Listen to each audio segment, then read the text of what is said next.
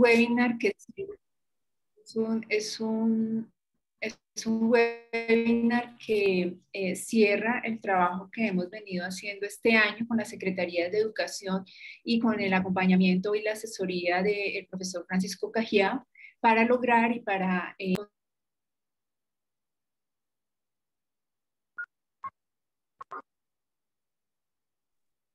Claudia, se te apagó el micrófono. Ok, ya, ahí ya está bien. Sí, señora. Vale, muchísimas gracias. Entonces, eh, reitero la invitación que inicialmente les estaba haciendo y eh, pues un poco contextualizando este webinar como un cierre de lo que hemos venido desarrollando a lo largo del año en acompañamiento de la Secretaría de Educación y con la asesoría del profesor Francisco Cajía, con el ánimo de reflexionar y de dar herramientas y posibilidades eh, de cualificación de las políticas locales de formación eh, y de lo que quede planteado en los planes territoriales de formación docente. Para nosotros esto es una, un ejercicio bastante importante y valioso porque nos permite desde el Ministerio de Educación eh, reconocer el trabajo que se está haciendo desde las entidades territoriales certificadas alrededor de la formación de docentes, pero también es un insumo basado en evidencias que nos permite la toma de decisiones de los programas y de los procesos y sobre todo de la política de formación eh, y las líneas que estamos desarrollando en formación continua en particular para eh, los docentes eh, de todo el país. Entonces, de esas necesidades, de esas líneas de formación, de esos planes territoriales de formación y sobre todo de los de los planes operativos de sus programas de formación y de la política en particular eh, a nivel territorial nos permite a nosotros la toma de decisiones de las líneas de formación que, que están siendo recurrencia y que están siendo tendencia en las regiones a partir de los contextos particulares en, los que se desempeñan nuestros maestros y maestras y directivos docentes. Entonces, en ese sentido, este webinar es el, cierre y el reconocimiento, como un reconocimiento al trabajo que las entidades territoriales han venido desarrollando alrededor de sus planes territoriales. Vale la pena mencionar que ya en la página web del Ministerio de Educación en, la, en, la, en, el espacio de adelante maestros de formación continua. Tenemos publicados aproximadamente 22 planes territoriales de formación, ya con la aprobación de las entidades territoriales, de estas entidades territoriales que ya están en esta etapa de implementación y que pues han han ya, formulado sus planes territoriales, su política de formación y ya tienen una ruta definida para, para este, este trabajo alrededor de la formación continua de los docentes. Entonces, eh, bienvenidos para, a todos nuestros asistentes, a todas las secretarías de educación que hoy nos acompañan. Y eh, hoy también nos va a estar acompañando en todo el, el proceso, en todo el espacio. Eh, si si así se permite, eh, el profesor Francisco Cajiao, que pues también hará las intervenciones que considere a medida que eh, vayamos desarrollando este, este webinar. Eh, el espacio de hoy, ay, perdón, creo que, disculpen un momentico. Nos, les agradezco me verifiquen si ya están viendo la, la presentación, la agenda. sí, ya estamos viendo la agenda. Gracias. Entonces, el espacio de hoy está dividido en, tres espacios diferenciados. Este webinar está eh, dividido en tres espacios. El primero de ellos va a ser una conferencia del profesor Francisco Cajiao que va a estar muy centrada en el talento humano, en el rol del maestro y en, la generación de las altas expectativas que se tiene de su trabajo y por ende el trabajo que desarrolla con los eh, niños, niñas, adolescentes y jóvenes. Entonces es una conferencia que nos ha aportado el profesor Francisco alrededor de las reflexiones que hemos venido haciendo alrededor de los planes territoriales de formación y de las políticas eh, locales de formación de docentes. Eh, y luego de eso vamos a tener eh, la intervención y la exposición de tres secretarías de educación, la Secretaría de Educación de Medellín, la Secretaría de Educación de Bogotá y la Secretaría de Educación de Facatativá, que pues han puesto a disposición su experiencia, su trabajo eh, y todo el, el devenir de, de, poder formular y desarrollar sus planes territoriales de formación y sus políticas de formación. Es así como la Secretaría de Educación de Medellín nos va a compartir sus experiencias experiencias alrededor del Plan Territorial de Formación y su articulación con el modelo de desarrollo de la entidad territorial. La Secretaría de Educación de Bogotá nos va a compartir su experiencia alrededor de la formación avanzada en el Plan Territorial de Formación y los retos para el ejercicio de la profesión docente. Y la Secretaría de Educación de Facatativa nos va a compartir eh, su experiencia y su trabajo alrededor de coherencia, pertinencia y viabilidad de los planes territoriales de formación. Eh, cada uno de los expositores tiene un tiempo de 15 minutos y les agradecemos a las personas que quieran formular preguntas a estas secretarías eh, hacerlas a través del chat de este, de este espacio eh, y las secretarías seleccionarán dos o tres preguntas dependiendo del tiempo que tengamos para ser respondidas en, esos cinco minutos de más que tendríamos de sus intervenciones. Posteriormente vamos a tener unas mesas de trabajo, tres, meses de tres mesas de trabajo Ahí mi colega Carlos Parra, eh, que me acompaña en este proceso, igual que Carlos Sánchez, las dos personas del equipo de formación que nos han venido acompañando en este proceso, eh, van a estar eh, orientando esta, estas mesas de trabajo. y estas mesas de trabajo que se dividen, que se eh, dividen en tres, van a estar eh, la Secretaría, en la primera mesa va a la Secretaría de Educación del Tolima, Secretaría de Educación de Nariño, Secretaría de Educación de Casanare, eh, muy encaminadas a, toda su experiencia y su trabajo alrededor de la conformación y funcionamiento del Comité Territorial de Formación de, de Docentes y la identificación de las necesidades de formación para definir las líneas de formación y definir el plan operativo de formación de la actividad territorial. Ahí va a estar moderando uno de nuestros eh, colegas del equipo de formación, Carlos Sánchez. En la siguiente mesa, en la mesa número dos, que van a ser paralelas, en espacios diferenciados, ya el máster nos, nos colaborará con, la, con la, el envío a estas mesas de la Secretaría de Educación que nos están, que están acompañando el día de hoy. En la mesa 2 estarán la Secretaría de Educación de Caldas, la Secretaría de Educación de Medellín y la Secretaría de Educación de Bogotá. Eh, con eh, sus propuestas y su trabajo alrededor de la oferta de formación docente y las alianzas que han desarrollado para eh, la formulación y la implementación de sus planes territoriales de formación. Allí nos estará acompañando como moderador Carlos Parra y al interior de cada mesa se espera contar con un relator para poder después hacer una, una plenaria de las conclusiones de estas mesas. Y en la mesa número 3 nos estarán acompañando la Secretaría de Educación de Piedecuesta, la Secretaría de Educación de Barranquilla y la Secretaría de Educación de Chía, básicamente eh, compartiéndonos el impacto de sus planes territoriales de formación y la evaluación y seguimiento de los mismos. Allí nos va a estar acompañando también mi colega Diana Sandoval del equipo de formación eh, y pues eh, la intencionalidad es sacar el mayor provecho de estos espacios en, una, un conversatorio, en un diálogo sobre cómo se han venido desarrollando estas, estas iniciativas en las entidades territoriales de tal manera que eh, pues tengamos un aprendizaje colaborativo alrededor de estas tres meses. Posteriormente, eh, vamos a tener un espacio de socialización de las conclusiones de estas mesas eh, y unas conclusiones de, la, de, la, de, las mismas y un cierre de esta jornada, esperando que el próximo año, de verdad, estos espacios que hemos desarrollado, este es el sexto espacio desde el lanzamiento que hicimos el 11 de junio de este año, el lanzamiento de esta propuesta, de este acompañamiento a las entidades territoriales en las políticas locales y en los planes territoriales de formación. Ya hemos desarrollado con este eh, seis espacios de trabajo para dialogar, discutir, reflexionar y sobre todo avanzar en las políticas locales de formación y en la implementación y formulación de los planes territoriales de formación.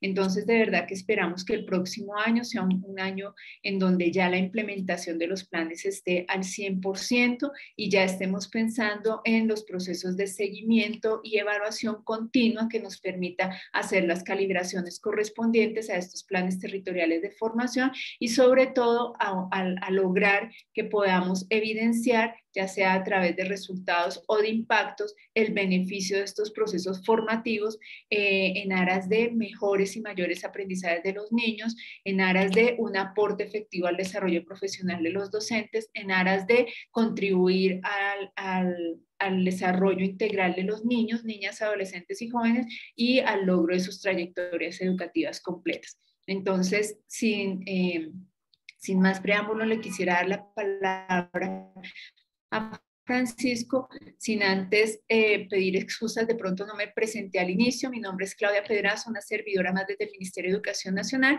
que actualmente está coordinando el programa de formación de docentes y directivos desde el Ministerio de Educación Nacional y en, el cual hacemos este trabajo de acompañamiento a las secretarías de educación, a la, al seguimiento de estas políticas locales de formación y a este acompañamiento y apoyo para lograr, pues, como les dije anteriormente, tener esa radiografía de que nos permita internamente desde el ministerio también tomar decisiones de la política nacional de formación de docentes, pues que va básicamente en cinco líneas, que son formación inicial, con el apoyo a, las, a, las, a, la profesionalización de nuestros normalistas superiores, al apoyo de las escuelas normales superiores. En la otra línea es formación continua, con procesos relacionados con el eh, formación continua y situada a través de diplomados, a través de propuestas de apoyo a las secretarías de educación eh, y a través de programas como el, el programa Todos Aprender. Eh, y eh, está la otra línea que es formación avanzada con posibilidades y apoyos a los educadores del país para desarrollar especializaciones, maestrías y doctorados en el marco de sus trayectorias en y para el ejercicio de la docencia. En resumidas cuentas, una un apoyo eh, grande a la continuación del desarrollo profesional de los educadores del país.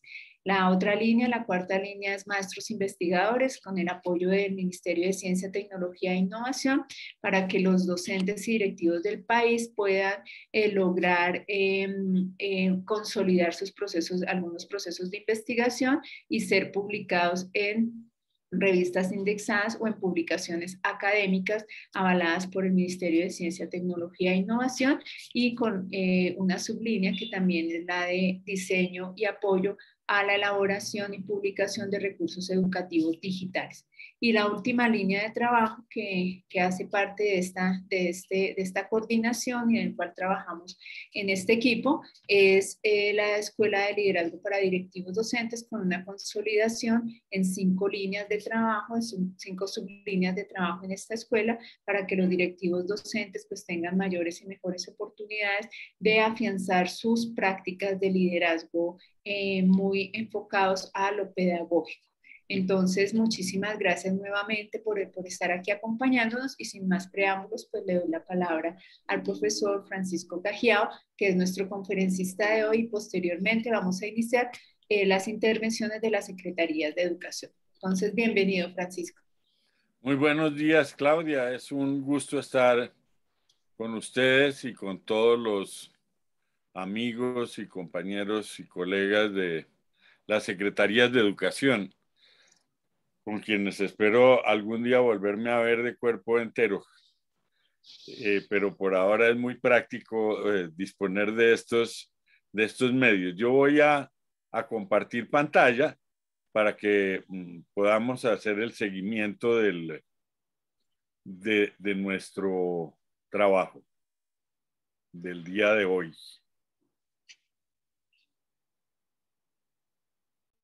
¿Ya lo ven? Sí, Francisco, estamos viendo tu oh, presentación. Muy bien. Eh, yo, yo he querido, de acuerdo con, con, los compañeros del ministerio, que son mis jefes para este efecto, eh, bautizar esta, esta charla Regiones que Progresan, porque eh, me parece que esto de los planes territoriales es tal vez uno de los aspectos en que más se pone en evidencia la necesidad de centrar muy seriamente el, trabajo de desarrollo educativo en las regiones y en los territorios. Es decir, la calidad no se construye de arriba para abajo, sino de abajo para arriba. Es cada región se cargo de su propia riqueza. Y esto es muy interesante porque la única forma de mejorar la calidad de vida pues de los ciudadanos, de la gente que está en la escuela rural, en la comunidad, en la vereda, en el barrio, es desarrollando tanto como sea posible pues los recursos con los que cuenta el territorio, recursos naturales, por supuesto, industria, eh, agricultura, etcétera, pero lo más valioso de cada lugar son las personas. Pues sin las personas no es posible darle uso apropiado a, todo eso que tenemos, a los bienes de la naturaleza, el entorno natural, etcétera. Y la forma como ocurre ese aprovechamiento del recurso humano, eh, pues es la educación. Y la educación se recibe desde la cuna, en la familia, también en la comunidad y en las instituciones, donde los maestros reciben el encargo de la sociedad para formar a las nuevas generaciones. Pero creo que vale la pena ilustrar un poco esto del, del recurso humano. Eh, muy interesante pensar, por ejemplo, en Japón. Japón, después de la Segunda Guerra Mundial, quedó diezmado, arrasado, pues la bomba atómica en Hiroshima y Nagasaki fue un golpe tremendo. Japón es un, país, un archipiélago en medio del, Pacífico que no dispone de recursos muy importantes, no dispone de petróleo, por ejemplo, no es un país minero, eh, tiene una agricultura que han sabido trabajar muy cuidadosamente en, ambientes que no son fáciles.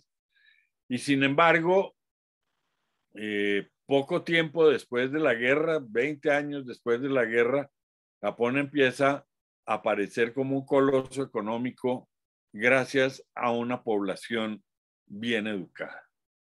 Eh, no es el caso de países que en un determinado momento, como Colombia, disponen de todos los recursos naturales imaginables. Nosotros tenemos petróleo, tenemos eh, minerales, tenemos agricultura, tenemos enormes territorios, hay agua, mucha agua, y nuestra gente no está debidamente preparada para aprovechar al máximo todos esos recursos. Entonces, mientras un pueblo sin recursos naturales eh, tan abundantes logra eh, superar las dificultades más grandes y, convertirse en un líder en tecnología, en un líder en industria, en un líder en, metalurgia, sin disponer de, las materias primas, nosotros disponiendo de todos, de todo eso, seguimos con una población que es ignorante, que en medio de toda esta situación que vivimos no tenía conectividad, que no, que, cuya población vive en un empleo informal eh, enorme. Tenemos más del 50% de la gente empleada está trabajando en actividades informales. Entonces, eh, eh, no, no puede seguir sucediendo eso. Las regiones son ricas en la medida en que sea rica su gente, en que se aproveche ese recurso fundamental que es el talento de nuestros niños, de nuestros jóvenes. Pero además hay otro elemento que yo creo que vale la pena que ustedes que lideran el, proceso de formación en las regiones eh, vayan incorporando en todos estos planes y es que eh, la educación tiene un componente político muy importante que hay que comprender. Eh, si nosotros no no le entregamos conocimiento a la gente, al, campesino, al muchacho de, que ha nacido en condiciones adversas, nunca va a cambiar la condición de estas personas de pobreza, de atraso. Por eso, el papel político de la educación se hace en las aulas de clase. Eso no es en las manifestaciones es en las aulas. porque es donde le entregamos el poder del conocimiento a la gente en una sociedad donde el poder está en el saber. Eh, es muy distinta esta situación a lo que ocurría en la Edad Media, donde lo más conveniente para, bueno, incluso después, 1600, 1700, hasta la Revolución Francesa, donde las monarquías y quienes tenían la propiedad y el control de toda la sociedad, lo que les convenía era tener una población ignorante, que no los cuestionara, que no aspirara, que no quisiera eh, llegar a los niveles donde ellos controlaban el Estado. Entonces, pues que la gente fuera ignorante era una gran ventaja. Esto llevó, y esto lo tenemos que entender y esto lo tenemos que compartir con nuestros maestros, porque este contexto histórico permite ver dimensiones nuevas. Esto fue lo que llevó a que, por ejemplo, en, eh, tanto en Estados Unidos durante todo el tiempo, hasta, bueno, casi que hasta hasta el gobierno de, Kennedy, cuando se empiezan a, romper un poco las barreras raciales, pero por supuesto de Sudáfrica hasta los procesos eh, recientes, digo recientes, de hace 30, 40 años, eh, pues el, alfabetizar a la población negra era eh, prohibido, porque el conocimiento entrega poder. En nuestra sociedad actual, ese poder es fundamental para producir riqueza. Ya ni siquiera los que tienen el poder eh, político, el poder económico, tampoco les conviene que la gente sea ignorante porque no pueden producir en el mundo de hoy sin conocimiento. Entonces yo creo que ahí tenemos que poner un énfasis muy especial para darle contexto a nuestros procesos de formación. Desde luego, el aprendizaje se inicia en la primera infancia. Entonces, en la infancia aprendemos eh, todo, una cantidad de lecciones de vida, dependiendo de dónde se nació, eh, qué cultura había, qué comía la gente, cómo era el paisaje, el clima, etcétera. Se dan, van dando muchos aprendizajes que nos van permitiendo irnos haciendo humanos gradualmente. Yo creo que esto es una cosa muy interesante. Hay un eh, antropólogo que se llama Guilford Gertz, que hizo muchos de sus estudios en Java, la isla de Java, y él eh, decía que, que, que los javaneses, en su concepción del mundo, dicen que la gente nace gente, pero no persona. Solo se va haciendo persona gradualmente, solo se va haciendo humano gradualmente. Tanto así que en el idioma javanés, la palabra humano es equivalente a javanés. Es decir, que uno va adquiriendo esa identidad en la medida en que domina un conjunto de, de señales y de códigos de comunicación con los demás.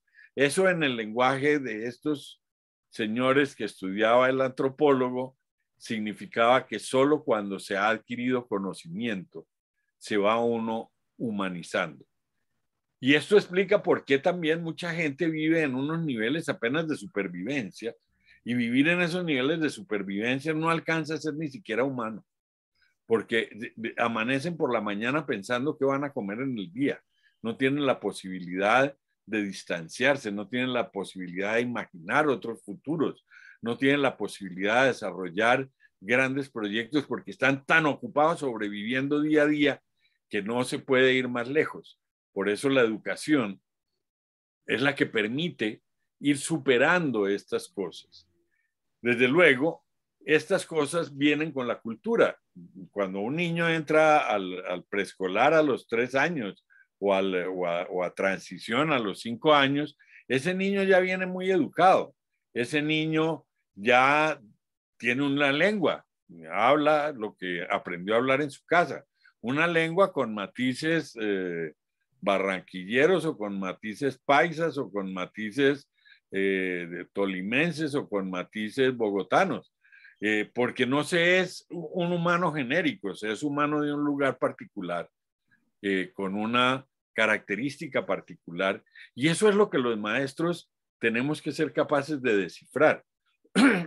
Por eso es tan supremamente importante tener maestros cultos, no solamente un maestro que, que sepa enseñar una asignatura particular y entonces sabe enseñar, no sé, matemáticas de octavo grado.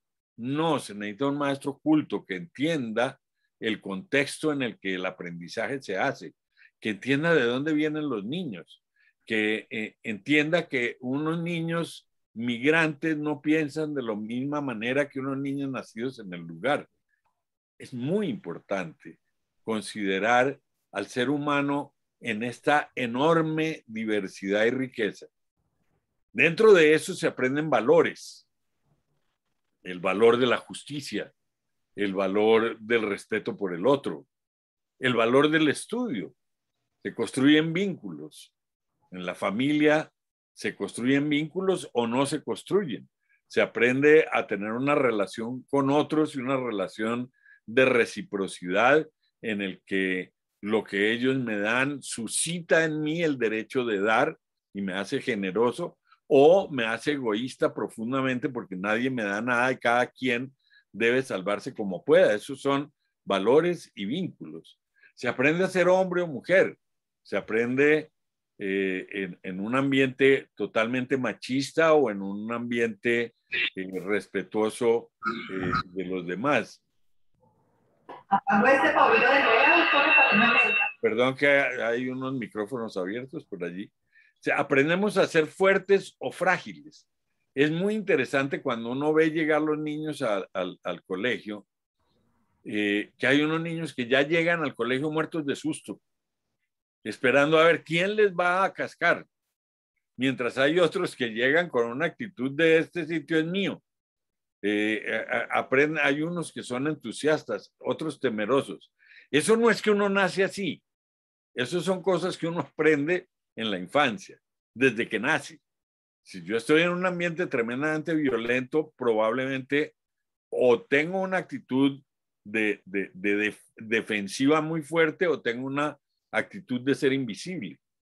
También en la infancia se va descubriendo algo muy importante que es aquello que hago bien. Entonces, hay niños que tienen una capacidad lingüística increíble y todo el mundo los aplaude.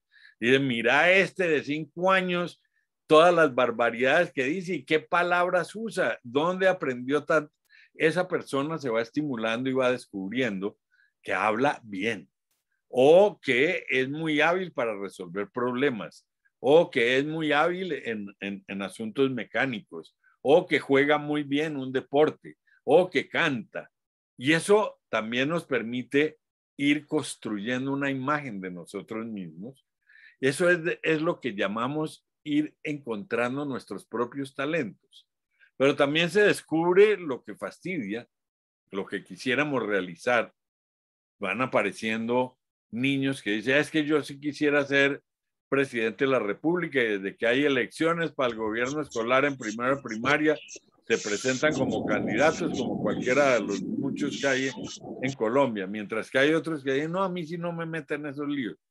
Entonces, desde muy chiquitos vamos viendo unos perfiles muy interesantes y así se van haciendo las imágenes de lo que se puede ser y realizar de acuerdo con lo que los demás también esperan de nosotros. Porque entonces hay el niño o la niña que canta muy bien, pero resulta que todo el mundo le dice, cállate más bien que lo que necesitamos es que leas la Ilíada. Entonces, como que, como que lo que yo sé hacer bien no le interesa a nadie y todos esperan una cosa que a mí me cuesta mucho trabajo hacer, entonces al final mejor no hago nada. Fíjense ustedes cómo desde la infancia se va modelando ese ser humano. Los maestros necesitan ser formados para identificar esto. Tienen que ser lectores de vida, tienen que ver un grupo de niños y empezar a leer esos niños y no solo a partir de lo que ellos enseñan, sino a partir de lo que los niños saben. Pero para eso hay que formar a los maestros, hay que darles esas pistas. Hay muchos maestros que lo hacen y que lo hacen muy bien.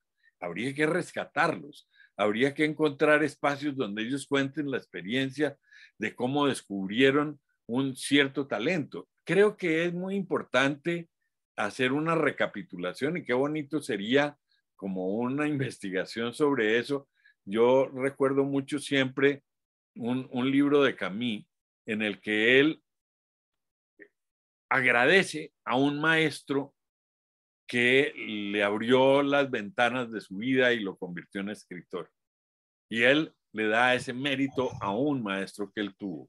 En la autobiografía de Einstein se muestra cómo Einstein fue considerado como hasta quinto o sexto grado, como un niño retardado, un niño disperso, un niño distraído, que no iba a salir con nada en la vida hasta que algún maestro descubrió que sus distracciones y sus cosas eran puras expresiones de un talento que iba mucho más allá porque estaba pensando en la teoría de la relatividad cuando tenía 12 años.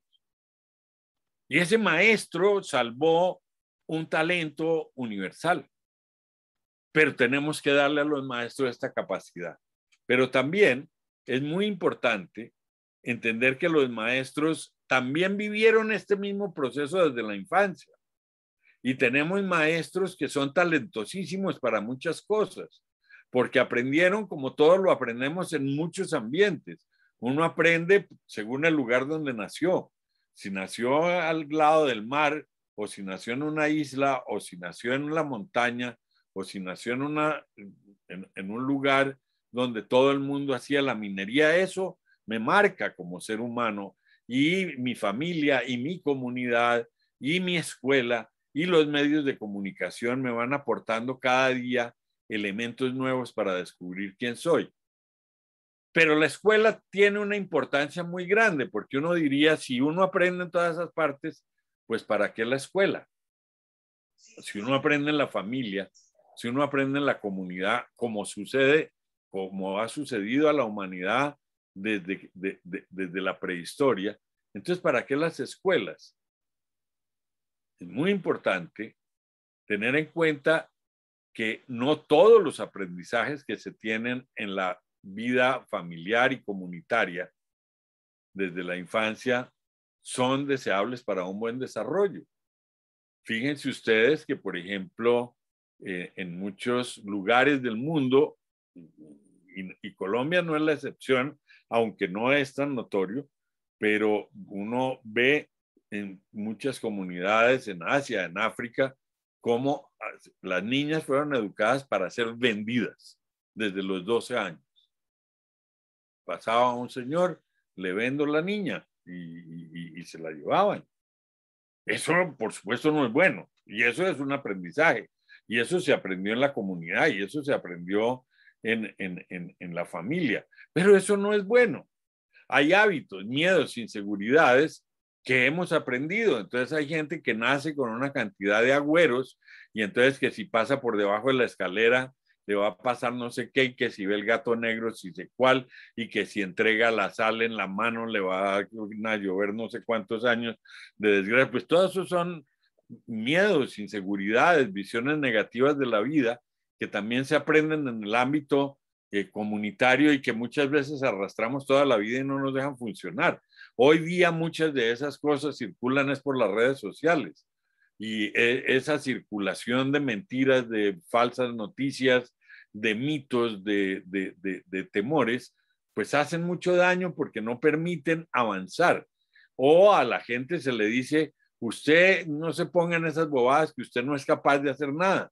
Y entonces hay mucha gente que es educada en la idea de su incapacidad, de decirle eso no se arriesgue, consígase un puestico y no lo suelte ni por el diablo, no asuma riesgos, no, no se exponga. Claro que usted quisiera ser el, jefe de una expedición a la, Antártida, pero no se ponga en bobadas, siga ahí atendiendo en el mostrador de la tienda.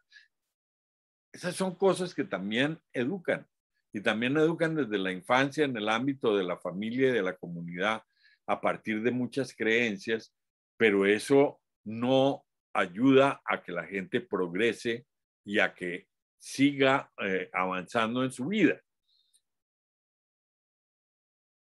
Entonces la, la educación formal aparece en el mundo como un espacio para someter a crítica también todos los aprendizajes y todos los intercambios culturales que tenemos en los espacios de la familia, de la comunidad y hoy día de los medios de comunicación, de las redes sociales, etc.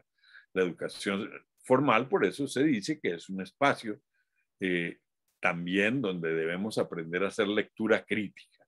Y hacer lectura crítica no es solamente leer textos eh, con letras, es leer la realidad.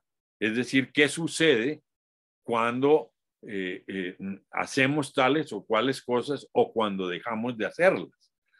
¿Qué sucede, por ejemplo, en este momento? Es muy interesante. Esta mañana estaba escuchando una noticia que es eh, de, de, Francia, donde aparece una señora de 40 años, algo así, que se muere de COVID en un hospital pero la señora había llevado un certificado de vacunación. Cuando empiezan a mirar, el certificado de vacunación es falso. ¿Por qué nos resistimos a algo que nos muestra que la gente que se está muriendo es aquella que no se ha vacunado? Porque los que se han vacunado puede que contraigan el virus, pero les da muy suave y las las muertes son mínimas porque ya pasaron por algo que había trabajado la humanidad desde el punto de vista de la ciencia, con un montón de datos, con verificaciones. Ahora, ¿qué va a pasar dentro de 10 años? Pues no sabemos. Lo que sí sabemos es que si nos contagiamos hoy y no tenemos la vacuna, nos morimos mañana. Eso sí lo sabemos. ¿Qué va a pasar dentro de 10 años? Eso no lo sabemos. Entonces, tenemos que funcionar con, una capacidad crítica para saber qué sucede en una campaña presidencial, qué es lo que están diciendo los candidatos. No simplemente dejarnos llevar por una cantidad de promesas y de gritos y de consignas y de, noticias que circulan por, por Internet a favor del uno o a favor del otro. Hay que ser capaces de sentarse con calma y mirar qué es bueno para un país, qué es bueno para una región, qué es bueno para la escuela, qué es bueno en términos del el desarrollo de una comunidad. Durante un año y medio hemos estado sobre el peligro de que los niños se van a contagiar en la escuela y resulta que el, sitio más seguro donde pueden estar los niños demostrado a través de datos, de evidencias, de todo, el sitio más seguro es la escuela. Todos los que se han contagiado en general lo han hecho por fuera de la escuela, también los maestros. Entonces, fíjense ustedes que la escuela, digamos, la educación formal, cumple una función muy importante que es someter a crítica tanto los contenidos intelectuales como emocionales y como de vivencia ciudadana que nos permiten eh, avanzar y crear nuevas realidades eh, para nuestras regiones, nuestras comunidades. Eh, yo creo que en la escuela hay muchos temas que al, ser conversados presencialmente eh, van generando lo que llaman los teóricos un intercambio cultural.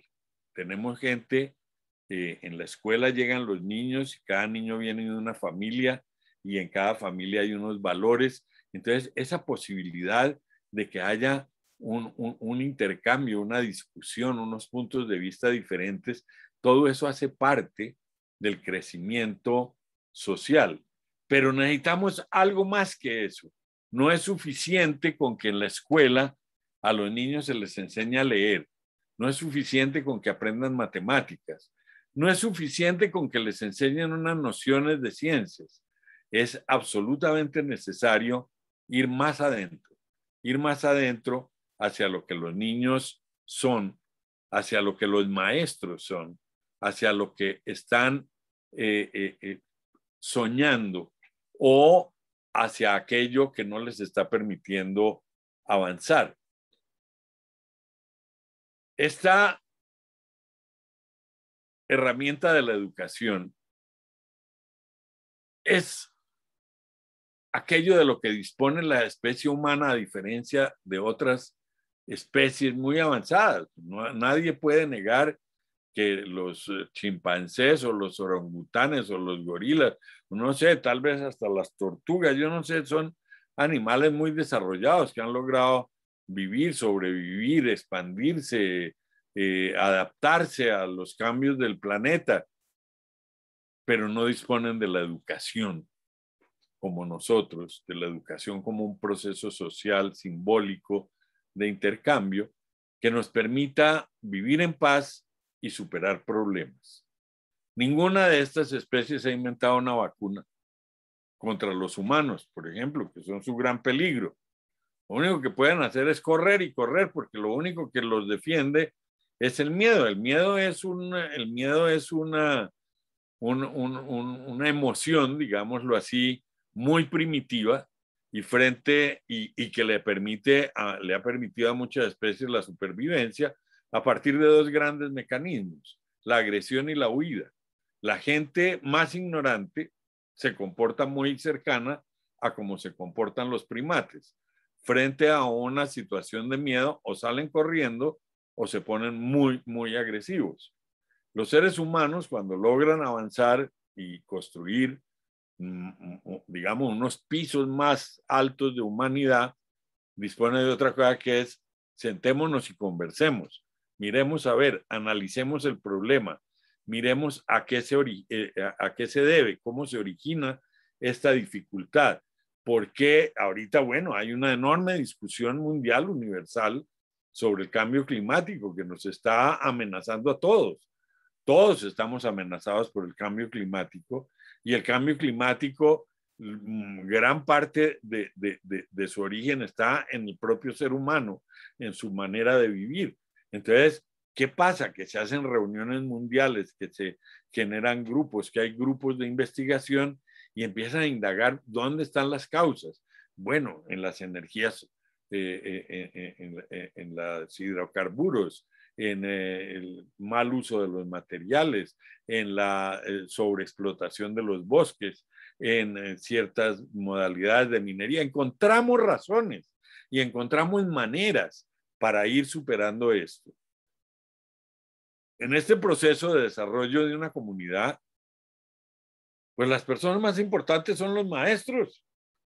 Son los que tienen la capacidad de enseñar a los niños desde la primera infancia a hacer esa operación de decir, sentémonos y hablemos a partir de datos, a partir de información que podamos constatar, de evidencias. Nosotros podemos acompañar a esos niños para que busquen un mejor futuro para todos.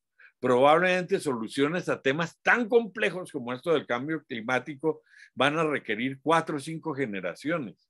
Y si esas cuatro o cinco generaciones no han sido educadas y bien educadas, pues no lo van a resolver tampoco y entraremos en un colapso que ya mucha gente dice que está a las puertas a, las puertas de las próximas dos generaciones. Algunos dicen que ya el, año 2100 el mundo será un caos porque la temperatura habrá subido muchísimo. Pero ¿quién va a educar a, todo el mundo para que no, para manejar los desechos tóxicos, los plásticos, etcétera? Pues eso se hace en la escuela y eso no es una clase, eh, eh, esa no es una clase magistral de conferencia. Eso es una búsqueda de prácticas, de sembrar conciencia colectiva de sembrar conciencia de cuidado universal. Pero esto es todavía más urgente en las comunidades más pobres, porque en las comunidades más pobres prácticamente la única esperanza está en la riqueza de que los niños, niñas, jóvenes se preparen y cultiven su talento para el bienestar colectivo. Allí en las comunidades más pobres hay científicos increíbles en esas comunidades más pobres puede haber líderes sociales que tendrían un liderazgo político diez mil veces mejor que el que tenemos hoy. Pero ¿qué hacemos si no los descubrimos? ¿Qué hacemos si no les permitimos florecer? ¿Qué hacemos si los maestros están más pendientes de enseñar que de escuchar? ¿Qué hacemos si el maestro no tiene esta visión optimista de decir, entre estos 30 niños que tengo al frente, hay uno que va a ser un premio Nobel en, ciencias, o hay uno que va a ser probablemente eh, eh, un artista muy reconocido. Tenemos que empezar a creer que ahí está el talento y que nuestra labor no es enseñar, es descubrir talento. Si uno quisiera adivinar el futuro de una comunidad en un territorio, pues no sería sino observar a los maestros y ver cuánto empeño ponen cada día por descubrir la capacidad de sus estudiantes y estimularlos para que las cultiven. Necesitamos maestros que crean en los niños, no maestros que castiguen a los niños. Porque el maestro tiende a ser muy obediente a una tradición y la tradición es, al final, termina concentrándose en pasar o no pasar el año. Y entonces, para pasar el año, hay que contestar correctamente a un montón de preguntas que se hacen en 20 disciplinas a lo largo de la escolaridad, pero simultáneamente un niño de sexto grado puede tener 11 asignaturas y tiene que responderle al de educación física, al de biología, al de geografía, al de sociales, a, los de idiomas, a, todo el mundo. Pues por supuesto que no lo hace bien, tiene cinco horas para hacer todo eso. No, no, no caben, no, no, no cabe y no tiene tiempo para soñar, no tiene tiempo para, para sacar de sí todo su, su valor, todo lo que tiene como talento. Tenemos niños que son unos matemáticos extraordinarios, pero llegan a grado 11 y nadie se dio cuenta. Tenemos unos niños que son unos escritores fantásticos, pero llegan a grado 11 y nadie se dio cuenta. Y después ni siquiera entran a la universidad, los reclutan, los, los meten al ejército. Estamos perdiendo el mayor tesoro de nuestra vida. Entonces los maestros tienen que ser preparados para encontrar talento para estimular, para encontrar lo mejor de cada niño, no lo peor, sino lo mejor. Esto es un tema supremamente importante porque es un tema que va en contravía de lo que es una tradición que los propios maestros vivieron en su, en su paso por la escuela. Muchísimos maestros también vivieron una situación en la que les dijeron usted no sirve para nada, usted no puede aspirar a grandes cosas, usted se debe quedar. Yo siempre recuerdo una parienta eh, que en paz descanse y Dios la tenga en su gloria, que alguna vez le comentó a una de mis hermanas, oiga, ¿qué hay de su, de su hermano? Eh, ese muchacho era inteligente y al final se quedó, fue para maestro, ¿no? Como si fuera, mejor dicho, el fracaso de la vida. Pero lamentablemente hay muchos que viven esa situación y el propio maestro tiene que ser estimulado, tiene que descubrir para qué es bueno, tiene que descubrir cómo es capaz de sacar adelante generaciones enteras de, niños. No hay nada que le dé más orgullo a, un maestro, y lo digo por experiencia, que ver que uno de sus estudiantes florece y se vuelve muy importante.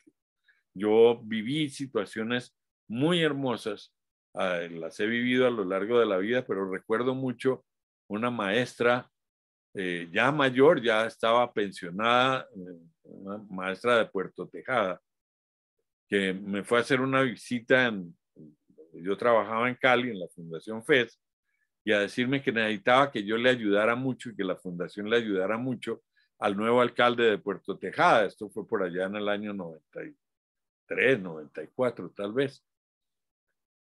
Porque ella le había enseñado a leer y ahora ese muchacho había conseguido la alcaldía eh, por un movimiento cívico y que ese muchacho tenía que demostrar todo su poder. Y esta señora le había seguido la vida a ese muchacho.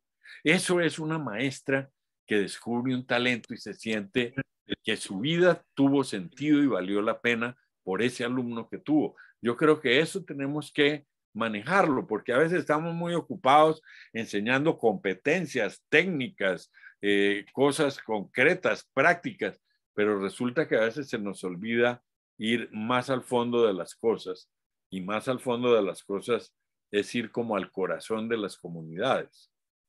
Esto significa que una función fundamental del Estado hacia los maestros y de los maestros hacia los niños es sembrar altas expectativas. Nunca se puede lograr algo que no haya pasado, que uno no haya pensado y deseado intensamente.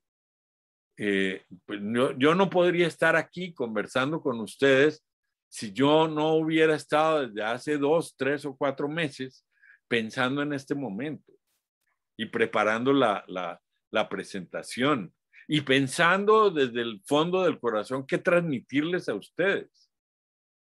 Porque si a mí simplemente me llaman hoy por la... ¿Pueden cerrar micrófono, por favor? Eh, porque si hoy simplemente a las seis de la mañana me llaman del Ministerio de Educación y me dicen, oiga, usted puede decirle unas palabras a, a, a una gente de las regiones, pues yo no tengo allí, seguramente yo no puedo transmitir nada con afecto ni con convicción, pues porque yo no me había preparado, yo no lo tenía en la cabeza. Entonces, yo no puedo comunicarme con un grupo si yo no pienso desde la víspera con emoción que mañana me voy a encontrar con esos niños y que quién sabe que me traigan chévere mañana. Claro, también yo puedo pensar qué horror tener que ir mañana otra vez al colegio y encontrarme con esos monstruos que van a hacer relajo, que me van a poner de mal genio, que me voy a estresar otra vez. Claro, el maestro tiene que tener una alta expectativa sobre lo que él puede conseguir. Y un maestro con altas expectativas, pues siempre está más ansioso de formarse. La experiencia de todos aquellos que han logrado grandes éxitos individuales, profesionales, eh, sociales, colectivos, es que se propusieron metas muy ambiciosas y trabajaron muy arduamente para conseguirlas. Antier estaba yo en República Dominicana en un encuentro de maestros y alguien que estaba eh, introduciendo la reunión mostró un video que me impactó muchísimo porque no lo conocía, que es un discurso de Kennedy eh, en la presidencia de la República, donde le propone a Estados Unidos que en 10 años van a llegar a la Luna. En 10 años. Eh, que el problema es que todavía no hay los materiales para construir una nave que vaya a la Luna que hay que inventar los materiales, que en el momento todavía no hay los combustibles para llegar a la luna, que todavía no se sabe cómo se va a alimentar a quienes van a hacer el viaje, que no es claro todavía una vez llegados a la luna cómo pueden salir de la luna y regresar a la Tierra, pero que aún así irán en 10 años. Esto es tener altas expectativas y esto movilizó a un país a crear ciencia, tecnología, desarrollo, emplear gente, aprovechar todo el talento humano disponible a lo largo, ancho del país, pero además a, atraer talento de otros países para esa gran aventura que ha sido la conquista del espacio. Pero hay que tener una gran expectativa. Uno no puede decir, ah, sí, Colombia, no, Colombia que va a ir nunca a la luna. Pues nosotros, si no logramos si no logramos ir de, Bogotá a Barranquilla sin pasar por, por, carreteras cerradas, por ¿qué vamos a ir a la luna? Estamos locos. No hemos logrado inventar todavía un buen asfalto para pavimentar las vías. ¿Qué vamos a ir a ninguna parte? Con esas expectativas, pues no llegamos a ninguna parte. Entonces, somos un país que necesita altas expectativas. Nosotros no podemos contentarnos con poco. Necesitamos un país en el que tengamos niños, jóvenes, maestros que están pensando en alta tecnología, que están pensando en muchas cosas. Yo no eh, sé por qué no lo podríamos hacer. Tenemos gente en las universidades haciendo cosas interesantes. Y tenemos niños que podrían desarrollar robots, que podrían desarrollar eh, eh, astronomía, que podrían desarrollar de todo. Y hay muchos colegios que lo logran, pero hay que generalizarlo. Necesitamos eso. No podemos dejarnos invadir por la desesperanza. Es muy triste ver lo que ha ocurrido en Colombia con las movilizaciones sociales que hubo este año, donde miles y miles de jóvenes que no estaban en el colegio, porque los tenían por fuera del colegio, porque estaban cerrados los colegios, empezaron a manifestar en las ciudades su desesperanza de una forma muy violenta. Porque era, ¿y qué es de nuestra vida? Al cabo, ¿qué nos va a pasar? ¿Qué puede ser peor que lo que ya tenemos? Eso me parece que es muy trágico, me parece que es un golpe político enorme porque quitarle la esperanza a los más pobres es quitar la esperanza de que los pobres un día puedan decir su palabra y participar activamente en la vida de un país. Un país donde las escuelas de los pobres permanecen cerradas año y medio es un país políticamente muerto. Es una cosa muy grave porque naturalmente puede haber revueltas, puede haber cosas, pero allí no se construye el conocimiento que se necesita para hacer que haya progreso y que haya desarrollo de las capacidades individuales. Allí solamente estamos en la reacción a un mundo que no cree en los jóvenes, que no les ha dado esperanza, que no les ha cultivado su talento. De nada nos sirve eh, tener todas estas capacidades para la ciencia, el arte, el deporte, si no hay la convicción de que podemos alcanzar grandes objetivos. Hay que meterle ganas al asunto y esto es fundamental en el proceso de la formación, de la formación de los niños y de los maestros. Y entender que los maestros tienen su satisfacción más grande no en el 5 o 6% de incremento salarial. Claro que ahí uno queda contento, queda contento por 15 días, luego se acostumbra y luego le hacen falta otros 5, 10 o 15%. El maestro realmente como profesional, como ser humano, se realiza cuando ve florecer a sus estudiantes. Y cuanto más adversas sean las condiciones, más evidente es ese logro, porque se sabe que él fue el protagonista de una transformación social profunda y de una transformación social y humana que cambió todo el devenir de una comunidad y de un pueblo. Yo creo que este humanismo, que esta reflexión, que esta mirada más filosófica de la educación nos está haciendo falta. Los maestros necesitamos creer en nosotros mismos, necesitamos eh, sentirnos más orgullosos de lo que hacemos, porque si no nos dan, si, digamos, si no nos reunimos para cantar nuestras victorias, y nuestras victorias no es un premio que nos dio no sé quién mundial por ser el mejor maestro del mundo, eso no es lo que necesitamos. Necesitamos el premio de una comunidad que nos reconoce, necesitamos el premio de una gente importante que cuando sale eh, nos ve y nos da un abrazo porque reconocen que fuimos nosotros quienes les ayudamos a descubrir un camino, una opción de mejorar la vida, no solo de ellos, sino de toda una comunidad y de todo un país. Por eso los, los buenos maestros necesitan eh, sentirse capaces de lograr grandes cosas de hacer grandes transformaciones, de hacer innovaciones. Es decir, yo estoy en el mejor colegio porque aquí todos juntos logramos transformar todo para hacer un colegio de científicos.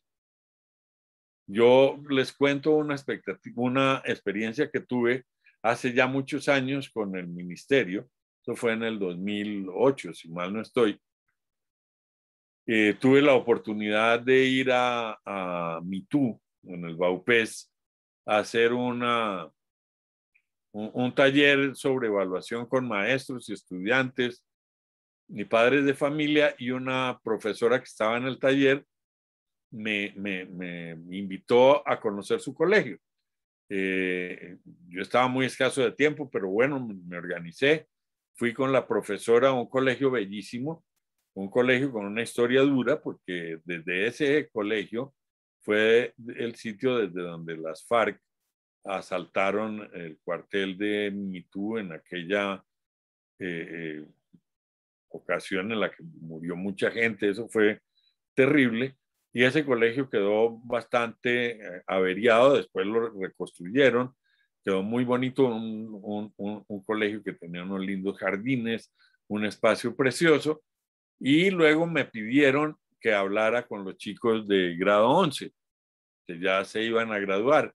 Y yo tuve una preocupación enorme, que era cómo hablo yo con unos niños que están en un lugar como Mitú, que queda muy aislado del resto del país, muy, muy aislado, eh, donde yo no conozco cuál es ese mundo, donde una pregunta puede llegar a ser ofensiva, donde si yo les pregunto qué quieren estudiar, pues de pronto voy a recibir una respuesta. ¿Usted dónde cree que se puede estudiar universidad en Mitú, por ejemplo? Eh, o algo así. Entonces, pues de una manera mucho más general les pregunté, bueno, ya terminan ustedes muchachos, ¿y ahora qué van a hacer? Y levantó la mano una niña y dijo, yo quiero estudiar ingeniería industrial y otro dijo que ingeniería mecánica. Total, de alrededor de 28 chicos que había ahí, cerca de 20 iban a estudiar ingeniería. Eso no pasa ni en los colegios privados de más alto pedigrí en, en, en Bogotá o en Medellín. ¿Qué pasó ahí? Bueno, tenían unos maestros que les sembraron altas expectativas. Y la gran pregunta era, bueno, ¿y eso es posible o solamente es el sueño de ustedes? No, no, ya estamos matriculados. ¿Por qué? Porque en ese colegio algunos otros chicos en, en, generaciones anteriores, en promociones anteriores, habían ido a estudiar ingeniería. El colegio los invitó, los trajo, les ayudó, les pidió que les, que les contaran a sus, a sus compañeros menores cómo habían hecho, qué se habían encontrado en la universidad, los llenaron de entusiasmo y teníamos en Mitú un colegio lleno de altas expectativas. Eso lo, lo podemos hacer todos en distintas partes. Hay opciones, hay oportunidades, no es fácil. El mundo hay que trabajarlo, el éxito hay que trabajarlo. El éxito no llega en paracaídas, ni siquiera para los ricos porque los ricos que, tienen una gran herencia y todas esas cosas, si no estudian, si no trabajan, la dilapidan y la pierden en menos de, de, una generación. La formación profesional entonces no se limita a tener un dominio académico de las disciplinas o a disponer de un repertorio de estrategias pedagógicas o de tecnologías o de computadores o de tabletas. Requiere pasión, requiere un compromiso interior, y una convicción de que el verdadero éxito se encuentra es en las metas que consiguen los estudiantes. Y yo creo que eso es algo que nos está haciendo falta eh, hacer porque necesitamos un país capaz de creer en su gente y los primeros obligados a creer contra toda evidencia somos los maestros que debemos creer en nuestros estudiantes. Con esto yo creo que podemos iniciar una reflexión muy bonita y eh, conversar sobre el tema. Yo estoy seguro de que muchas entidades territoriales hacen esto, lo hacen muy bien en algunas instituciones, pero hay que generalizarlo a todas las instituciones y no solo a algún maestro que es especial, sino como a una característica de los colectivos de maestros, de los equipos que trabajan en un sitio. Muchas gracias y quedo a sus órdenes. Lamento no haber estado presencialmente con ustedes porque ustedes saben que la comunicación eh, no verbal eh, es fundamental. A mí me hubiera encantado tenerlos cara a cara para poder cultivar el entusiasmo. Muchas gracias. Gracias a ti, Francisco. Eh, te agradecería nos pudieras colaborar con dos preguntas que nos han hecho nuestros asistentes a través del chat. Eh, la primera de ellas es, nos la, la formula Álvaro Gómez, de la Secretaría de Educación de Ipiales, y nos pregunta qué tan pertinente es aplicar el enfoque STEM en el contexto rural. Yo, eh, yo creo que en, la ruralidad tenemos que ofrecerles a los niños todo lo mejor que podamos encontrar para cualquier lugar. Es decir, si a mí me preguntan, no es STEM. Eh, eh, STEM está muy bien, pero es STEM, es filosofía, es arte, es eh, tecnología, es, carpintería, si ustedes quieren, es el talento. No hay nada más maravilloso en, Nariño, por ejemplo, que la enorme capacidad artística de sus artesanos. Y, y, entonces, pues yo no veo por qué sea superior a alguien que hace, no sé, ingeniería de sistemas, que alguien que trabaja eh, la madera con, con, pericia o que fabrica instrumentos musicales. Eh, lo que sí quiero decir es que cuando hablamos de lo rural a veces tengo la impresión de que es como que en la ruralidad habría que darles un poquito menos. No, hay que darles para que en la ruralidad salga un astronauta también. Eh, tenemos que pensar que de la ruralidad salga un gobernante, pues tenemos que pensar que en la ruralidad se cultive eh, eh, los científicos más avanzados.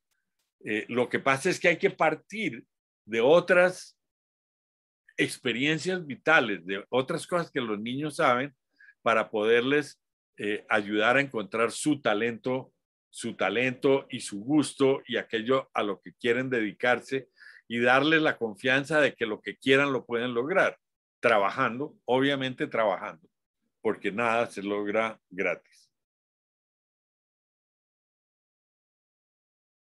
Se te fue el micrófono, Claudia. Ok, gracias.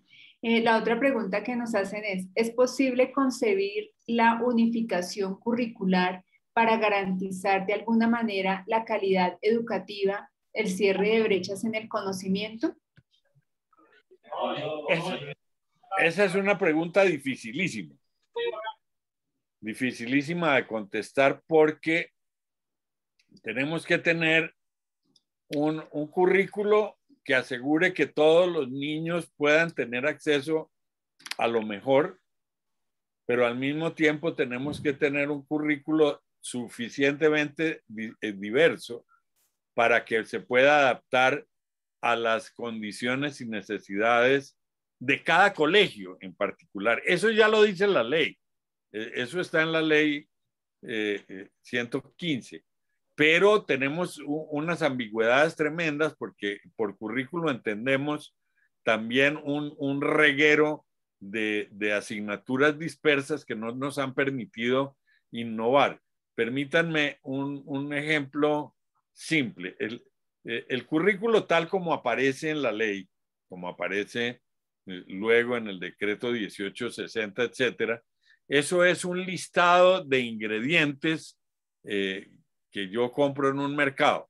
Entonces yo tengo, tengo un, un, chorrero de verduras, compro, compro tomates, berenjenas, cebolla, eh, acelga, espinaca. Tengo ahí, tengo granos, tengo frijoles y tengo eh, lentejas y tengo garbanzo y luego tengo carne y tengo pollo y tengo cerdo y tengo pescado y tengo... Eh, no, quiere decir que yo a las 8 como berenjena, a las 9 cebolla, a las 10 eh, frijoles, a las 11 eh, pescado. Quiere decir que yo tengo que ser un buen chef, que tengo que preparar un menú en el que haya estos ingredientes. Entonces, un buen currículo es aquel que logra hacer un, un buen menú que los niños se quieran devorar que quieran comer. Eso es la flexibilidad curricular. Eh, en, en, esa flexibilidad curricular, pues debe haber proteína, debe haber verduras, debe haber granos, debe haber carbohidratos, pero no para comérselos en orden, porque así nadie disfruta la comida, así se vuelve horrible. Hay que cocinarla bien, hay que adobarla. Entonces, tiene que haber un, un menú, digamos, unos ingredientes universales para que todos los niños tengan acceso a una buena nutrición de su vida y su intelecto y su vida emocional, pero tiene que haber buenos cocineros que son los maestros y los equipos docentes que tienen que preparar menús eh, especiales y ahí está la diversidad que se hace en cada salón de clase. Entonces, espero que esto no confunda mucho y terminemos complementando el PAE. Muchas gracias, Francisco pues no hay más preguntas por ahora, Francisco, entonces te, te agradecemos tu intervención, muy valiosas tus, tus, reflexiones alrededor del rol de los educadores y pues del devenir de, estos temas tan importantes frente a, a, la formación de docentes y sobre todo al rol del educador y lo que se espera pues de, de, de su trabajo y de sus, sus, características como profesional eh, de la educación. Entonces, muchísimas gracias. Eh, sé que nos vas a estar... Eh, eh Aquí estaré. Ok. Estoy muy interesado sobre todo en lo que cuenten de las regiones, porque es que le toca a uno también un poquito de turno de aprender. Eh, sí, señor. Bueno, eh, en este sentido, entonces le vamos a dar la palabra a las secretarías de educación que nos han venido, nos han venido acompañando en este proceso. Eh, si me permiten un segundo. Eh, entonces le doy la, bienvenida a la Secretaría de Educación de Medellín. Eh, ella va a centrar, la Secretaría va a centrar sus reflexiones alrededor del plan territorial de formación y su articulación con el modelo de desarrollo. Entonces le agradecería a nuestros colegas de la Secretaría, a María Paulina Arango, que nos va a acompañar en este espacio, la presentación y el inicio de la misma. María Paulina, ¿nos acompañas? Por favor, te agradecería que te presentaras Hola. Hola, María Paulina. Muy buenos días para todos. Eh, ¿Están viendo ahí mi presentación? Sí, sí, perfectamente. Gracias. Bueno, eh, muchísimo gusto. Eh, mi nombre es María Paulina Arango. Yo soy la coordinadora pedagógica del Centro de Innovación del Maestro, que es la entidad de la Secretaría de Educación encargada de hacer la formación continua a los docentes, pero antes de iniciar, bueno, quiero agradecerle al, profesor Cajiao porque siempre sus intervenciones son inspiradoras, nos recuerdan eh, qué es realmente lo importante en la educación, cuáles son los propósitos y los fines de la educación, la importancia eh, de los maestros. Entonces, muchas gracias por ser siempre tan inspirador y muchísimas gracias también al Ministerio de Educación Nacional por invitarnos y por permitirnos eh, compartir la experiencia del municipio de Medellín. Eh, yo entonces les voy a hablar del Plan Territorial de Formación Docente de Medellín y su articulación con el modelo de desarrollo. Y eh, aquí vamos a hablar entonces, voy a eh, explicar eh, un poco cuál es el contexto en el que aparece el plan de desarrollo, los principales objetivos del plan, del plan de desarrollo en términos educativos, cómo elaboramos el plan territorial de formación docente y entonces ahí vamos a entrarnos un, un poco en la caracterización de los docentes de Medellín, en la metodología que utilizamos para elaborar el plan, las necesidades de formación que los docentes nos dijeron que tenían las habilidades y las líneas de formación que privilegiamos y las estrategias eh, de formación que, que, estamos utilizando para llevar a cabo eh, y, cumplir con esos objetivos. Y voy a finalizar también hablando un poco de los retos que tenemos. Entonces, hablando justamente de, de, las regiones, como mencionaba ahorita el profesor Cajiao y, y, sus necesidades y sus particularidades, nos encontramos que en Medellín hay, eh, digamos que tres problemáticas o necesidades eh, grandes. Una es en términos económicos, porque hay una transformación en la actividad económica. Medellín es una ciudad que ha venido sufriendo la desindustrialización, eh, sobre todo porque eh, era una ciudad muy basada en la industria textil. En los años 60, por, por ejemplo, esta industria textil representaba el 39% del Producto Interno Bruto de Antioquia y nos encontramos con que, por ejemplo, en el 2019 eh, esa producción representa el 16% del Producto Interno Bruto del departamento, es decir, hay una disminución muy significativa en, de la industria y, y, su aporte a la economía. Hay también em, unas brechas eh, de desigualdad profunda, entonces, eh, como también decía ahorita el, el profesor Cajiado, pues tenemos un buen porcentaje de la población que no tiene acceso suficiente a la alimentación, a recursos, a, poder eh, desarrollar todas sus capacidades, un desempleo que alcanza el 19.5% y pues unos retos que creo que todos eh, tenemos en este momento, no solamente la ciudad de Medellín, eh, sino pues el mundo en general y es eh, la transformación que ha traído la cuarta revolución industrial. A nivel de problemática social, pues a, pesar de que Medellín indudablemente ha hecho unos progresos muy significativos en ese sentido, de todas maneras seguimos teniendo una ciudad donde hay, por ejemplo, 350 eh, bandas criminales que eh, son autoridades en muchos de los territorios, hay problemas de microtráfico, de... Em, de vinculación de jóvenes a estas bandas. Eh, también tenemos una fuerte migración, sobre todo de población venezolana, y tenemos estudiantes con problemas de salud mental, con problemas de depresión, de consumo de sustancias psicoactivas, violencia intrafamiliar, embarazos adolescentes.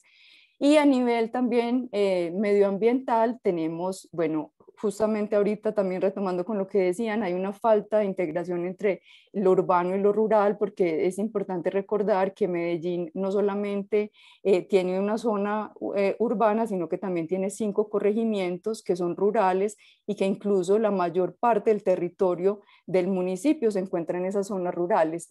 Eh, tenemos también problemas de calidad de aire, de movilidad, es decir, pues asuntos medioambientales que tenemos que resolver. Entonces, el plan de desarrollo buscó eh, apuntar a resolver esas problemáticas eh, frente a, la transformación, entonces propone una transformación en la actividad económica.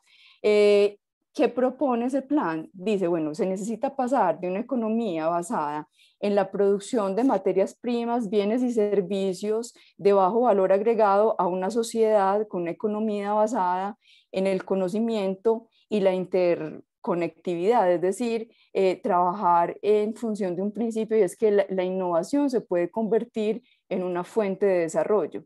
Y la propuesta específica es convertir a Medellín en, el Valle del Software porque eh, nos dimos cuenta que había muchas empresas de desarrollo de software que necesitan personal capacitado, pero eh, empezaron a ubicarse, por ejemplo, en Medellín y no encontraban el personal que se necesitaba eh, para, para, esos puestos de trabajo. Entonces, la propuesta del plan de desarrollo es que la educación tecnológica y digital se convierta en una oportunidad para cerrar esas brechas eh, de desigualdad y para eh, ofrecer oportunidades para los jóvenes para que puedan eh, tener inclusión económica pues, en estas nuevas industrias más relacionadas con la automatización, la robótica, el Internet de las Cosas, el Big Data, el análisis de datos. Eh, a nivel de, para, para, abordar la problemática social, el plan de desarrollo también plantea que es eh, fundamental que la educación también se centre en, en, formar ciudadanos cívicos, pacíficos y solidarios, es decir, ciudadanos que respeten la diferencia, eh, que sean capaces de, de trabajar en función de la reconciliación eh, y ahí aparece como toda la importancia de eh, trabajar en memoria histórica, en, construcción de paz, en estrategias para la superación de los conflictos, en la promoción de la convivencia escolar, eh, en la democracia escolar, porque eso, pues la enseñanza de la democracia tiene que empezar por escuelas que sean democráticas, en fomentar una ética del cuidado y del buen vivir en la escuela, es decir, que las aulas sean seguras, que las instituciones educativas sean ambientes protectores. Eh, a nivel de, bueno, entonces el, plan de desarrollo plantea que se tiene que plantear una, eh, eh, que se tiene que ofrecer una educación de calidad y por educación de calidad entiende varias cosas. Primero, un buen comienzo, es decir, y retomando también ahora lo que decía el profesor Cajiao, que desde la primera infancia haya oportunidades, entonces que los niños de 0 a 5 tengan nutrición, tengan estimulación temprana, tengan acceso a educación, que haya una transformación curricular para mejorar los resultados de aprendizaje, eh, que se expanda y modernice la educación media, es decir, que se llegue a una universalización eh, de, la educación media, eh, que el sistema de educación terciaria sea más articulado también con, los otros niveles de, de educación y que la educación que se ofrezca pues sea inclusiva, que permita que todos participen de ella, que sea equitativa y que sea relevante a, las necesidades de los estudiantes y de los contextos. Ese plan de desarrollo también plantea entonces que el maestro debe tener unas características. Una es que pues deben estar cualificados para esa Medellín futuro eh, deben tener este, este conocimiento, en, pues deben tener una cultura digital, deben saber también de análisis de datos, eh, eh, fomentar hábitos para la adopción y, la apropiación de herramientas digitales, tienen que ser capaces de innovar pedagógicamente para desarrollar esas nuevas capacidades que se están necesitando, pero también apunta y es muy claro en que pues los docentes no solamente eh, son, son trabajadores, sino que también son seres humanos que necesitan eh, eh, también ser, estimulados, como decían ahorita el, el profesor Cajiado, que también estén bien ellos en, en, términos de salud mental y salud física. Con todo eso, entonces, nosotros empezamos a formular el plan territorial de formación docente, pero entonces es importante que entendamos como cuáles son las características de los docentes de Medellín. En Medellín hay 10.969 docentes y directivos docentes, pues de estos el 98% trabaja en docencia. Eh, y además de esos eh, casi 11.000 maestros del sector público, tenemos también 4.000 eh, maestros en el sector privado tenemos 229 instituciones educativas eh, públicas, eh, más 300 y pico en el sector privado eh, y unas 67 de cobertura, más de 300 mil estudiantes en el sector público. bueno, y tenemos que en términos de, de, distribución de, según las edades, esto voy a, voy a centrarme más como en el sector público, eh, tenemos unos maestros ubicados principalmente en dos rangos de edad. Uno es entre los 38 y los 42 años y el otro es entre los 50 y los 60 años, es decir, tenemos una población docente con mucha experiencia acumulada, que son eh, adultos, que ya tienen unas responsabilidades adicionales a, las de la docencia y son eh, las familias. y tenemos también una población que es altamente cualificada. Eh, y eso se debe, pues, en parte al deseo de los maestros de seguirse formando una vez terminan sus pregrados, pero también a políticas públicas de la ciudad que desde hace algunos años eh, se propusieron que más del 60% de los maestros eh, del sector oficial debían tener posgrados y entonces se han ido fomentando eh, esos estudios posgraduales con becas y el resultado es que en este momento tenemos eh, más de 3.600 maestros con especialización, 3.318 licenciados, 2.770 con maestrías, 760 profesionales de otras áreas, 298 normalistas, 55 bachilleres, 42 doctores, 22 técnicos y 19 tecnólogos. Es decir, tenemos una población eh, que está muy bien formada y eso eh, eh, permite entonces también aprovechar todo ese talento. en términos de la metodología que utilizamos para la construcción del Plan Territorial de Formación Docente, pues obviamente iniciamos por una revisión bibliográfica que nos ayuda a diseñar las herramientas que se utilizaron para la recolección de información y en esa revisión bibliográfica pues obviamente tuvimos en cuenta el plan de desarrollo municipal, el plan de desarrollo nacional, los lineamientos de la UNESCO. Eh, posteriormente se hicieron entrevistas a actores claves como la Secretaría de Educación, representantes de los gremios económicos, de las universidades, directivos docentes. Eh, se hizo una reunión con, con la, el, eh, ay, perdón, con el Comité Territorial de Formación Docente.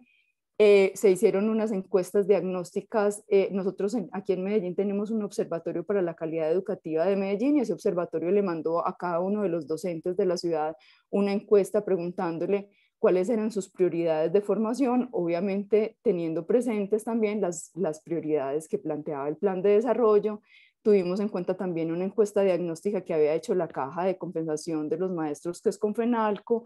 Se evaluó la formación que viene haciendo MOVA eh, desde el 2020 y los diagnósticos que hace un equipo que tiene la Secretaría de Educación, que es el de transformación curricular, y toda esa información se sistematizó y se, y se analizó.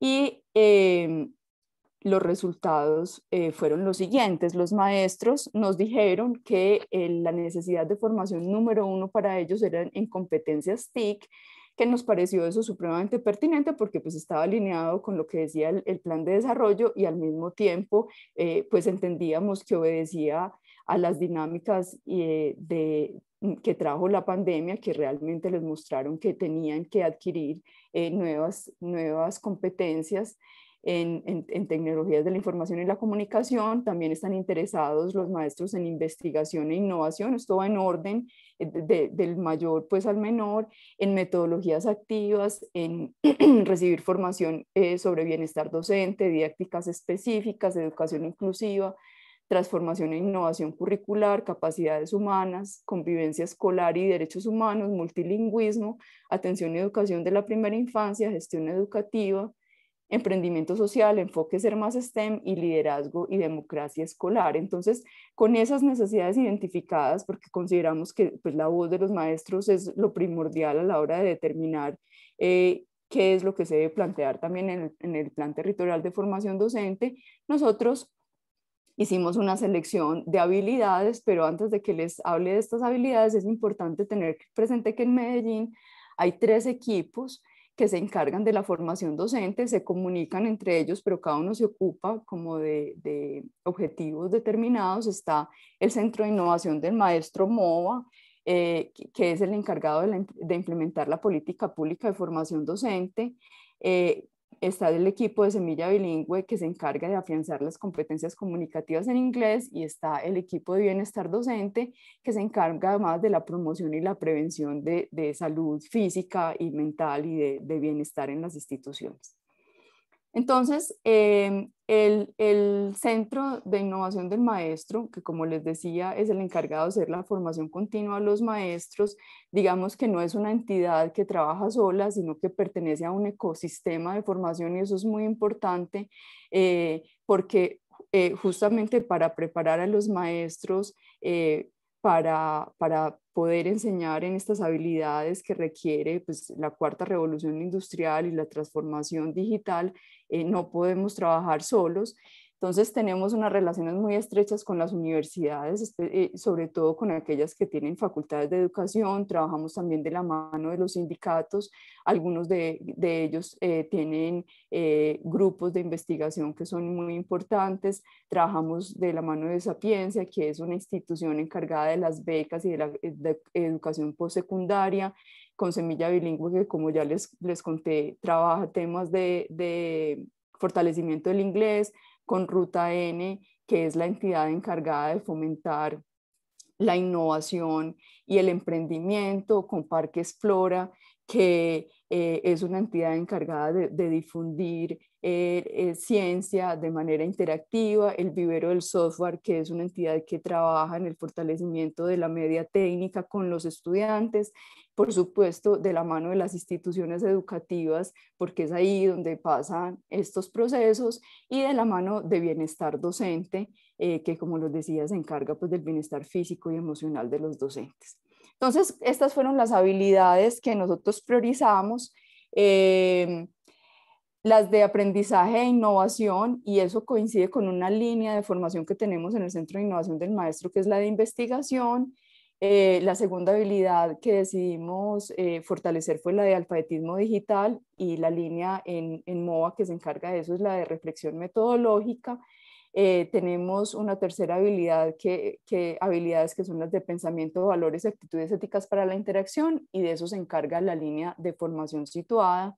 Y tenemos las habilidades de, vida personal y profesional, y de esas se encarga la línea en MOVA de desarrollo humano. Entonces, eh, ¿qué, ¿qué ofrecemos en cada una de esas habilidades para trabajar? los temas de aprendizaje e innovación, pues ofrecemos eh, formaciones en didácticas específicas, en metodologías activas como aprendizaje basado en proyectos, en problemas, eh, transmedia, Trabajamos temas de investigación porque estamos convencidos que los maestros eh, son intelectuales que deben pensar su quehacer, que tienen eh, unas experiencias muy significativas que deben sistematizarse, que deben compartirse con otros. Eh, ofrecemos también formaciones en transformación curricular de la mano de este equipo de transformación curricular que les mencionaba. En términos de, de habilidades de alfabetismo digital, pues se, ofrecemos eh, formaciones en STEM, en ciencia, tecnología, ingeniería y matemáticas de la mano de, de las ciencias sociales, o sea, la integración de áreas, eh, todo, eh, todas las formaciones relacionadas con competencias TIC. De eso hablaremos ahorita en la mesa de, de trabajo número dos. en términos de las habilidades en pensamientos, valores y actitudes éticas para la interacción, pues trabajamos todos los temas relacionados con convivencia escolar, con eh, eh, democracia escolar, con educación inclusiva pensada en términos generales, pues la educación inclusiva en sentido amplio, eh, como trabajo en equidad de género, en educación, en adaptaciones para los estudiantes que necesitan estrategias especiales de aprendizaje, eh, etcétera. Y, en vida personal y profesional, para desarrollar esas habilidades, pues ofrecemos formaciones orientadas al bienestar docente de la formación y al desarrollo de capacidades humanas, porque así como decía el, profesor Cajiao ahorita, pues es fundamental que los maestros también sean estimulados culturalmente y en, y en su ámbito personal. Eh, bueno, las estrategias de formación docente que utilizamos son múltiples. Eh, una de ellas, eh, bueno, las experiencias formativas son de varios tipos. Tenemos diplomados que, que, son formaciones entre 90 y 120 horas en alianza con las universidades. Tenemos formaciones que son de 30 horas.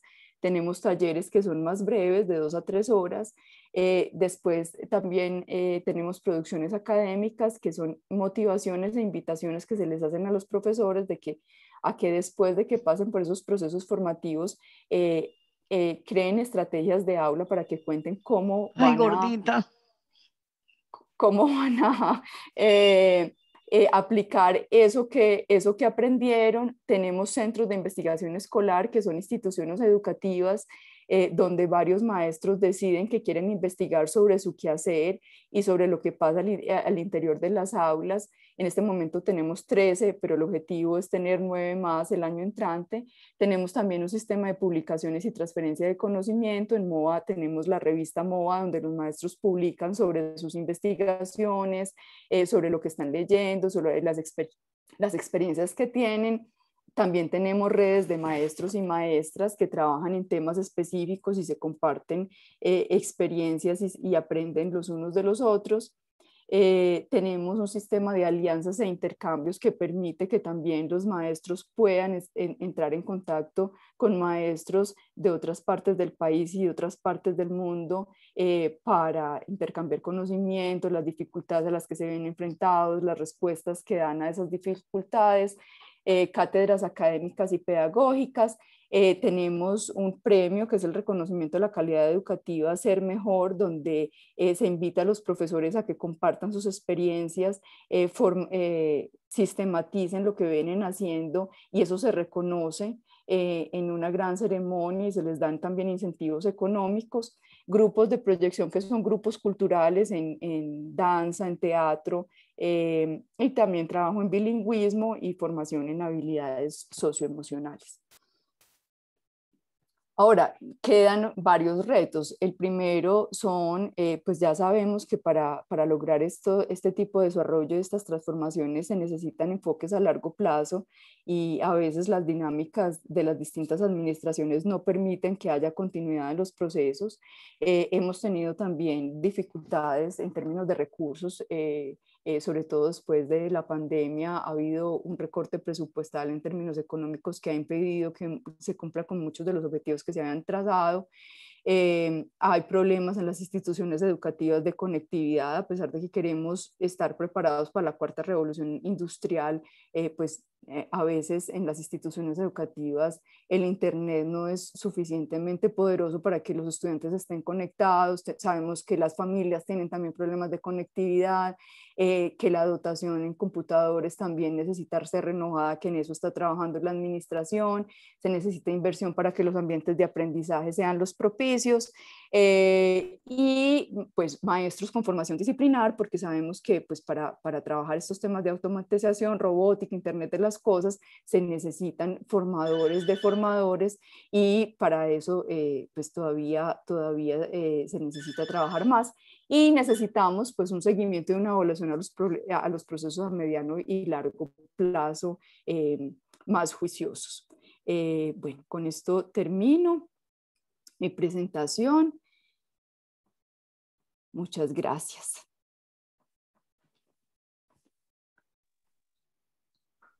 Muchas gracias a ti, María Paulina. Eh, no sé si el profesor Francisco tenga algún comentario frente a la presentación o damos eh, paso a las preguntas. Tenemos dos preguntas que nos han formulado a través del chat que eh, nos gustaría compartirlas con María Paulina desde la exposición que nos ha compartido.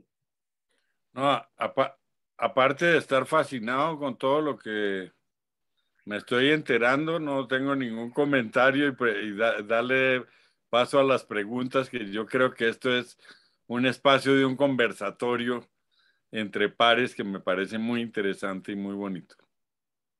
Muchas gracias, Francisco. Entonces, María Paulina, tenemos dos preguntas que me va a permitir formularte. La primera de ellas es, eh, un comentario, una pregunta de, de eh, la Universidad Mariana, un representante de la Universidad Mariana y nos dice, excelente estado del arte. ¿Cómo van a integrar las competencias socioemocionales a las digitales para innovar y de qué manera lo van a aterrizar al currículo para su seguimiento? Bueno, eso es una excelente pregunta.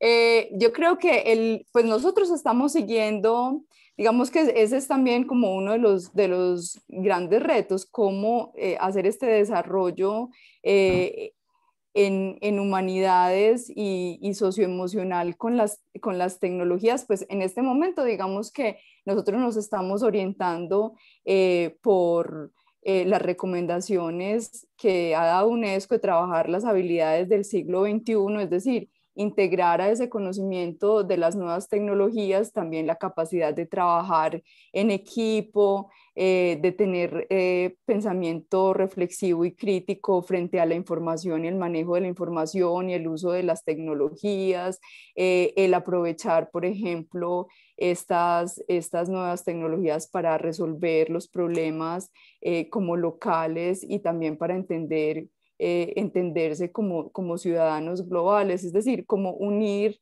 unir eh, el, el, aprendizaje de las nuevas tecnologías con pues, el desarrollo de las habilidades para el siglo XXI.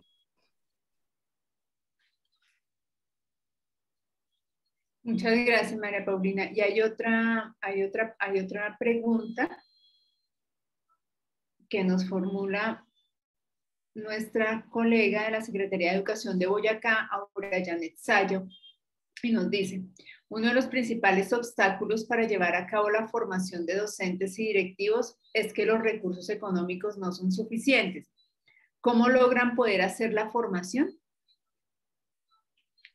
Bueno, pues efectivamente esa, esa es también una, pues una dificultad que hemos tenido. Digamos que Medellín ha sido, eh, yo creo que un municipio privilegiado porque nosotros históricamente hemos tenido como la financiación eh, que proviene de empresas públicas de Medellín. Entonces, digamos que hay unos recursos con los que no necesariamente otros municipios eh, cuentan, pero en, en, este, en estos últimos dos años ha habido también unos recortes presupuestales muy significativos y la manera como hemos enfrentado esas dificultades es a través de alianzas. Por eso mencionaba ahorita eh, la importancia de, ese componente que tenemos de alianzas y convenios en el Centro de Innovación del Maestro, porque, por ejemplo, este año ha sido fundamental eh, para, poder, para poder ofrecer formaciones. Muchas de las formaciones que dimos este año eh, fueron eh, ad honorem dadas por esos aliados que históricamente han trabajado con nosotros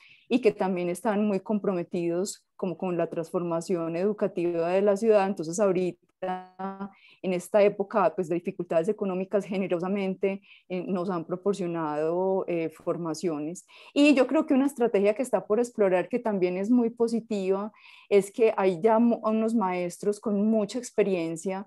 Eh, con una formación muy importante y por lo menos en Medellín muchos de sus maestros se vienen al Centro de Innovación de Maestros y nos dicen, vea, yo quiero compartir con mis compañeros esto que sé quiero hacer formaciones y, lo hacen de manera gratuita y generosa. Creo que el, potencial que hay también entre los maestros eh, se puede aprovechar muchísimo cuando hay escasez de recursos. María eh, tenemos otra pregunta que tenía que ver pues, relacionada con tu, con tu última respuesta a esta anterior pregunta y es cómo se articula el plan de formación docente con bienestar docente.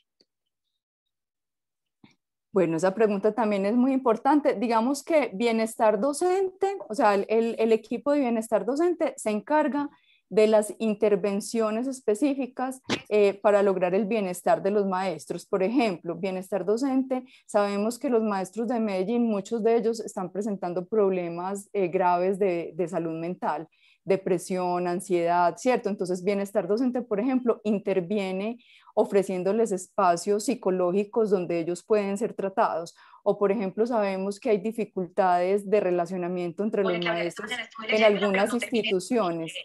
Entonces, bienestar entra y eh, interviene en esos espacios para que se mejoren los ambientes de trabajo entre los docentes. MOVA no hace eso. El Centro de Innovación del Maestro lo que hace es más formaciones orientadas al desarrollo socioemocional. Entonces, eh, trabajamos, bueno, eh, eh, formaciones para que entiendan la importancia de la estabilidad mental, la importancia de tener buenas relaciones con su entorno, ofrecemos espacios de, de exploración de la creatividad a través del arte, o sea, que el maestro tenga espacios de esparcimiento también, pero ya más desde la formación, no, no tanto desde la intervención psicológica como tal. Muchas gracias, María Paulina. Pues mira, en el chat hay otras dos preguntas que nos hacen alrededor del tema, que te agradecería las pudieras eh, revisar y contestarlas eh, en el mismo chat por temas de tiempo. Eh, y con esto, pues agradecerte, María Paulina, tu intervención y la presentación que, como dice el profesor Francisco, nos muestra pues todo el, trabajo que ustedes han venido desarrollando, más pensado como un ecosistema que como eh, punto focal y centrado únicamente en la formación de docentes. Entonces, muchísimas gracias por por esa, esa eh, novedosa eh, posibilidad de, de, incluir o más bien de evidenciar el proceso de formación al interior de un ecosistema más, más ampliado y muy en articulación con el modelo de desarrollo que se tiene para la ciudad de Medellín. Entonces, muchísimas gracias. A ti, Claudia, y a la gente del ministerio. Muchísimas gracias a ustedes. Entonces, eh, le voy a dar entonces la palabra a los representantes de la Secretaría de Educación de Bogotá, que también nos van a compartir su experiencia alrededor de la formación avanzada en el lugar de la misma en el Plan Territorial de Formación Docente y los retos para el ejercicio de la profesión docente. Entonces, le doy la palabra a la Secretaría de Educación de, de Bogotá. Les agradezco, les agradezco que se presenten. Buenos días, ¿cómo estás?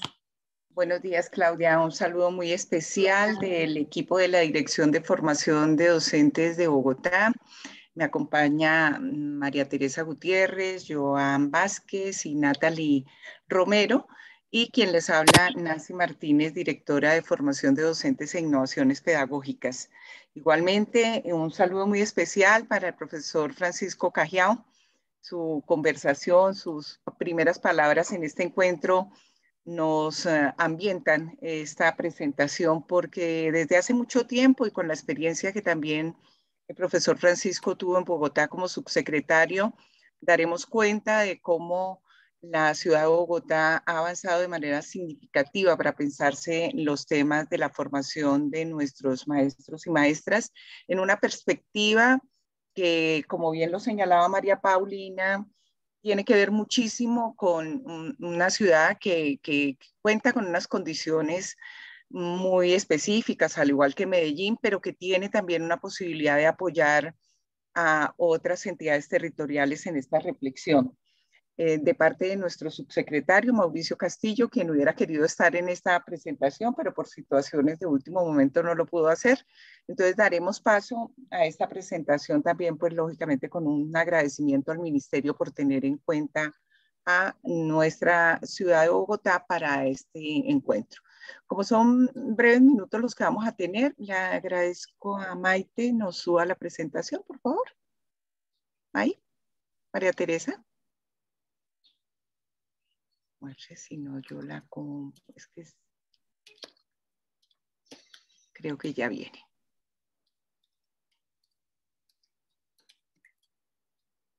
¿Ya la están viendo o no?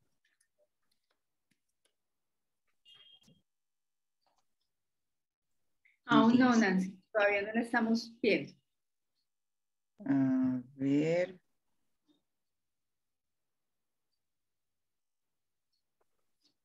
Vamos a mirar si yo la puedo hacer por aquí entonces.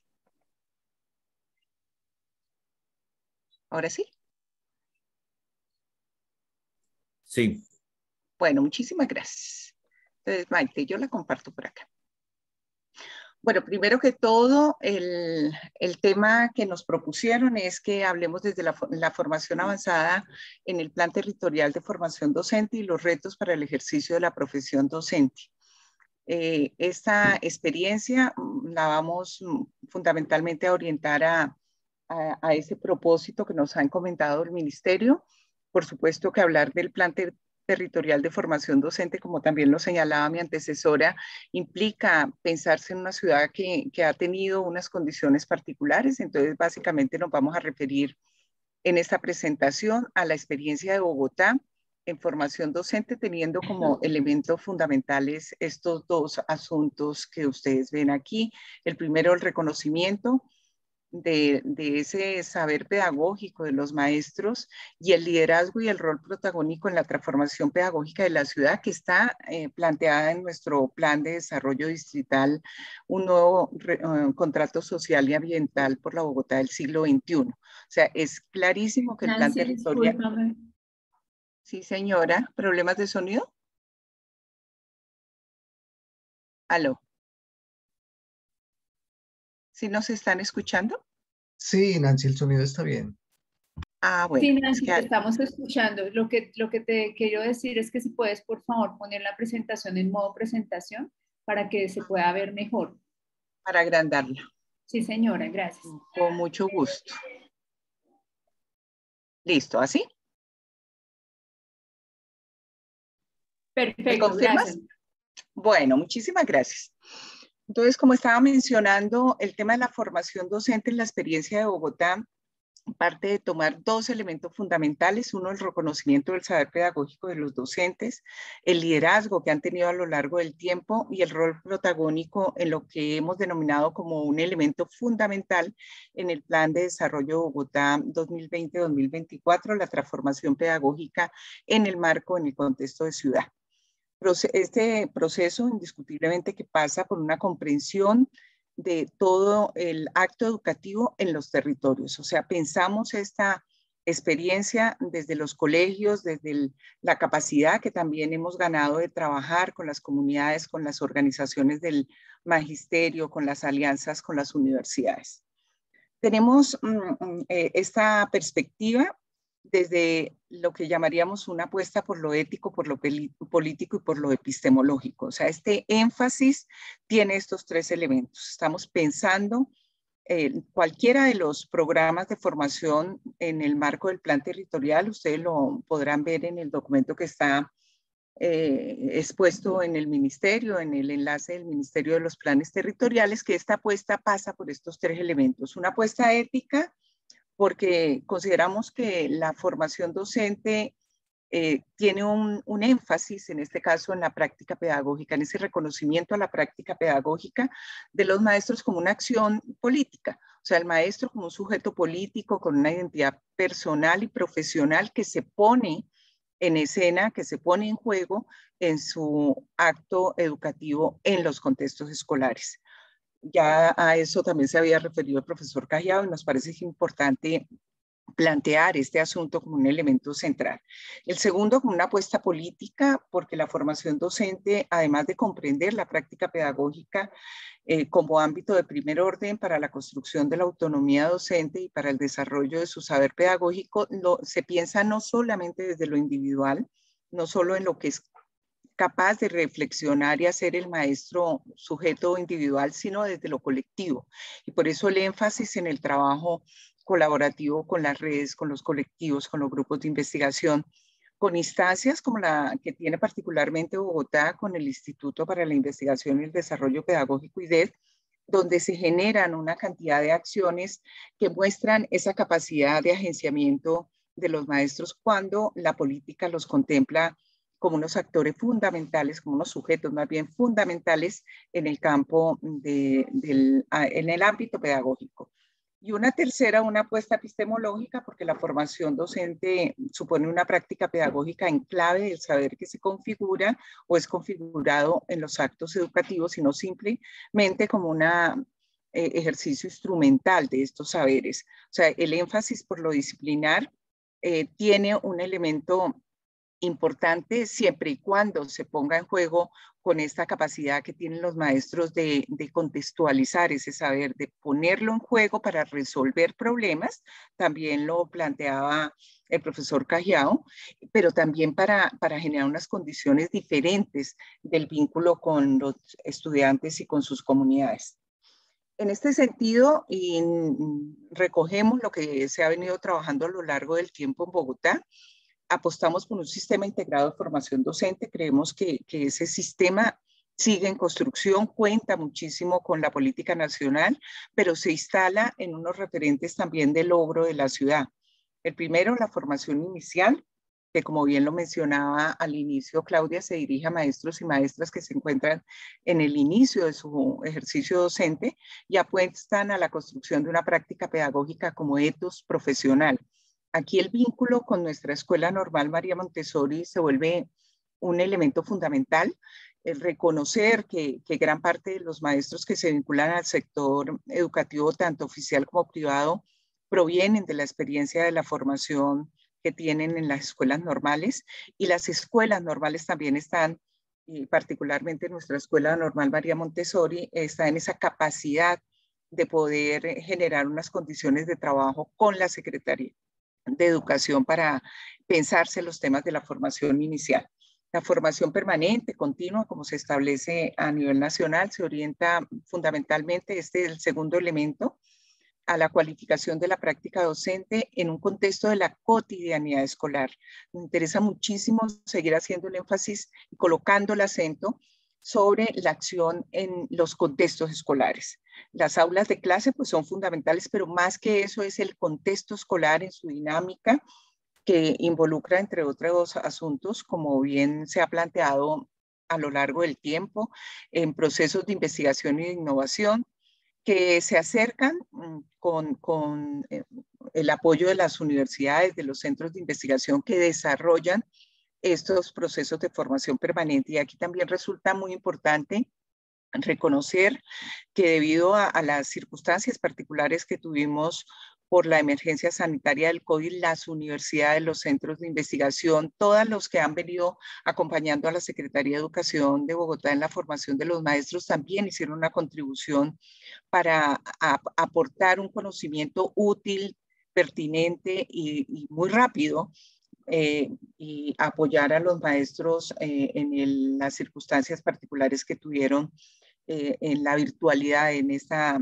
educación remota a la que obligó la emergencia sanitaria. Y un tercer elemento, la formación avanzada, que también pues es bueno reconocerlo. Bogotá tiene una apuesta en el plan de desarrollo de acompañar apoyar a, a, a nivel posgradual a 5.000 maestros en eh, maestrías y doctorados y pues lógicamente que este propósito tiene que ir acompañado con un ejercicio fundamental de pensarse el saber pedagógico construido a partir, a partir de la práctica pedagógica.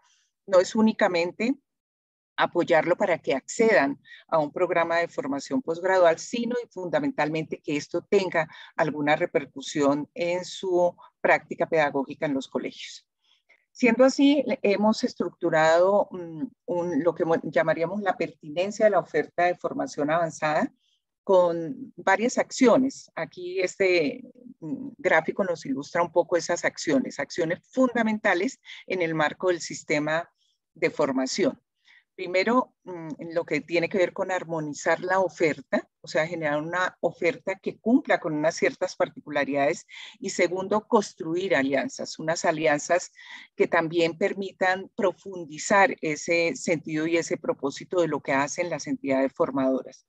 En la primera línea, estos tres elementos son fundamentales, el reconocimiento de las particularidades de las prácticas pedagógicas, la conexión con la cotidianidad escolar, eh, de estos procesos de formación y el reconocimiento de los maestros y maestras como sujetos de saber pedagógico. En, cuanto a lo que tiene que ver con las alianzas, se han generado acciones que también han permitido como generar, configurar esta pertinencia a la oferta de formación. La participación activa en la construcción de la y gestión del sistema. Contamos con la participación muy importante en el, plan en el Comité Territorial de Formación Docente de las universidades, de las entidades, de las organizaciones sociales, por supuesto de los sindicatos, pero también eh, estamos haciendo con ellos un ejercicio de construcción colaborativa. No se enmarca únicamente en el espacio del comité, sino que lo hemos ampliado.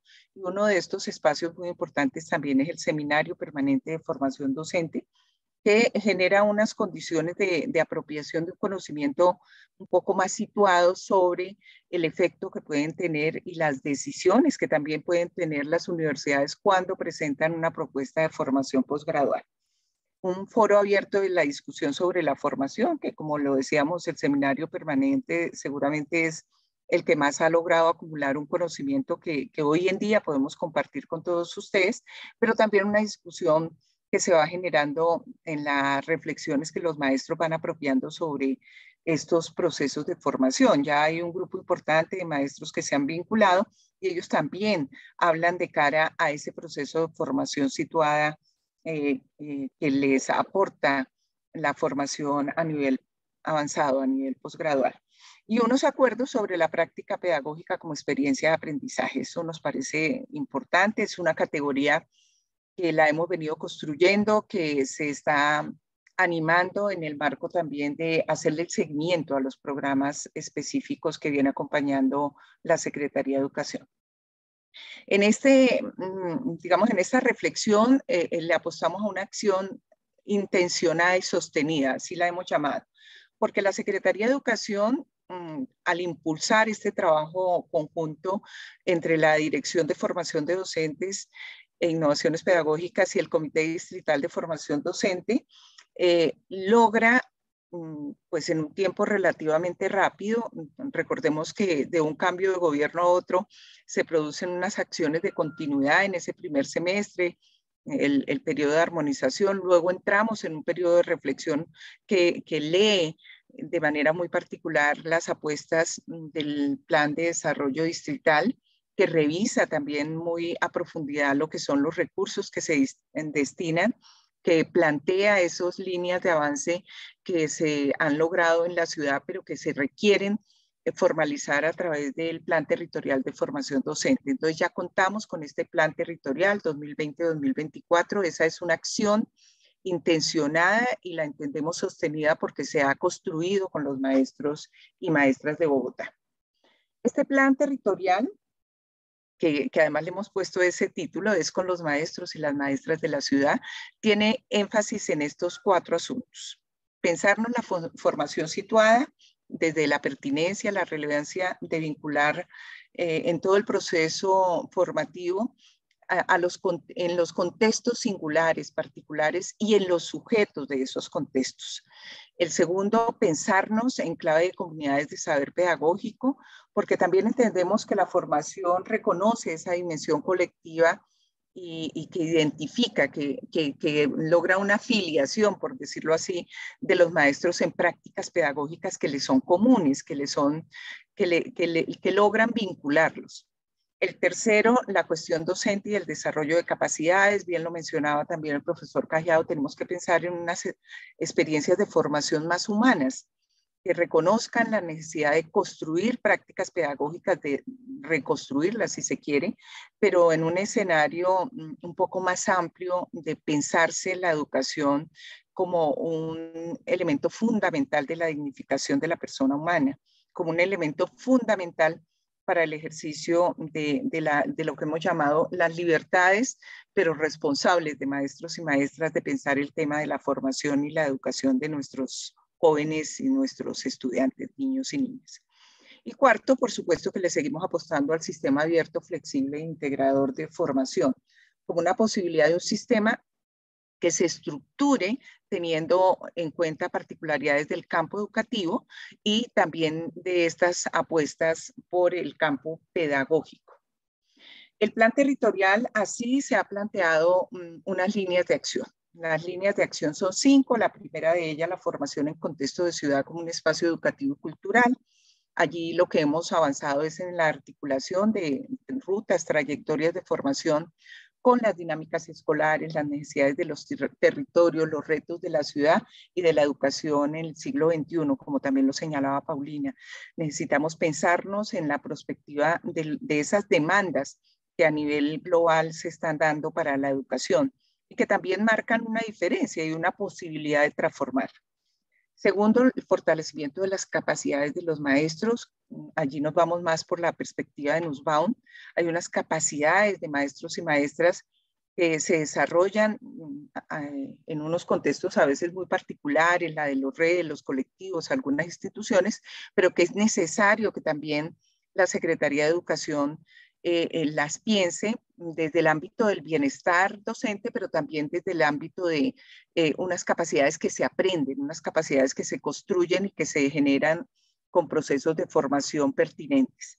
el impulso a procesos de formación situada, tenemos experiencias que nos muestran que trabajar con los colegios, que trabajar con colectivos de maestros en los colegios generan unas transformaciones mucho más profundas que las que habitualmente se pueden generar con la formación avanzada posgradual por intereses particulares de los maestros y el fortalecimiento de alianzas con actores y sectores como clave para la formación de los maestros y las maestras. Un segundo elemento que pues también es hilo conductor y está en el plan mm, de desarrollo de Bogotá como una de las metas importantes, la innovación para la transformación pedagógica. Eh, este, este asunto lo hemos venido desarrollando en dos líneas, el fomento e impulso de procesos de experiencias de innovación pedagógica a través de nodos territoriales de innovación. En los territorios se producen estos, estas experiencias de innovación. Tenemos una experiencia que viene del gobierno anterior que se llama las escuelas Innovot, que siguen haciendo, realizando acciones en el marco de los colegios, en el marco territorial, y todo lo hemos logrado concentrar un poco desde la experiencia de lo que denominamos Ciudad Maestra. El Centro de Innovación Ciudad Maestra y las estrategias virtuales de innovación serán la posibilidad de avanzar en esta línea de innovación para la transformación pedagógica. También hemos logrado la integración, intercambio y divulgación de un saber pedagógico, esto con un aliado que sigue siendo muy, muy importante en la ciudad de Bogotá, el IDEP. El tercero, la política para el reconocimiento del saber pedagógico y la labor docente. Allí básicamente hemos avanzado en dos líneas, el fortalecimiento de colectivos, de redes de colectivos de maestros como comunidades de saber pedagógico, el reconocimiento y apoyo a la producción, divulgación y circulación de este saber pedagógico desde los aportes de la investigación y la innovación, y ya contamos con unas publicaciones que se han logrado realizar precisamente en ese marco que eh, plantea la política de reconocimiento del saber pedagógico y de la labor docente. El cuarto, la inclusión y el diálogo intergeneracional. Bogotá es una ciudad que le ha apostado muchísimo a estos temas. Bueno, en general todo el país, contar con una dirección de inclusión, tener un vínculo con otras secretarías de, de despacho que hacen un trabajo directo con las comunidades, nos ha permitido también darle un escenario de posibilidad a acciones como las que les presentamos aquí. El apoyo al fortalecimiento y ampliación de los semilleros escolares y grupos de investigación, la generación de espacios de encuentro e intercambio entre maestros que inspiran, grupos de jóvenes maestros, nobles, grupos de maestros y maestras que buscan explorar otras formas de interacción y relación con la escuela y su comunidad, el desarrollo de programas de formación que permiten afianzar la perspectiva en, en, el marco de derechos de las mujeres, de las comunidades indígenas, de las comunidades afrodescendientes, de los pueblos RUM, entre otros. Y el quinto, la formación y el reconocimiento docente en contexto de ciudad-región.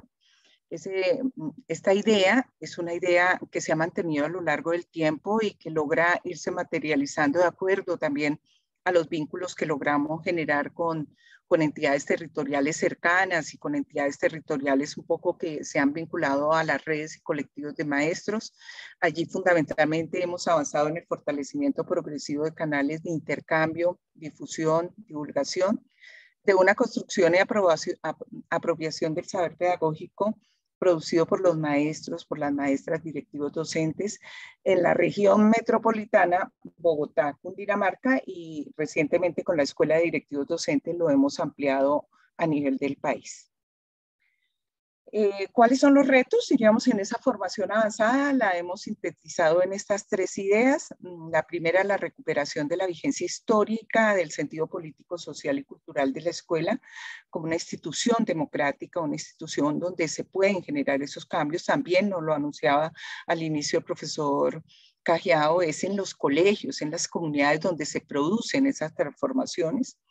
Segundo, concebir y conformar y forjar nuevas estructuras institucionales que creen las condiciones para proyectos educativos más autónomos, que permitan una acción colectiva de, de, maestros con estudiantes, de procesos de innovación e investigación que redunden en la construcción de nuevos escenarios y dispositivos de interacción pedagógica.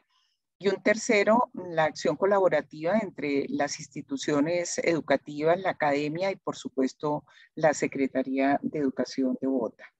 Bueno, los invitamos de todas maneras a que mm, vayan a la lectura de nuestro plan territorial de formación docente. Estamos en la mayor disposición de compartir con ustedes las ideas que siguen rodeando mm, todo el sistema mismo de formación, pero también estos elementos, estas cinco énfasis que hemos planteado para nuestro plan territorial de formación docente en los próximos años. Muchísimas gracias y quedamos atentos a sus comentarios. Muchas gracias a ti, Nancy, por la exposición por las precisiones frente a los avances que han tenido ustedes desde la Secretaría alrededor del Plan Territorial de Formación y pues todo el trasfondo, no solamente operativo, sino conceptual de la, de la, de la formación de los docentes y cuáles son como esas eh, líneas orientadoras que ustedes eh, han definido para estos procesos de formación. No sé si, eh, Francisco, tengas algunos comentarios, observaciones eh, reflexiones alrededor o eh, damos paso a, algunas preguntas. No, lo mismo que con Paulina, esto es buenísimo porque por fin se empieza a enterar uno con calma y despacio de lo que está sucediendo bueno en el país, porque con tanta mala noticia es chévere saber que hay cosas buenas.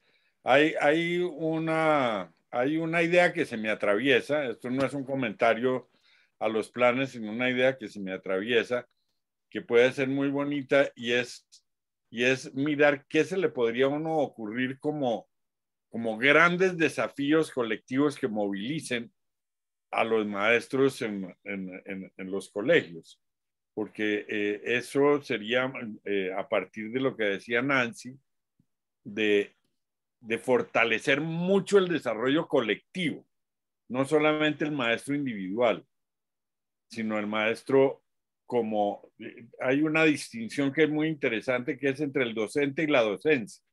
La docencia es el trabajo que hace un equipo de maestros en un colegio. Y qué bonito que los colegios se plantearan grandes desafíos para cumplir en uno o dos años y que involucraran a todo el mundo. Pero bueno, eso es parte de ya cuando uno empieza a delirar. Por otro lado, pues a saludar a Nancy y a Maite y a toda la gente de la Secretaría con la que he aprendido mucho y me han dado mucha alegría personal a lo largo de los años. Muchas gracias a ti, Francisco. Nancy hay un comentario y una pregunta por parte de nuestro colega Giovanni Castañeda, líder de calidad de la Secretaría de Educación de Fusagasugá, que me va a permitir pues, leerte y formularte la pregunta. Dice así. Gracias a Nancy por la presentación del plan. Muy importantes las apuestas que Bogotá viene haciendo en cuanto a formación de docentes y directivos que pueden inspirar a otras entidades territoriales certificadas teniendo en cuenta las particularidades de los territorios. De ahí destacar la línea de formación docente en el contexto de ciudad-región. ¿Qué avances se pueden identificar de esta línea? Gracias. Bueno, muchísimas gracias, Giovanni. Aprovecho para saludarte desde Bogotá. Hemos tenido la oportunidad de acompañar un ejercicio promovido precisamente por Giovanni en Fusagasugá, con varios colegas directivos y esas pequeñas acciones que parecen en un momento dado como, como, muy puntuales son las que van eh, construyendo como esa confianza para seguir avanzando en esta quinta línea estratégica. Bogotá tiene una responsabilidad, la entendemos así, eh, cada vez que, nos comprometemos con la región, cada vez que comprometemos intentar hacer un acercamiento a procesos que se jalonan desde la ciudad de Bogotá, pero con, la apuesta de otras entidades territoriales, encontramos allí, como también lo señalaba el profesor Calla, una beta de posibilidades. Voy a nombrar básicamente mm, tres, pero seguramente que vamos a ir pensando otras. Estamos desarrollando muy en, la perspectiva de investigación con la Universidad Distrital y con las redes y colectivos de maestros, grupos de investigación, una experiencia mm, relacionada con el acontecimiento pandémico, porque eh, es absolutamente claro que eso nos cambió la vida, nos cambió la perspectiva misma desde la cual nos aproximamos a la docencia. Ya voy a, tomar prestada el comentario de Francisco en ese sentido. O sea, pensarnos lo que dejó la pandemia significa, entre otras cosas, poderlo trabajar desde las reflexiones, desde las narrativas de, los maestros y sus comunidades. Entonces allí tenemos una, posibilidad de compartir y de trabajar junto con la Universidad Distrital eh, en un proyecto que viene construyendo las redes de maestros de Bogotá para hablar del acontecimiento pandémico. Ellos, en su calidad de coinvestigadores de esta experiencia, van a producir un unas reflexiones, una publicación desde esas experiencias que eh, esperamos compartirlas el año entrante con ustedes y generar un vínculo para que hagamos esa reflexión a nivel territorial. La segunda, y muy en esa perspectiva también de que, eh, que tenemos que aprovechar lo que hay en el país, hacemos parte, y creo que varias de las entidades territoriales que nos acompañan, de la Comisión del Océano, esta comisión hace una reflexión sobre varios asuntos, pero particularmente lo que tiene que ver el problema del agua, los temas del agua, cómo el agua, cómo lo que pasa en Bogotá, como lo que pasa en la región, en Cundinamarca, en el país, llega directamente a nuestros océanos y somos responsables de generar una política de conservación desde aquí. Y en ese, en ese contexto de participar en la Comisión Oceánica, eh, construimos con la Dirección de Preescolar y Básica y pues con varios grupos de maestros una experiencia de Bogotá, un gran océano. Entonces seguramente podemos extenderlo a la región. Y una tercera que ha sido ya conocida de varios de ustedes es la que se viene trabajando con la Escuela de Directivos Docentes eh, un grupo de maestros, rectores y rectoras decidieron eh, construir, pensarse, eh, proponer más bien como un hecho autónomo de liderazgo de ellos mismos que se ha venido construyendo incluso con el apoyo de Francisco en otros momentos en la Escuela de Directivos Docentes. Y entonces allí ya se ha hecho una vinculación a varias entidades territoriales para que eh, se involucren con la escuela, para que hagan parte de la escuela. Entonces creo que en esas tres líneas podríamos inicialmente compartir esta experiencia de la quinto énfasis, eh, Bogotá, una Bogotá región como un elemento fundamental para construir este saber pedagógico que contribuye con la formación de nuestros maestros. Muchas gracias, Nancy. Hay otra pregunta que nos la hacen por el chat, pero que te agradecería por temas de tiempo pudiera responder por el mismo chat, que tiene que ver con eh, básicamente el impacto de estos procesos de formación en los estudiantes eh, y en pues, sus procesos de aprendizaje. Entonces, te agradeceríamos las la pudiera responder, así como también lo ha hecho María Paulina, nuestra colega de la Secretaría de Educación de Medellín. Con mucho gusto. Gracias, Nancy. De verdad que mil gracias por tu, por tu exposición y pues por las respuestas también a las preguntas que como se ha evidenciado nos dan bastantes luces a, las demás secretarías para seguir avanzando en estos procesos de formación. Eh, entonces le doy la palabra en este momento a la Secretaría de Educación de Facatativa, ellos nos van a, compartir su experiencia y su trabajo alrededor de la viabilidad del plan territorial de formación frente a dos características que estos planes tienen, es coherencia y pertinencia y viabilidad del mismo plan. Entonces, eh, le doy la palabra a los representantes de la Secretaría de Educación de Pacatativa para que por favor se presente y den inicio a su exposición. Muchas gracias.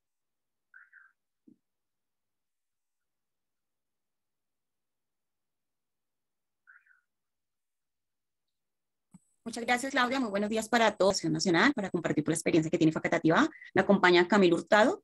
Eh, Camilo es el profesional de mejoramiento de la Secretaría de Educación, con tales que la elaboración de este plan territorial fue en conjunto con el área de calidad educativa y pues fue aprobado por el Comité Territorial de Formación Docente. Eh, la vigencia que tiene este plan es del 2020 al 2023.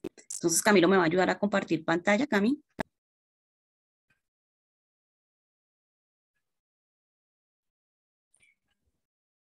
Gracias, Camilo. Colócalo por favor en modo eso. Bueno, entonces contarles que el plan territorial pues tiene la vigencia 2020-2023. Comentarles que sí. que está en el marco pues del plan de desarrollo facultativa correcto, un propósito común, el propósito 1, desarrollo social integral correcto, nuestro programa de educación como tal está en el programa 2, educación con calidad, acceso a tecnologías de la información y la comunicación, desarrollo de ciencia, tecnología e innovación. Y el, y el tema de calidad educativa está en el programa 2.2, educación con calidad, donde allí hablamos de todos los temas de calidad y pues en este marco el proceso de formación docente. Tenemos una meta puntual, que es la meta 45, que es vincular en procesos de fortalecimiento a la formación y mejoramiento de sus habilidades pedagógicas y lúdicas 100 docentes en el cuatrenio. Eso hace parte de la meta y pues con este es el, digamos que la viabilización que tenemos para efectos de presupuestales. Sigue, Camilo. Contarles que los objetivos del plan territorial y, de, este, de, esta conformación en general, el plan territorial de formación frente a las necesidades en pedagogía, didáctica, didáctica metodología, innovación e incorporación de las TIC en el aula, como acción de mejoramiento continuo en el proceso de enseñanza-aprendizaje, fortalecer la formación 100 docentes para mejorar la actividad pedagógica y lúdica, a través de apoyos y recursos para participar en foros, diplomados, congresos, talleres, conversatorios, entre otros. Eh, un tercer objetivo, siguiente cambio. Crear en el cuatrenio cuatro redes de conocimiento como estrategia de formación docente y oportunidad de repensar su práctica pedagógica, fortalecer el aprendizaje de los estudiantes. Eh, otro de los objetivos, implementar comunidades de aprendizaje en las instituciones educativas como estrategia para mejorar la enseñanza y la convivencia escolar y fortalecer la educación inicial en el marco de la atención integral. Comentarles que en la construcción de este, estos son los objetivos principales del Plan Territorial de Formación Docente.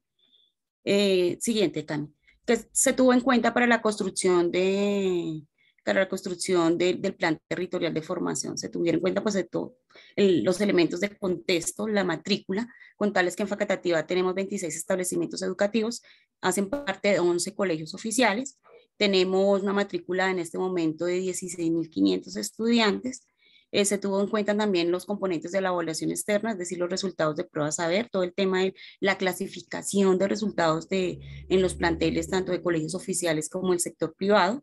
Eh, también se tuvo en cuenta el cuadro de resumen de la autoevaluación institucional por meta los planes de mejoramiento institucional y las evaluaciones de desempeño docente, con tales que tenemos 742 docentes, eh, para el año 2019, los 408 docentes pertenecientes al decreto 1278 se evaluaron 370 y eh, pues digamos que allí se evaluó, todos tienen un promedio superior a 90%. Sigue, Cam. La mayoría de los, de los docentes pues obtuvieron una puntuación mayor a 90 puntos. Las competencias evaluadas, pues todos conocemos los protocolos de evaluación, gestión académica, la gestión administrativa, la gestión comunitaria y las competencias comportamentales. El promedio es superior a 90, la única que está bajita es la gestión comunitaria 89.5. Y pues aquí nosotros graficamos, hacemos un análisis profundo de esto. Esto en compañía pues de nuestro profesional de, evaluación eh, de desempeño docente. Siguiente. De frente a esta, a esta evaluación de desempeño que dijimos nosotros como entidad territorial, hay que fortalecer, a hay que capacitar y, y cualificar a los docentes que tienen un mejor, menor puntaje en estas evaluaciones de desempeño docente.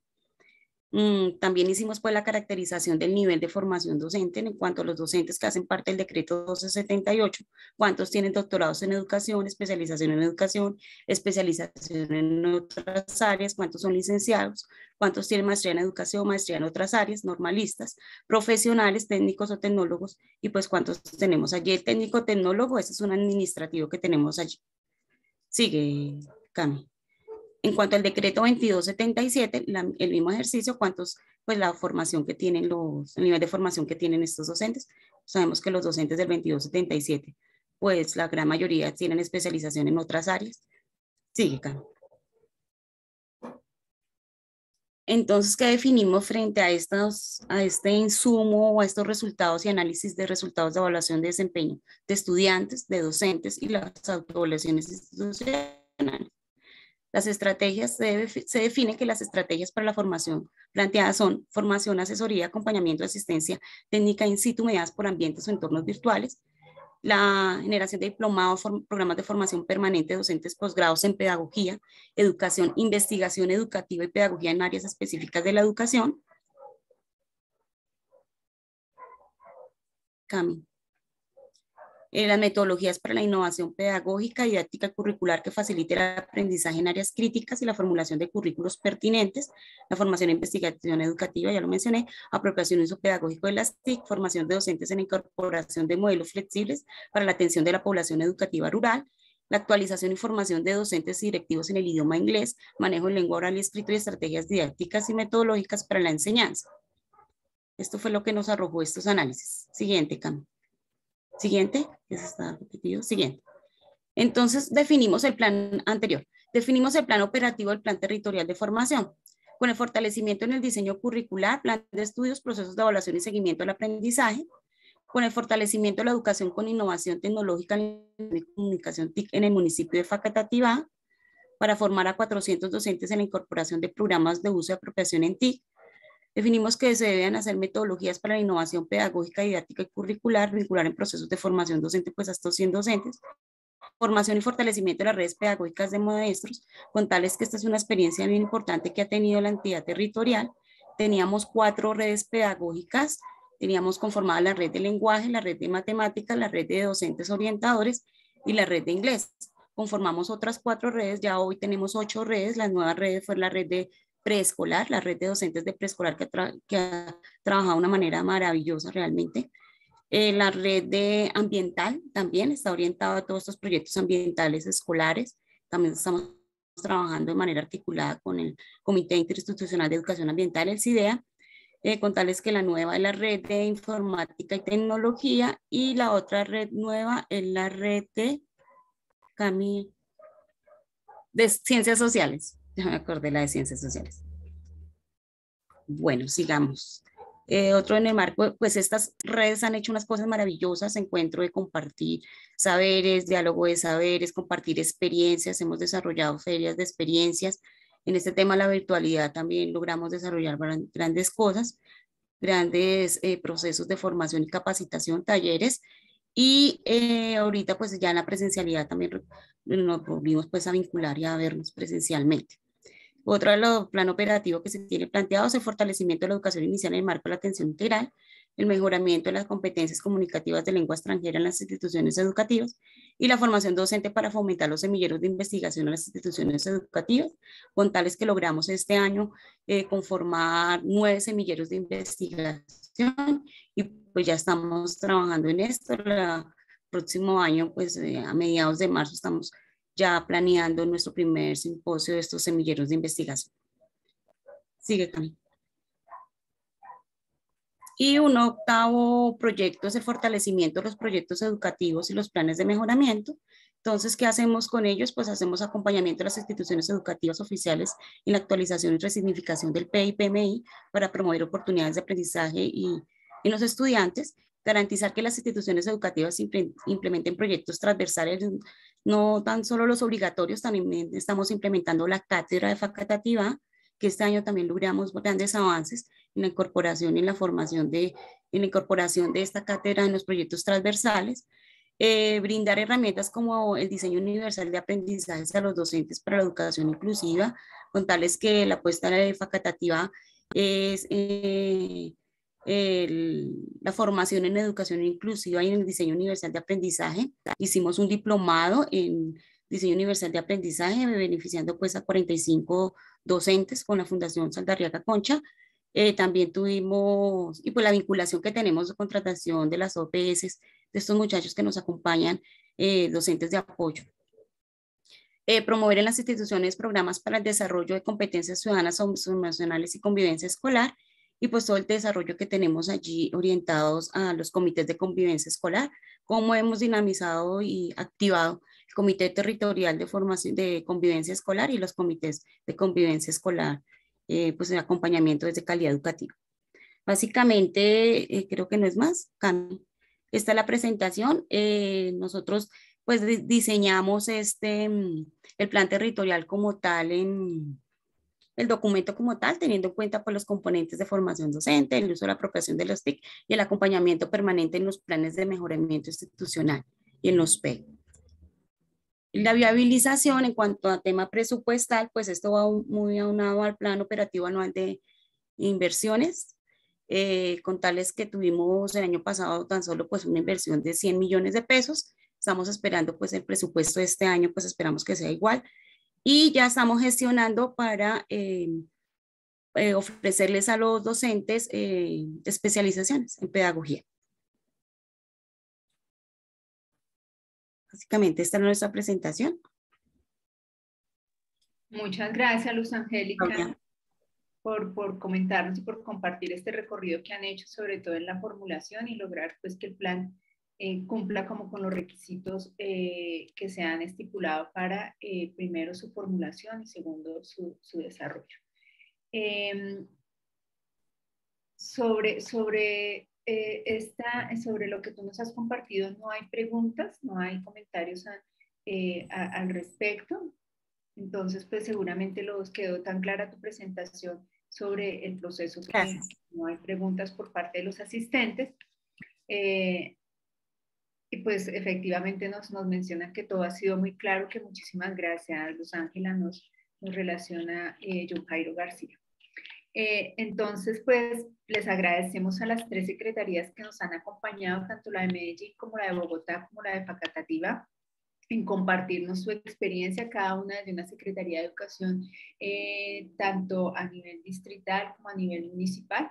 Eh, entonces, efectivamente ha sido muy enriquecedor lo que, nos han, lo que nos han comentado, lo que nos han compartido y sobre todo esa experiencia que reitero puede ser revisada y adaptada a los contextos de otras secretarías que todas están en, diverso eh, nivel de, desarrollo y podríamos decir que de maduración frente a sus reflexiones, trabajo eh, y formulación, implementación y seguimiento, evaluación de esos planes territoriales de formación. Aquí lo más importante que nosotros consideramos es es necesario tener siempre presente ese fin último de este trabajo de la formación de docentes, que más allá eh, de, cumplir un requisito formal que lo menciona una normatividad eh, en el sector de la educación, si consideramos es un, es una apuesta eh, importante que se hace no solamente desde los territorios, sino también desde la nación para promover, apoyar y eh, seguir fortaleciendo todo el desarrollo profesional de los docentes en reconocimiento de que su trayectoria de formación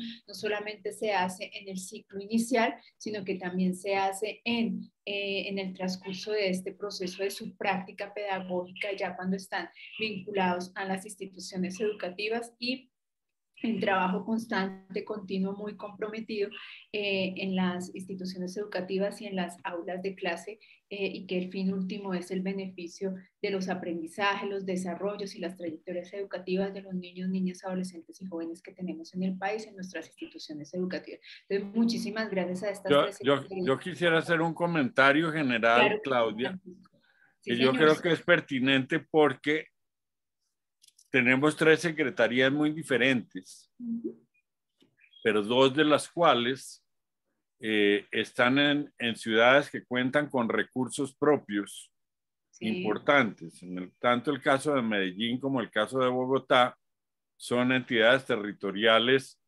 que, digámoslo, que son ricas, porque son populosas, eh, las administraciones tienen oportunidad de, de, dedicar recursos a la educación adicionales a los que se reciben por el Sistema General de Participación o las fuentes nacionales, eh, mientras que hay otras entidades territoriales que no cuentan con tanto, pero igual pueden hacer una labor muy interesante.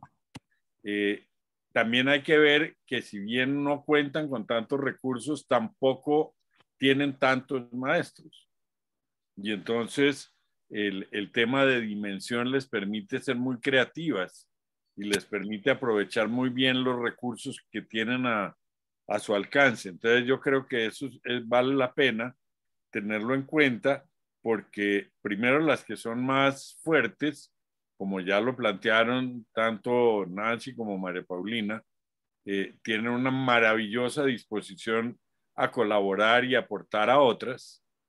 Eh, creo que hay muchos eventos en este momento y muchas cosas que gracias a la pandemia ahí sí eh, han, han, ido quedando en reservorios de, de, YouTube, etcétera, que pueden ser muy bien aprovechados por otras entidades que no cuentan con tantos recursos y de alguna manera eh, se pueden ver cosas como las que señaló eh, eh, eh, Ángela. Luz Angélica. Luz Angélica, perdón, que es ver la capacidad que tienen unos maestros de colaborar con otros. Y esto es muy interesante y muy, muy valioso. Muchas gracias, Francisco, muy pertinentes tus palabras. Y eh, los invitamos eh, a todos y a todas a que consulten los planes territoriales de formación que están eh, publicados en la página web del ministerio. Llevamos aproximadamente unos 22 planes eh, publicados en donde pues ahí podrán también evidenciar el trabajo que han hecho algunas secretarías alrededor de, de, su política de formación, de sus apuestas de formación y obvio se consolidan a través de estos planes territoriales de formación.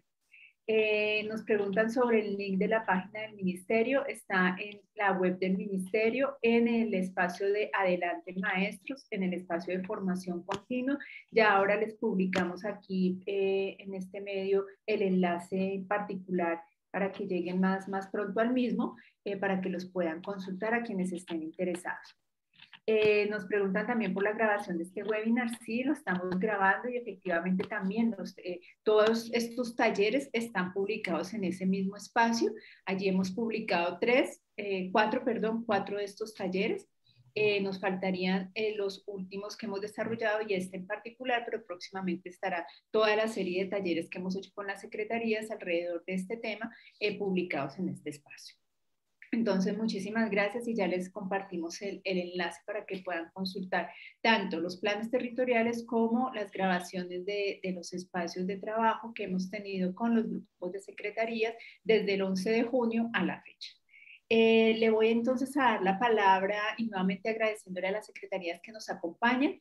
Le voy a dar la palabra a mi colega Carlos Parra, que nos va a comentar y nos va a compartir un poco la metodología de trabajo que vamos a tener a continuación, alrededor de tres mesas de trabajo que van a estar moderadas por Carlos Sánchez, nuestro colega de la, del equipo de formación, Carlos Parra, también eh, colega del equipo de formación, y Diana Sandoval, de igual manera, eh, del equipo de formación, y que vamos a, a, contar con unos relatores internos para poder, al final de las mesas, tener unas relatorías y poder eh, mirar un poco recurrencias, retos, desafíos, eh, eh, reflexiones alrededor de, de, este trabajo y sobre todo de manera muy proyectiva a lo que viene en el 2022 frente a estas apuestas de formación para aquellos estados de desarrollo de cada una de estas políticas y planes territoriales de formación, ya sea que algunas secretarías estén formulando su plan territorial y no, no han terminado de, perfeccionar esa, esa, formulación, ya lo estén implementando o estén haciendo las dos cosas al mismo tiempo, porque también esto se presenta, y algunas que ya también están implementando a la par estrategias de seguimiento y evaluación de sus planes. Entonces, Carlos, te doy la palabra para que por favor nos compartas la metodología de trabajo que sigue a continuación. Eh, gracias, Claudia. Muy bien, nuevamente, muy buenos días.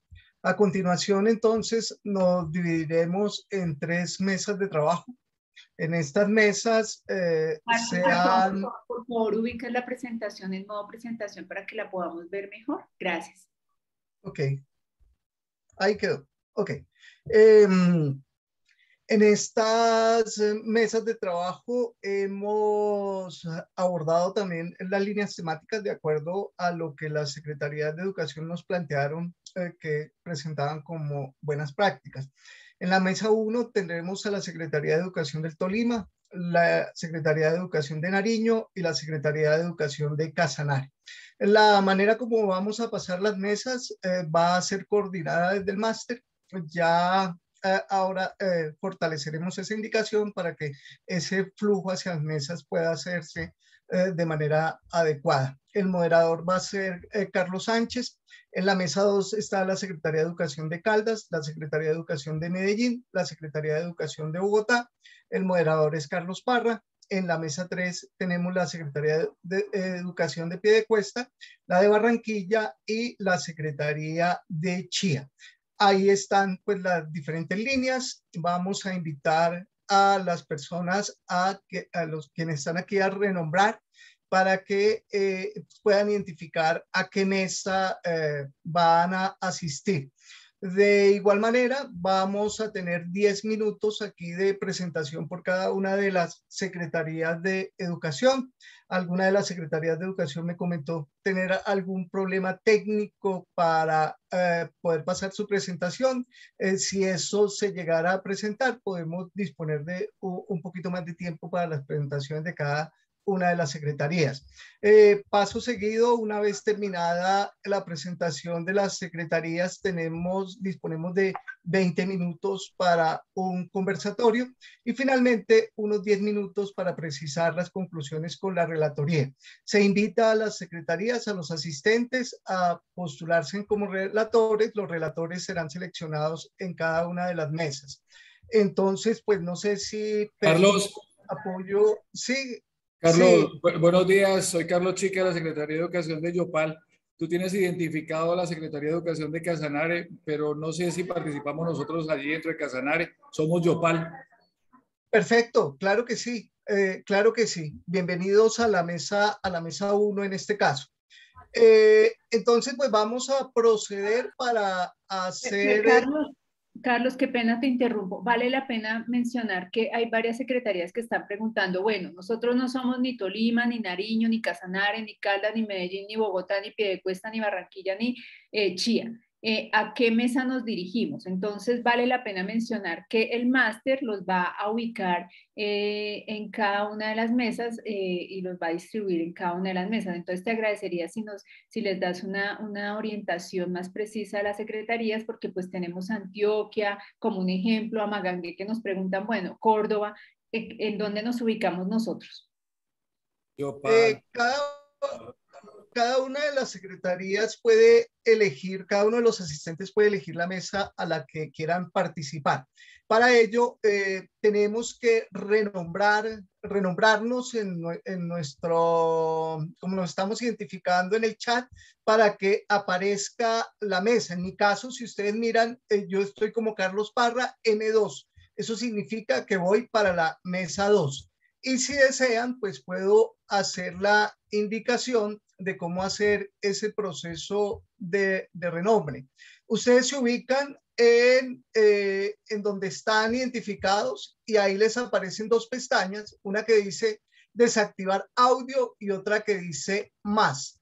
Entonces pican en el más y en el más eh, pueden decir renombrar y ahí pueden eh, renombrar, colocar la mesa a la que van a ir.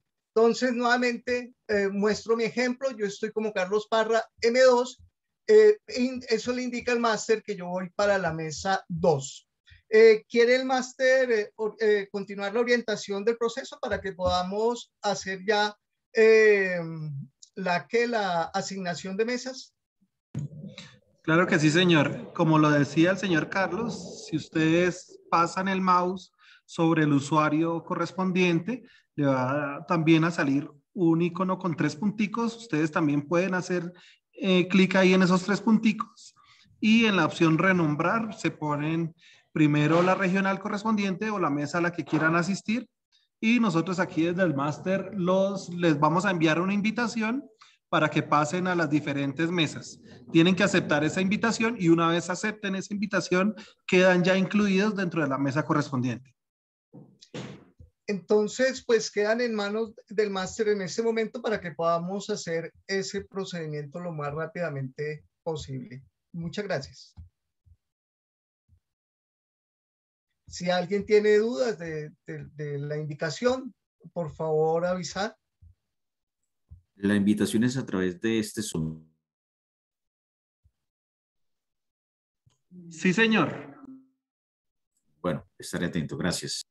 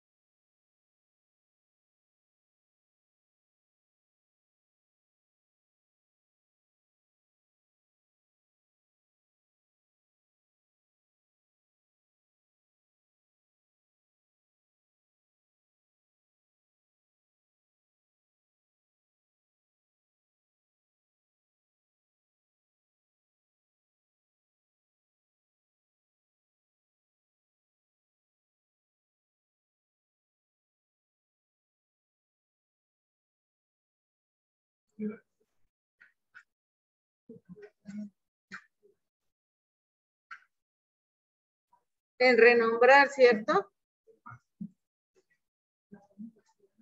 Listo. ¿Y cómo?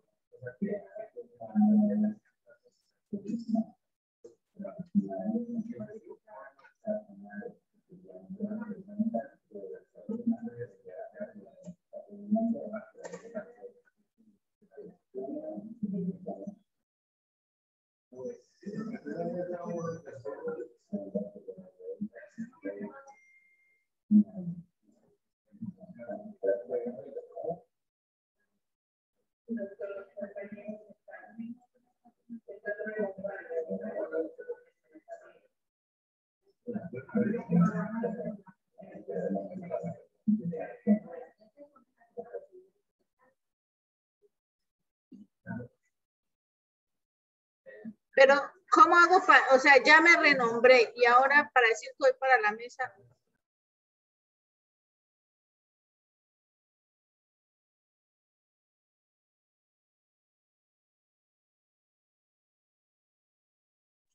Señora Lina. Señora Lina, ¿me, me escucha?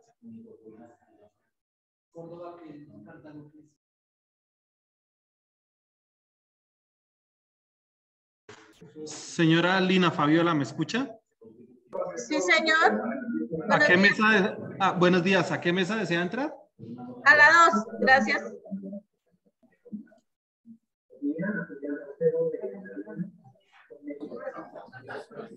Buenas, Dufaín Magangué en la 2.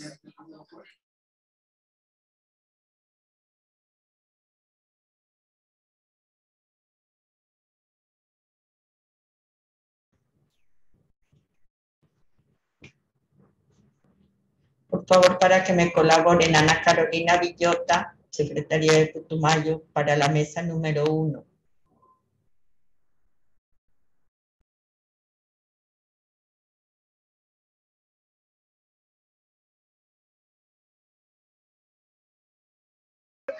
Buenos días, Secretaría de Educación Tumaco, mesa número uno. Buenos días, Santa Marta. Me ubiquen en qué mes y me den el enlace, por favor. Gracias. Buenos días, Secretaría de Educación Valle del Cauca, para que tengan la bondad y me incluyan en la mesa número dos. No he podido entrar, gracias.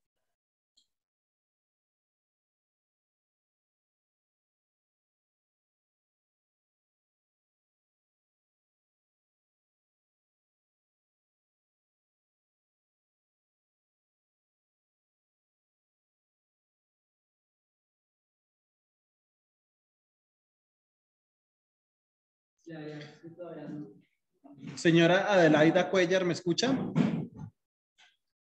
Adelaida Cuellar. Adelaida Cuellar, ¿me escucha?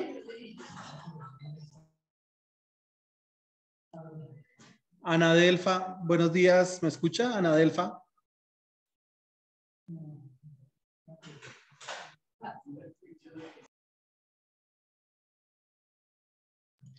Arison Mendoza. Muy buenos días. Habla Liz Gómez de la Secretaría de Educación de Cúcuta. Por favor, incluirme en la mesa 2. Con gusto. Muy buenos días. Le habla Arinzo Mendoza, Secretaría de Educación Departamental La Guajira. Arison, ¿en qué mesa desea estar?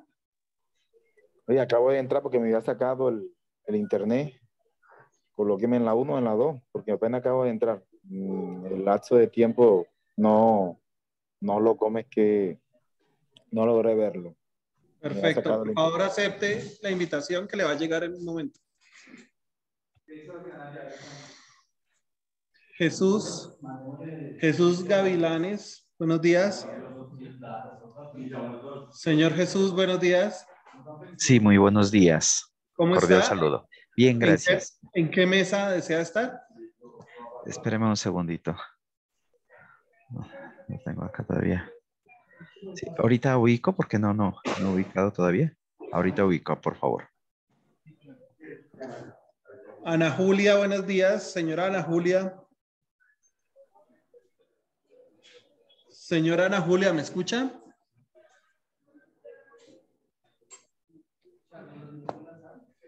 La persona que está identificada como calidad educativa, Dufaín Méndez. Dufaín Méndez de Mangué en la mesa 2, por favor.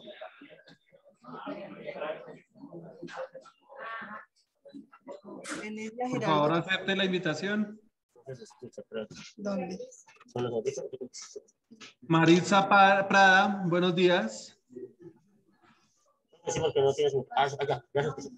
Maritza Prada, buenos días. Hola, hola.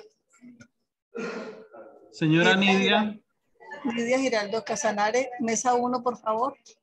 por favor, acepte. ¿Cómo? Por favor, acepte la invitación que le debe estar llegando en este momento. Porque no, no le he entendido dónde. Tra-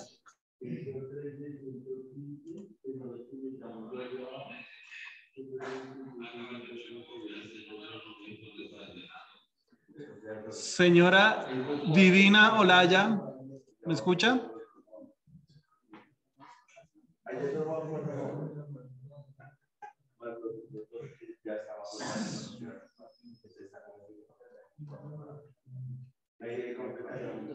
Señor Jesús, ¿ya tiene mesa asignada?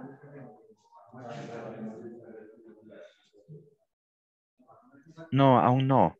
No sé dónde. Eh, ¿Cualquiera de ellas eh, puedo asignar o? En la mesa 1 está Tolima, Nariño y Ah, Casanare. entonces, mesa uno entonces sería. Por favor, acepte la invitación.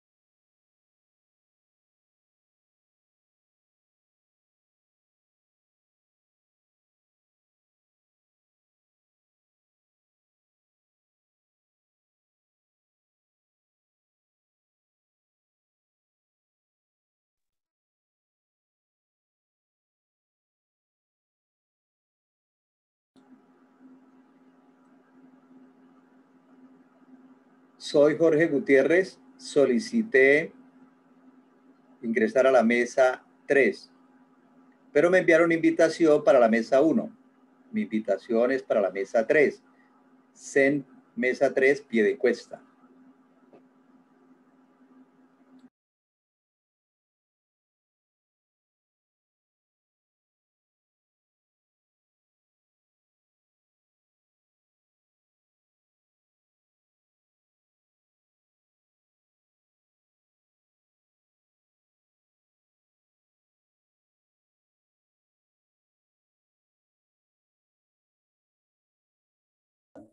¿Me haces un favor? ¿Me das ingreso a la mesa 1? Me está llegando invitación a la mesa 2.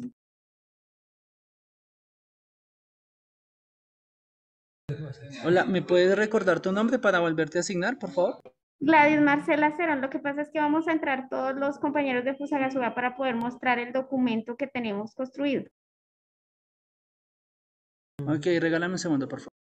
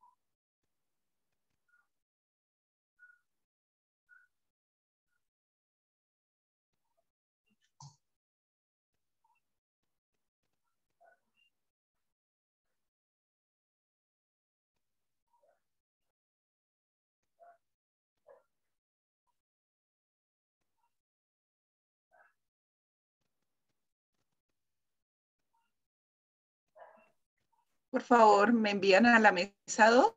Es que se me desconectó el internet y hasta ahora estoy logrando volver a entrar.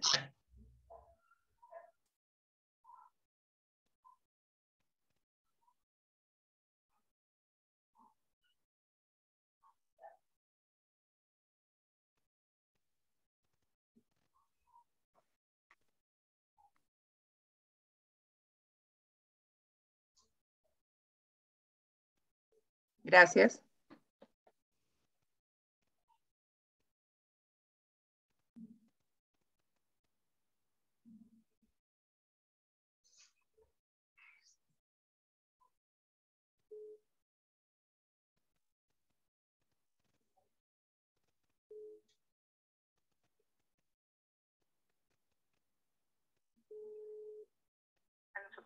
Hola, mijita, dele clic derecho en donde dice Rocío Trejos. Dele clic donde dice Rocío Trejos. Clic derecho. Ajá. Y ahí escríbale renombrar. Ahí dice renombrar. Ahora sí, ahí donde dice renombrar, escríbale mesa no- número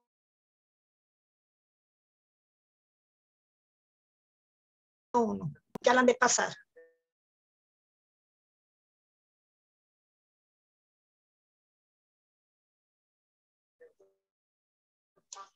Porque no, no me ya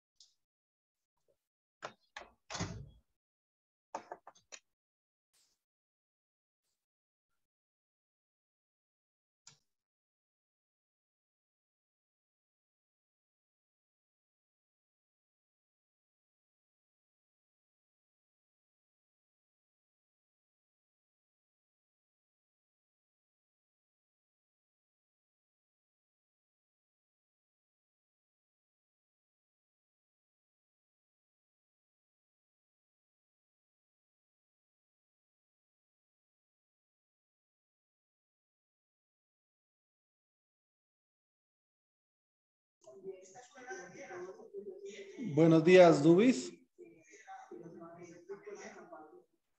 Dubis, ¿me escucha? Sí, buenos días. ¿Cómo está? ¿A qué, a qué mesa quiere que le asignemos? Eh, ¿Me recuerdan las salas, por favor, los temas? Sa- Mesa 1, Tolima, Nariño, Casanare. Mesa 2, Caldas, Medellín, Bogotá. Mesa 3, Piedecuesta, Barranquilla y Semchica. Medellín, Medellín, Bogotá. Mesa 2. ¿A mí me puedes mandar alguna mesa, Francisco Cajiao? Claro que sí, señora. ¿Cuál? A cualquiera, cualquiera, la que quieras.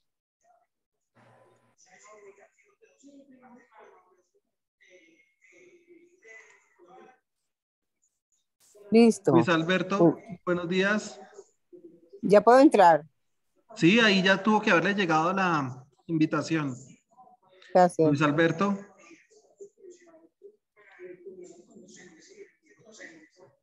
Luis Alberto, buenos días.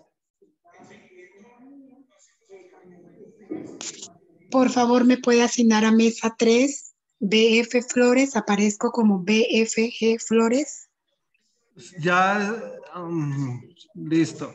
Tiene que aceptar para entrar, por favor. Ok.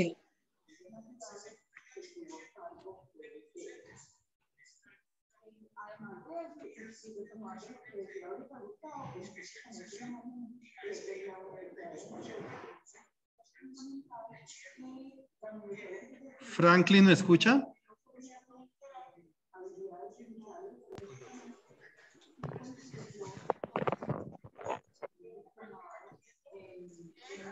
Hola, hola. Franklin F2B, ¿me escucha?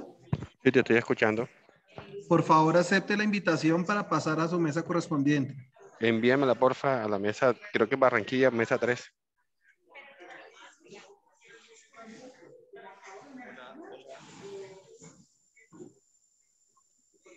Secretaría Hola, hola. Cartago, ¿me escucha? Luis Olmes. Hola.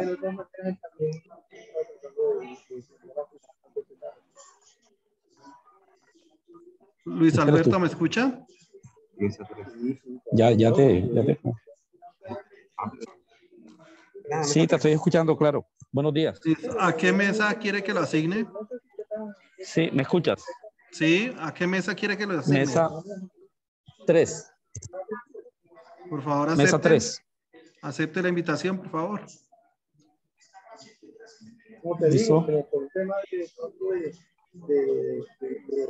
Secretaría Cartago, Luis Olmes, ¿me escucha?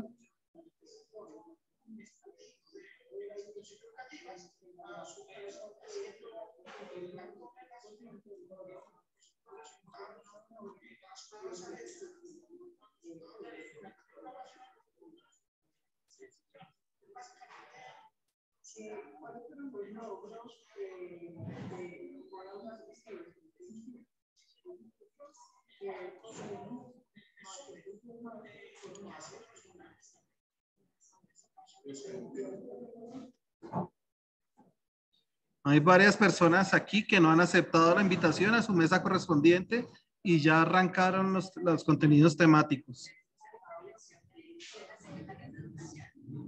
Luis Olmes, Secretaría de Cartago, no ha aceptado la invitación. Yo estoy solicitando y no me llega la invitación. Ernestina Bastidas, mesa 1. Yo también llevo rato solicitando para ingresar a la mesa 3 y no me ha llegado invitación. Escribí en el chat, pero nadie me responde. Está más desorganizado. eh, esto. señora que está identificada como mesa 3 Cundinamarca, sí, Sí, se le envió, no pero no ha aceptado la, la- la entrada a la mesa.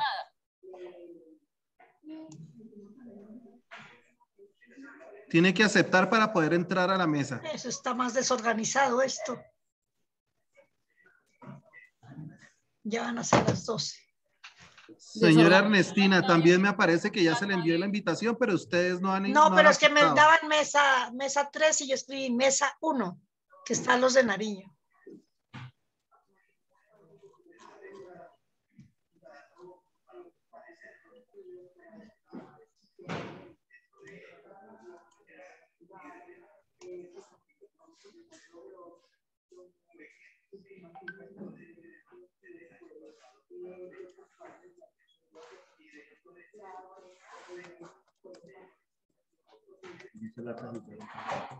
¿Qué?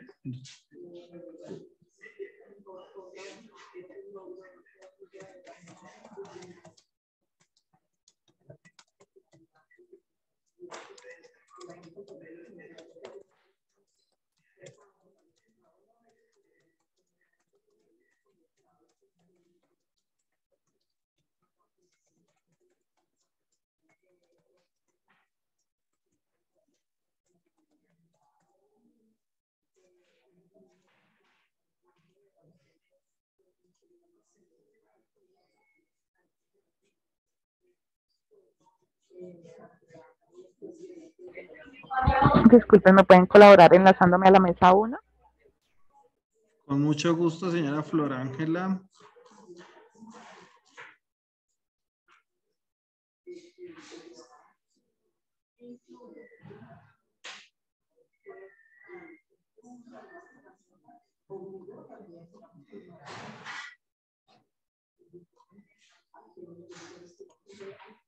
Enviada la invitación.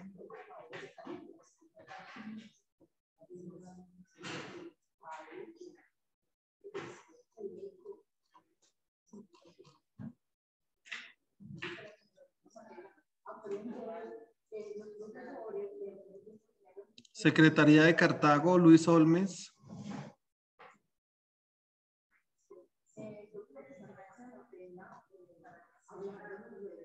Luz Amparo Torres.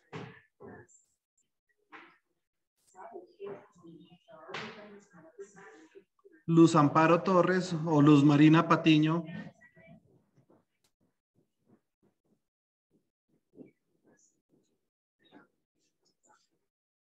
Luz Amparo Torres o Luz Marina Patiño.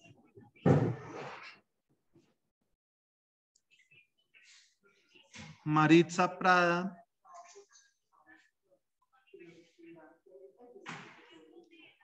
Maritza Prada. Nicolás Mejía. Señora Olga. Cali Edgar Gómez. Ana Elfa. Señora Ana Elfa.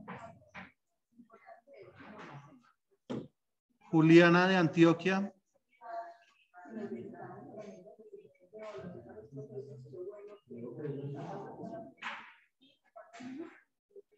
Gerardo Abril. Norberto Plata. Cartago. Julie Marilyn.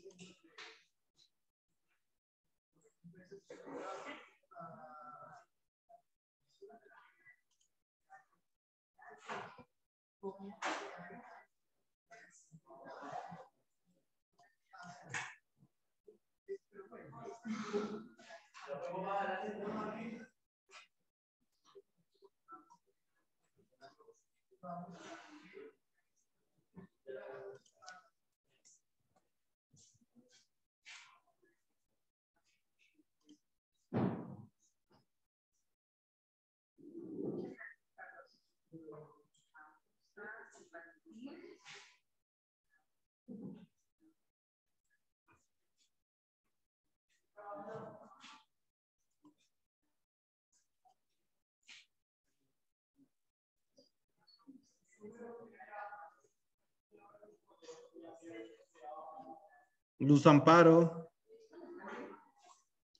Luz Amparo Torres.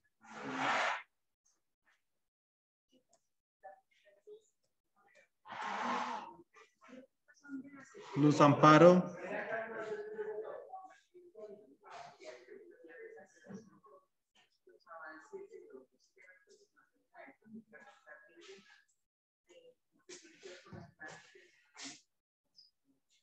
Luz Marina Patiño. Luz Marina Patiño.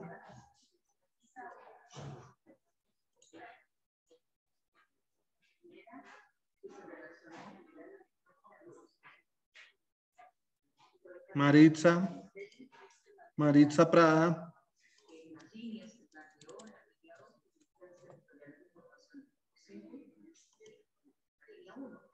Maritza.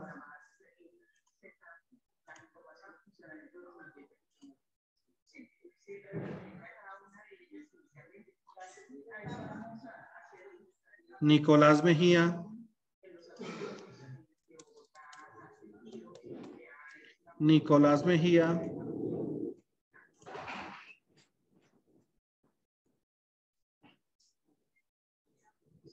La persona que aparece como Olga.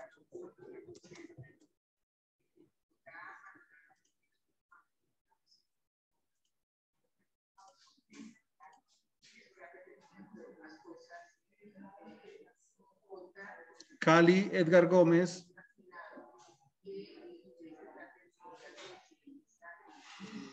Cali.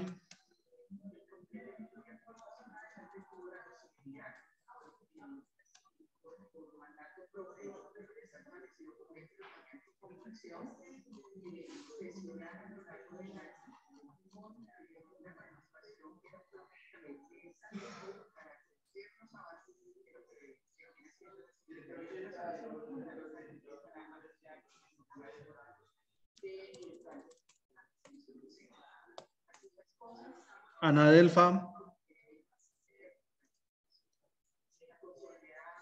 Ana Delfa.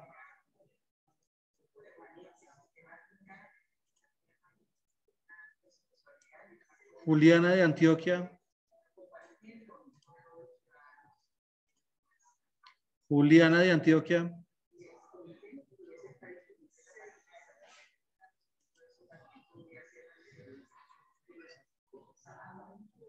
Arison. Arison, ¿me escucha?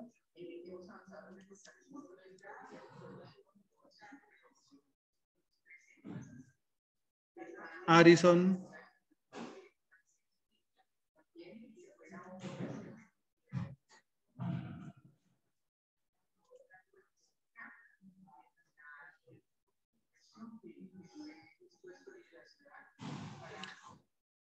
De Mosorno.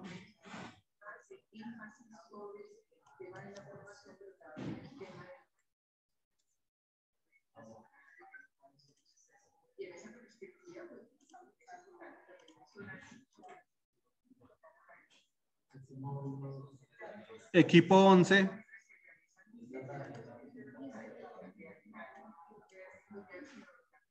Equipo 11.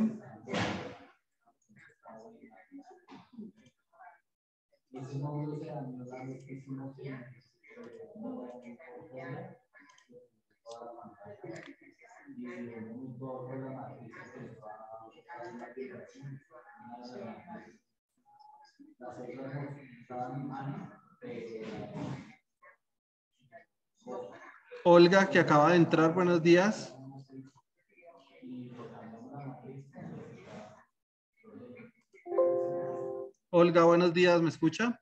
Olga, Olga, sí, que se me está, está molestando la señal y se cae en Olga Maldonado, Secretaría de Educación de Cartagena. ¿Cómo está, señora Olga? Eh, ¿A Bien, qué bien. mesa desea ingresar? Estaba en la 2 y me salí y traté de ingresar nuevamente y no había podido. ¿Para la 2? Sí, Ya le mando la invitación nuevamente. bueno, Bárbara Genoveva, que está conectada desde el celular. Buenos días, Bárbara. Bárbara, ¿me escucha? Bárbara.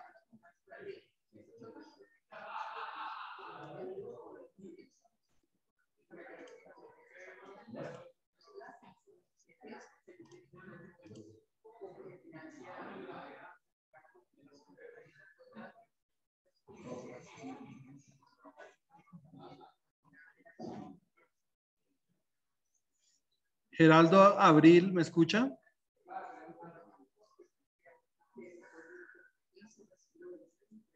Geraldo.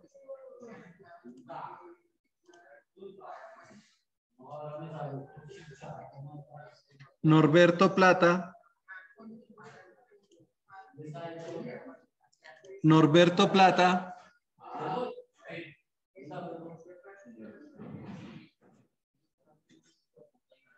Norberto Plata.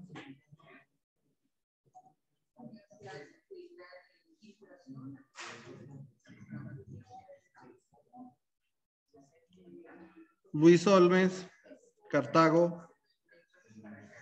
Luis Olmes, ¿me escucha? Julie Marilyn. Julie, ¿me escucha?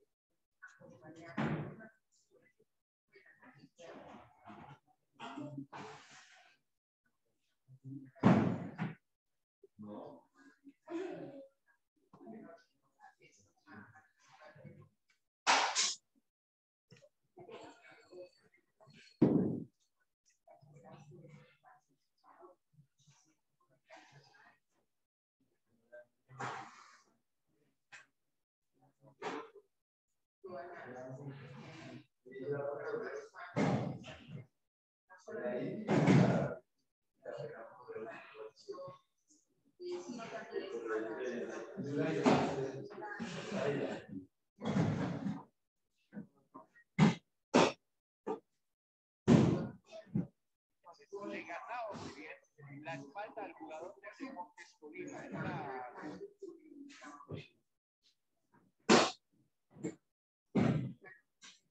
Era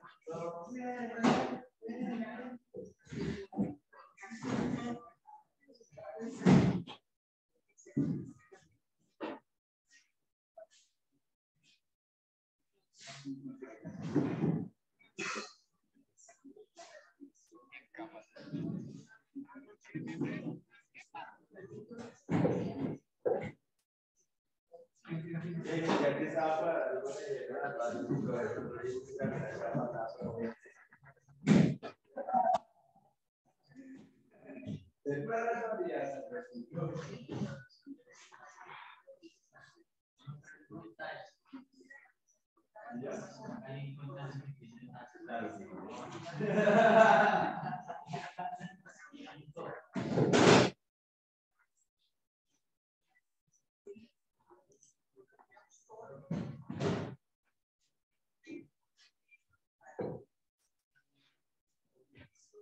Sí, pero un.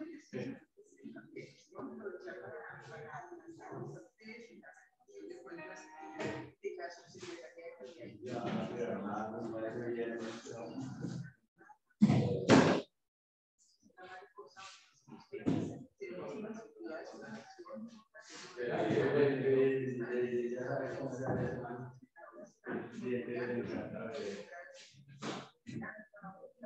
una-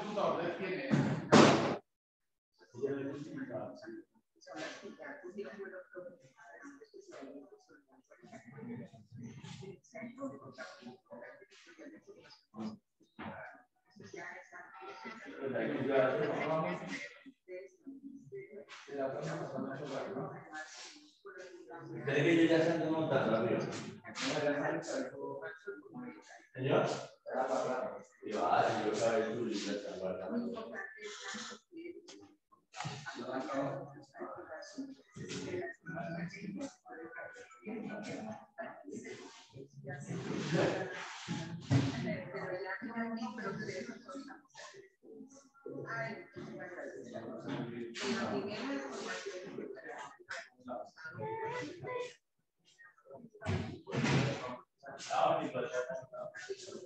There's, there's, there's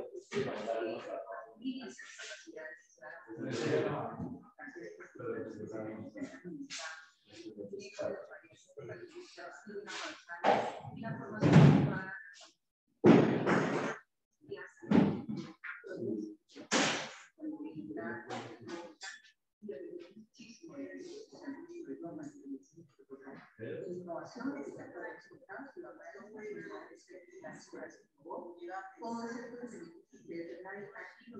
ah, si yo sabes tú, y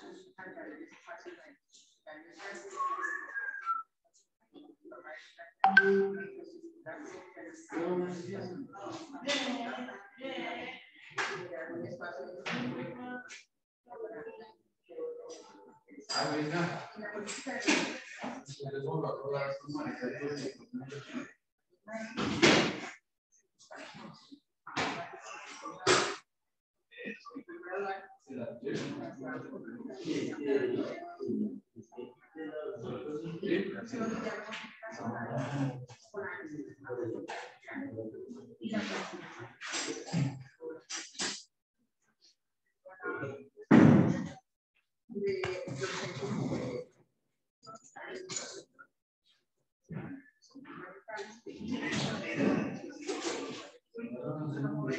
guardando.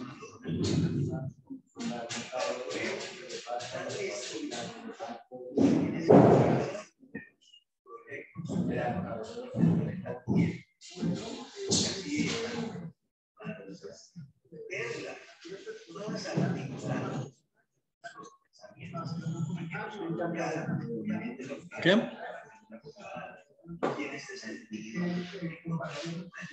¿Cuál? ¿La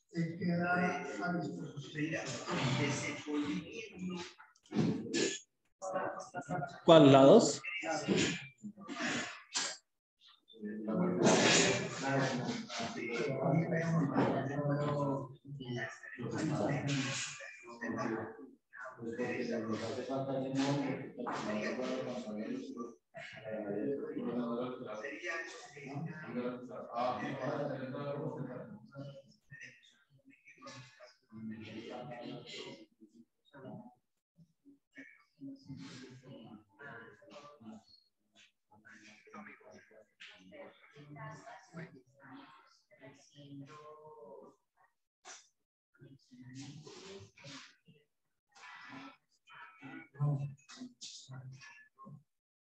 Pilas que siguen entrando. Aló.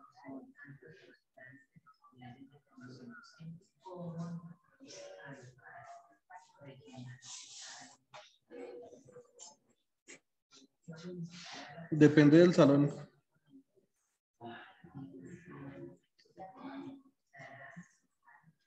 Pues la verdad, la verdad, la verdad, Jairo, yo no creo porque ellos nunca, nunca cuentan.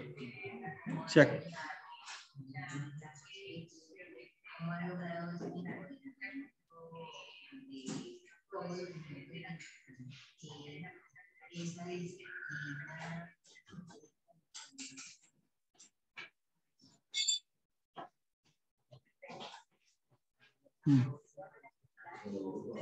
También puede ser. Aunque yo creería, ellos nunca se asoman por allá. Si acaso dirán, uy, se ve como más chiquito, pero que sepan. Mm. No.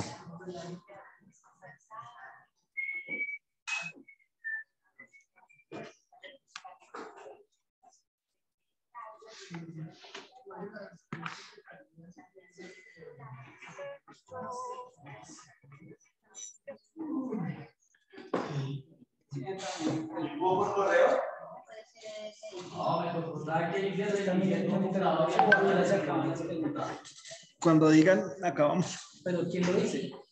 El, monitor, el coordinador de esa. ¿Carlos Parra? Sí.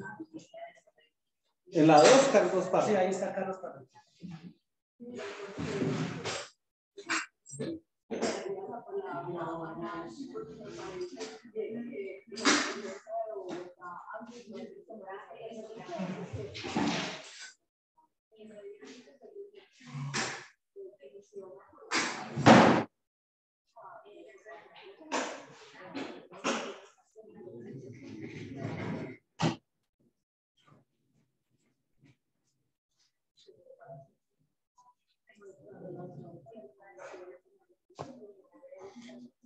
Diana Sandoval sería la y en la 1 sería Carlos Sánchez.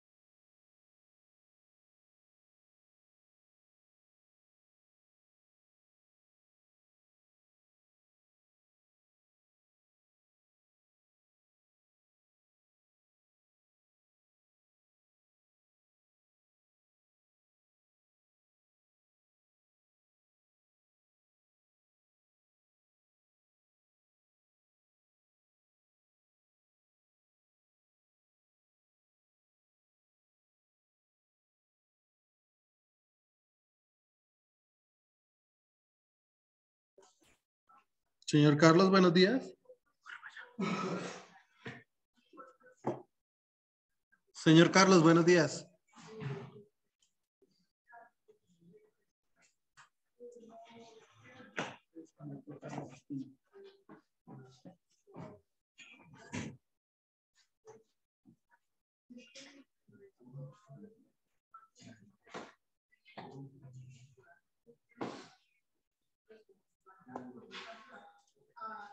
No, no ingresa.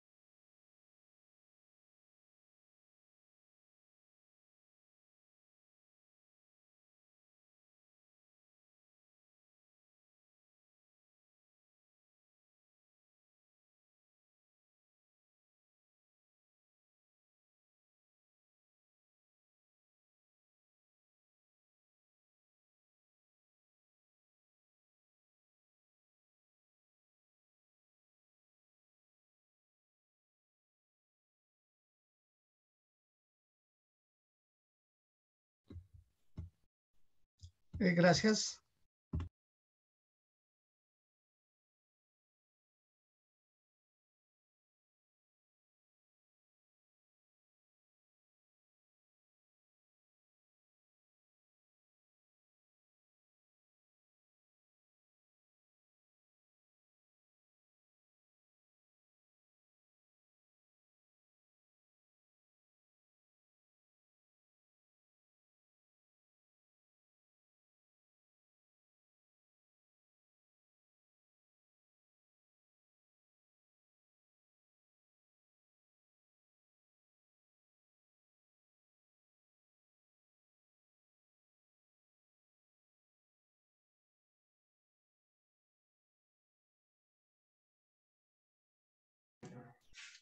Bueno, para todos hemos detenido ya las salas alternas.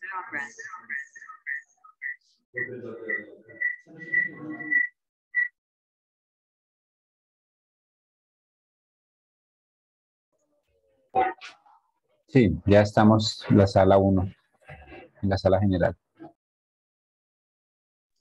Señor Carlos o señora Claudia, Sí. pueden continuar.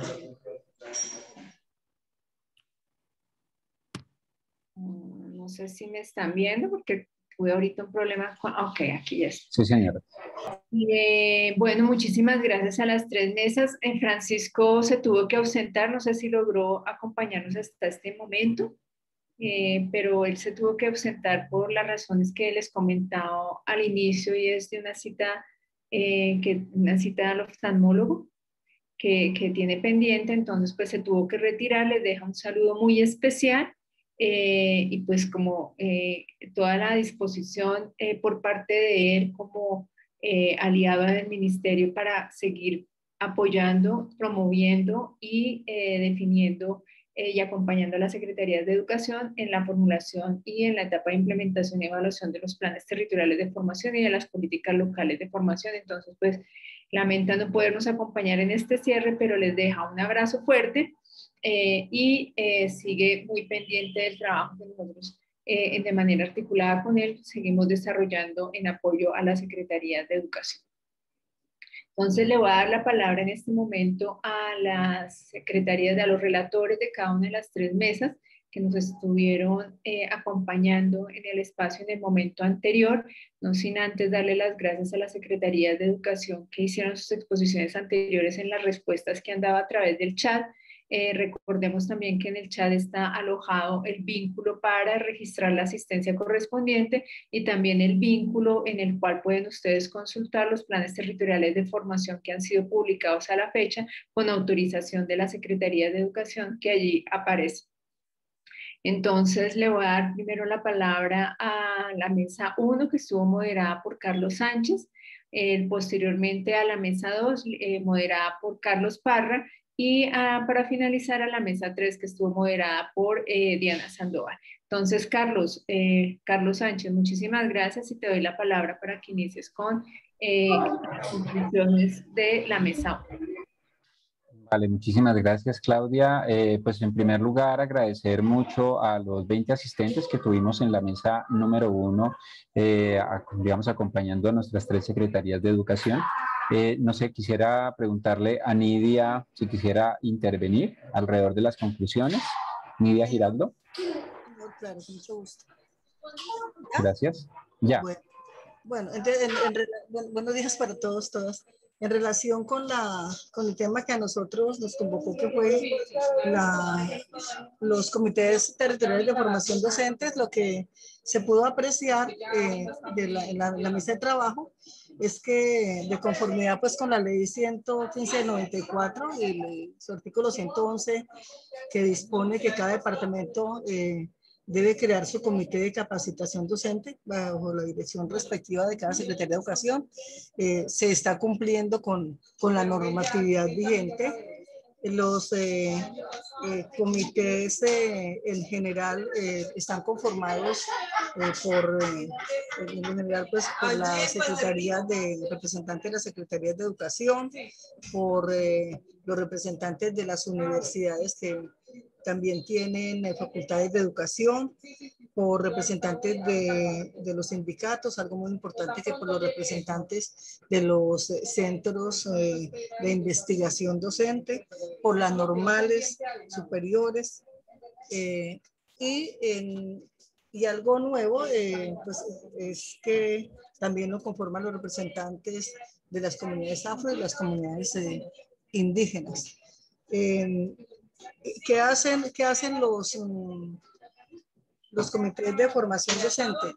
Cumplir precisamente con, con las funciones que, que les delega, se les delega no solamente desde el Ministerio y la ley, ejemplo, a través de, de la Directiva Ministerial 28 del 4 de diciembre del 2009 y de la Ley 715 del 2001 y y de la misma Ley 115 del 94 eh, que es poder eh, eh, eh, ayudar a, a, construir desde las reflexiones en los diferentes espacios del comité eh, las propuestas que, de, de, formación de los docentes que sean precisamente validadas por eh, la comunidad educativa de docentes, que eh, se puedan allí identificar y priorizar y que sean viables en su ejecución. Eso es lo que fundamentalmente hace en la primera, una primera fase de identificación y socialización del comité, posteriormente hace el seguimiento y la, y la evaluación. Allí en estos espacios se definen criterios que permiten las mediciones eh, que relacionan los diferentes eh, procesos de, de formación. En, la, en las evaluaciones también se evalúan los actores que hacen parte de, de los comités que pueden ser en alianzas, eh, fundamentalmente con las entidades de educación superior u otras que también procesos de formación eh, que, se han, que se han utilizado en, en, los análisis de los comités, herramientas casi de, de, de investigación cualitativa, eh, son las encuestas para poder priorizar, identificar y priorizar las necesidades de formación eh, docente.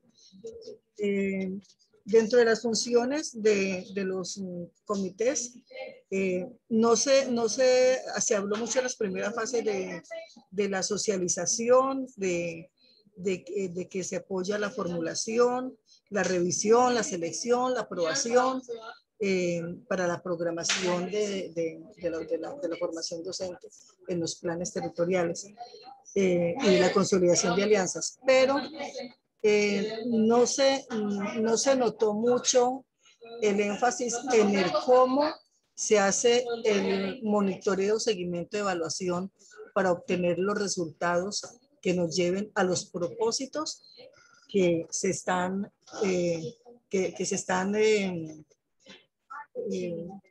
eh, desde la parte filosófica orientando en el, en el, plan territorial de formación docente. Entonces, en esa parte eh, se pudo notar que hay eh, que hay como hay, hay, todavía una debilidad, eh, aunque existe reglamento interno y, y las, eh, los comités territoriales de formación pues han, se han apegado a los reglamentos internos para poder hacer su conformación, hacer más viable su funcionamiento, su coherencia, ¿sí? su pertinencia. Pero entonces, sí hace falta eh, esa parte eh, que de pronto en las no se han podido desarrollar desde las competencias que tenga, que tiene el comité como tal. Pues, Muchas gracias, Nidia.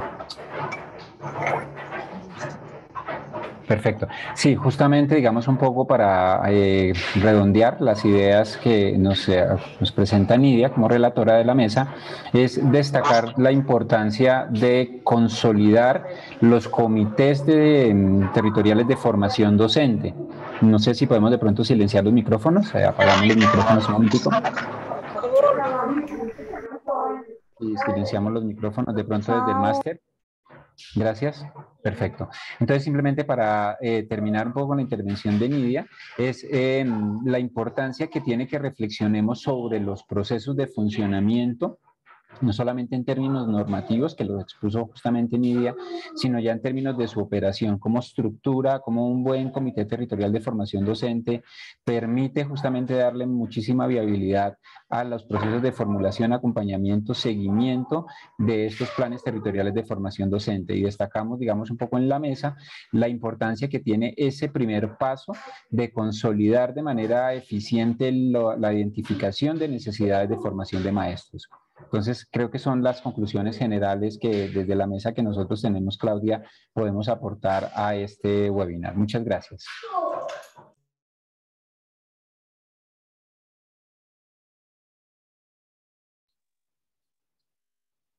Muchas gracias a la mesa 1 por compartirnos eh, las conclusiones. Eh, y entonces, en ese sentido, le doy, para dar continuidad al espacio, le doy la palabra a el relator, a Carlos Parra como moderador y al relator de la mesa número 2. Eh, bueno, en la mesa número dos, el moderador fungió también como, como relator.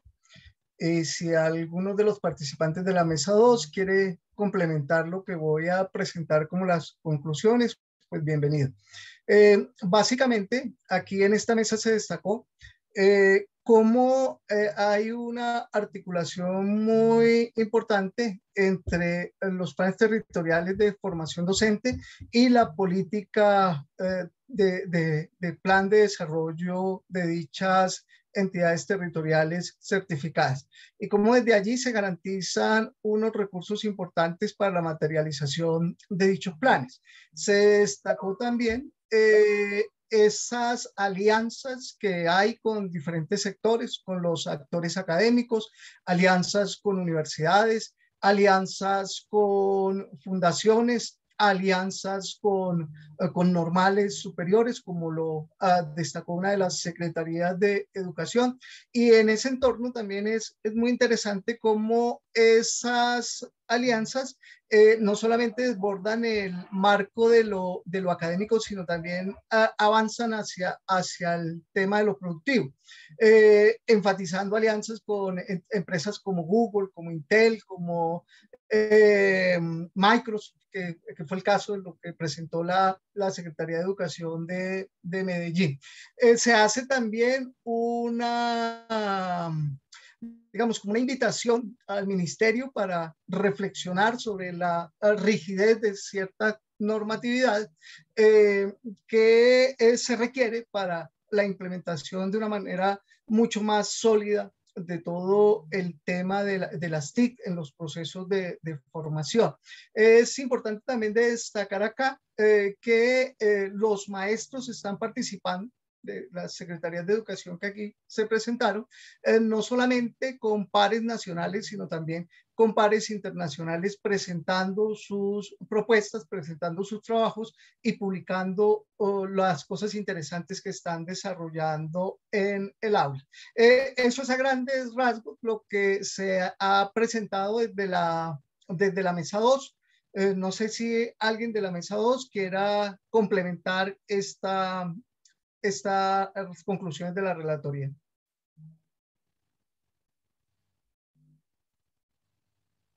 Eh, no siendo así, entonces, pues damos paso a, las conclusiones de la mesa 3.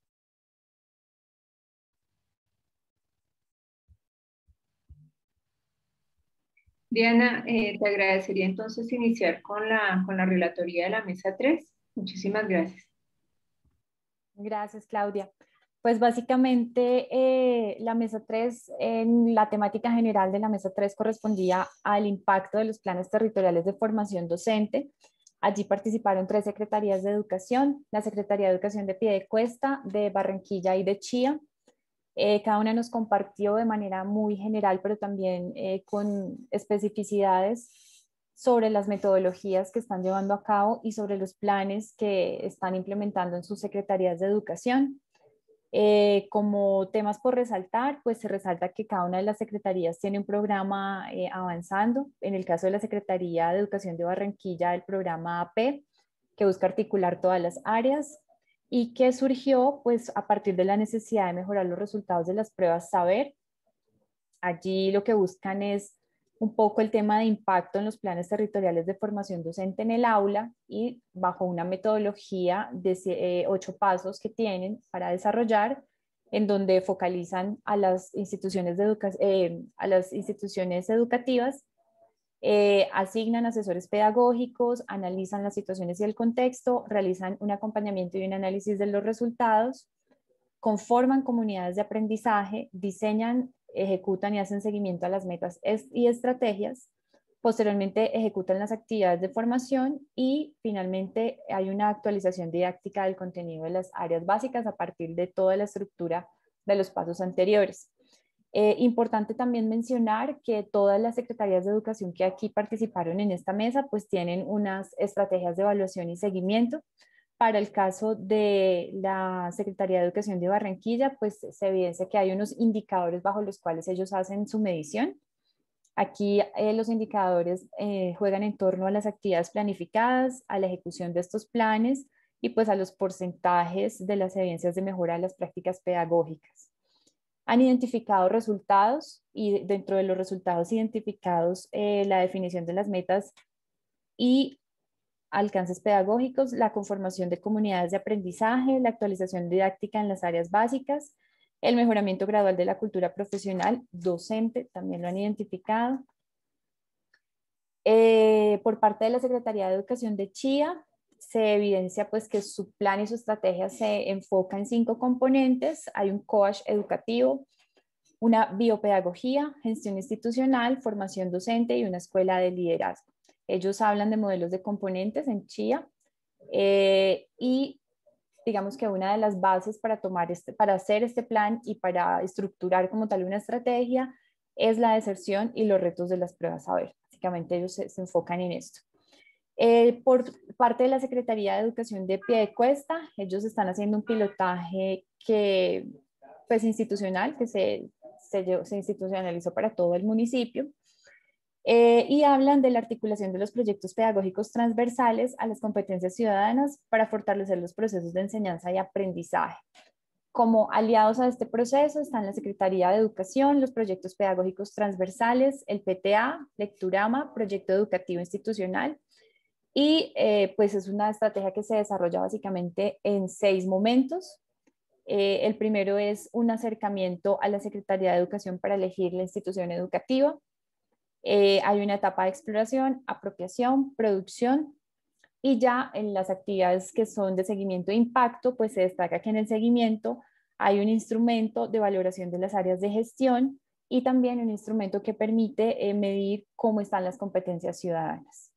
En temas de impacto, importante también destacar que la Secretaría de Educación pues está eh, desarrollando, también tiene como unos instrumentos que está ejecutando para hacer las mediciones de impacto.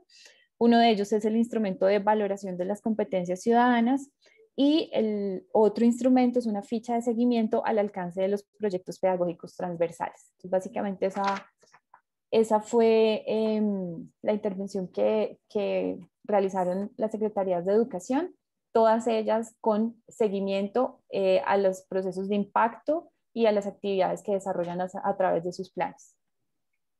Ok, muchísimas gracias. Muchísimas gracias, Diana, por, por compartirnos la relatoría. Yo quisiera resaltar de estas tres mesas un continuo dentro de los pasos que se implican la formulación y la definición de la política local de formación como espacio de reflexión y de, y de proyección frente a los retos, desafíos que tenemos los maestros para seguir con nuestro proceso de desarrollo profesional en el marco de un reconocimiento de nuestra identidad profesional y para apoyar todo este proceso desde estas políticas locales eh, de formación de docentes. Entonces, en ese devenir, en esa ruta que se ha establecido para poder definir el plan territorial y la política local de formación, eh, quiero resaltar que en cada una de estas mesas se ha tocado tres puntos que son pregunta reiterativa y voy a agregar un cuarto que no sale de manera explícita en las mesas, pero sí que Francisco y algunos de ustedes lo asumieron en el chat. El primero de, ellos es el tema de los comités territoriales de formación docente. Eh, es evidente que hay unos retos importantes. Los comités son un ente asesor de las secretarías para que la Secretaría de Educación tome las decisiones pertinentes en relación a la política local y en relación a los planes de formación, a la consolidación de estos planes de formación muy centrados en la programación y en el plan operativo del plan.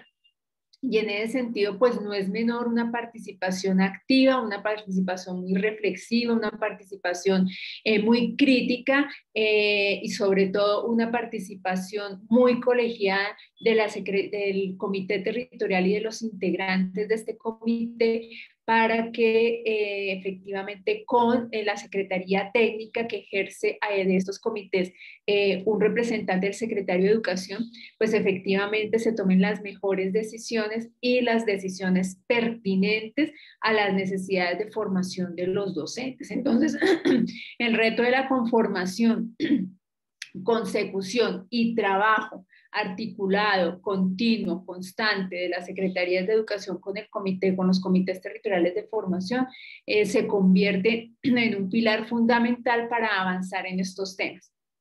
Hay algo de lo que ustedes mencionaban en la mesa eh, y, en, los procesos que hemos venido acompañando durante este año, y es que efectivamente el comité eh, se convierte en este, en este ente, en este cuerpo colegiado que permite hacer unas reflexiones importantes, interesantes y muy proyectivas alrededor de la formación de los educadores de las entidades territoriales, pero sobre todo unas reflexiones que se ajusten a las necesidades de formación de los maestros y que esas necesidades siempre, casi siempre se ven compaginadas con las necesidades de aprendizaje de los niños, niñas, adolescentes y jóvenes eh, y de estos eh, desarrollos integrales que se requieren en el marco de estos procesos de enseñanza-aprendizaje que, necesitan pues, los escolares de, nuestra, de nuestro país. Entonces, esta, este comité eh, más allá de tener este reglamento operativo, de, tener este, este, este acto administrativo formalizado, eh, debe ser siempre un espacio de trabajo muy colaborativo, muy cercano eh, y muy pertinente para la toma de decisiones por parte de la Secretaría de Educación, basado en evidencias eh, que, les permita a la Secretaría tomar siempre las mejores decisiones alrededor de sus políticas de formación. El otro tema que se ha abordado aquí es el tema de eh, esa relación de la Secretaría de Educación con aliados externos eh, de diferente naturaleza que les permita no solamente eh, la formulación o evidenciar puntos importantes para la formulación de sus planes territoriales de formación, sino también para la consecución de los mismos. Y allí pues hay varias experiencias muy importantes y es eh, tener estas articulaciones y estos aliados del orden muy académico eh, y del sector productivo para eh, alimentar esas reflexiones y esos diálogos que se den alrededor de la formación de docentes y para alimentar también las propuestas y propósitos ya operativos de poder lograr que estos, estas apuestas formativas se lleven a cabo con, en las entidades territoriales con, los, con los docentes. Entonces, en ese sentido, la creación de alianzas no solamente para la ubicación posible de recursos, sino también para la consecución de propuestas formativas, se convierte en un punto muy importante eh, y en un punto también de reflexión y de trabajo continuo por parte de la Secretaría eh, con estos posibles aliados de la región, siempre muy en el marco de evidenciar los, las particularidades contextualizadas que se presentan en las necesidades de formación de nuestros docentes. Algunos de ustedes mencionaban algo muy reiterativo y es los retos que se tienen frente a todo este tema de la pandemia que quedaron, eh, llegaron y quedaron, pues, eh, que llegaron y, están establecidos ya para quedarse. Y es todo este tema del uso pedagógico de TIC, de los recursos educativos virtuales, de, eh, de, ambientes de aprendizaje muy mediados por la virtualidad y pues esto no es menor y allí cobran vigencia algunos de los aliados eh, que posiblemente podamos tener en el contexto regional para eh, echar a andar e implementar algunas de las estrategias formativas, siempre teniendo en cuenta a ese asesor que es el Comité Territorial de Formación. Y otro tema que no es menor y es la articulación de los planes y de las políticas formativas con los planes de desarrollo de la entidad territorial certificada. Y en ese sentido, pues algunos de ustedes lo mencionaron de manera muy explícita, pero siempre hemos eh, eh, evidenciado que en los planes territoriales de formación se enmarcan las políticas locales en estos planes de desarrollo. Eso también permite de manera muy proyectiva siempre tener presente que el marco general son los planes de desarrollo de la entidad territorial y va en doble vía porque al, evidenciar un término de un plan territorial de formación en la entrega que se hace posterior para la próxima administración, se evidencia la necesidad de siempre tener presente también y de jalonar desde los planes territoriales y establecer desde los planes, perdón, de desarrollo territorial eh, estas apuestas de formación que no es un tema menor. Y esto va articulado a temas de, también de financiación y a temas de eh, proyección de cuál es el lugar de la formación de docentes en los planes de desarrollo de las entidades territoriales y pues en de deriva en eh, estas reflexiones y estas definiciones de las políticas locales de formación. El tercer tema que se abordó en estas mesas es el de, las, el de la eh, seguimiento y evaluación de los planes territoriales es una tarea continua, constante, desde varias estrategias y metodologías que ya nos han compartido nuestros expositores en la mesa 3, evidenciando muy de la mano de estas eh, estrategias metodológicas que se han diseñado de manera contextualizada para cada entidad territorial, eh, el impacto o los resultados de estos procesos formativos. Allí hay dos retos importantes y es no solamente evidenciar el impacto de los procesos de formación que se hayan definido en el marco de la política local de formación, sino también el mismo devenir del plan territorial para mirar en dónde hay que hacer los ajustes correspondientes en la medida en que el mismo se va implementando, y que los planes eh, operativos del plan territorial se va implementando, porque acordémonos que no son estáticos, son dinámicos y pueden ser ajustados y variados acorde con las necesidades y con la pertinencia de lo que vaya sucediendo en la entidad territorial y sobre todo de estos marcos de excepcionalidad que se nos han presentado, como por ejemplo el de la emergencia sanitaria eh, debido a la pandemia. Entonces allí nos hablan de, eh, de rutas o de etapas o de componentes de estas estrategias eh, de seguimiento y evaluación, algunas con indicadores, otras con eh, evidencias ya más, más afianzadas, más rigurosas, otras con un objetivo claro de medir los resultados y el mejoramiento, ya sea en los aprendizajes de los niños, pero hay algo muy importante también de lo que ustedes mencionaban y es también la posibilidad de evidenciar el mejoramiento en las prácticas de los, de los educadores, desde procesos de acompañamiento, desde formulación, eh, definición y aplicación de instrumentos varios que les permita a las secretarías de educación eh, poder revisar, mirar, evidenciar en qué vamos con el plan, en qué vamos con el plan operativo, con cada uno de los programas de formación y sobre todo qué resultados está arrojando eso y qué impactos, si se puede poner en estas palabras en blanco y negro, estamos haciendo, teniendo con eh, la formulación y sobre todo con la implementación de estos planes de formación. Allí yo quiero mencionar algo que es muy importante y es que estos procesos de seguimiento y evaluación no son posibles únicamente con el esfuerzo de la Secretaría de Educación, sino que hay que involucrar de manera muy decidida a quienes están implementando la misma formación de los docentes en un diálogo continuo de saberes, en una interlocución constante con esos implementadores de estos procesos de formación, para con ellos también evidenciar la participación de los docentes y no solamente desde un tema administrativo, sino de un tema muy técnico que les permita eh, en conjunto y en diálogo continuo con los implementadores evidenciar en dónde hay que hacer los ajustes correspondientes para lograr los objetivos que se hayan planteado desde la política local, planteada o plasmada en el plan territorial de formación.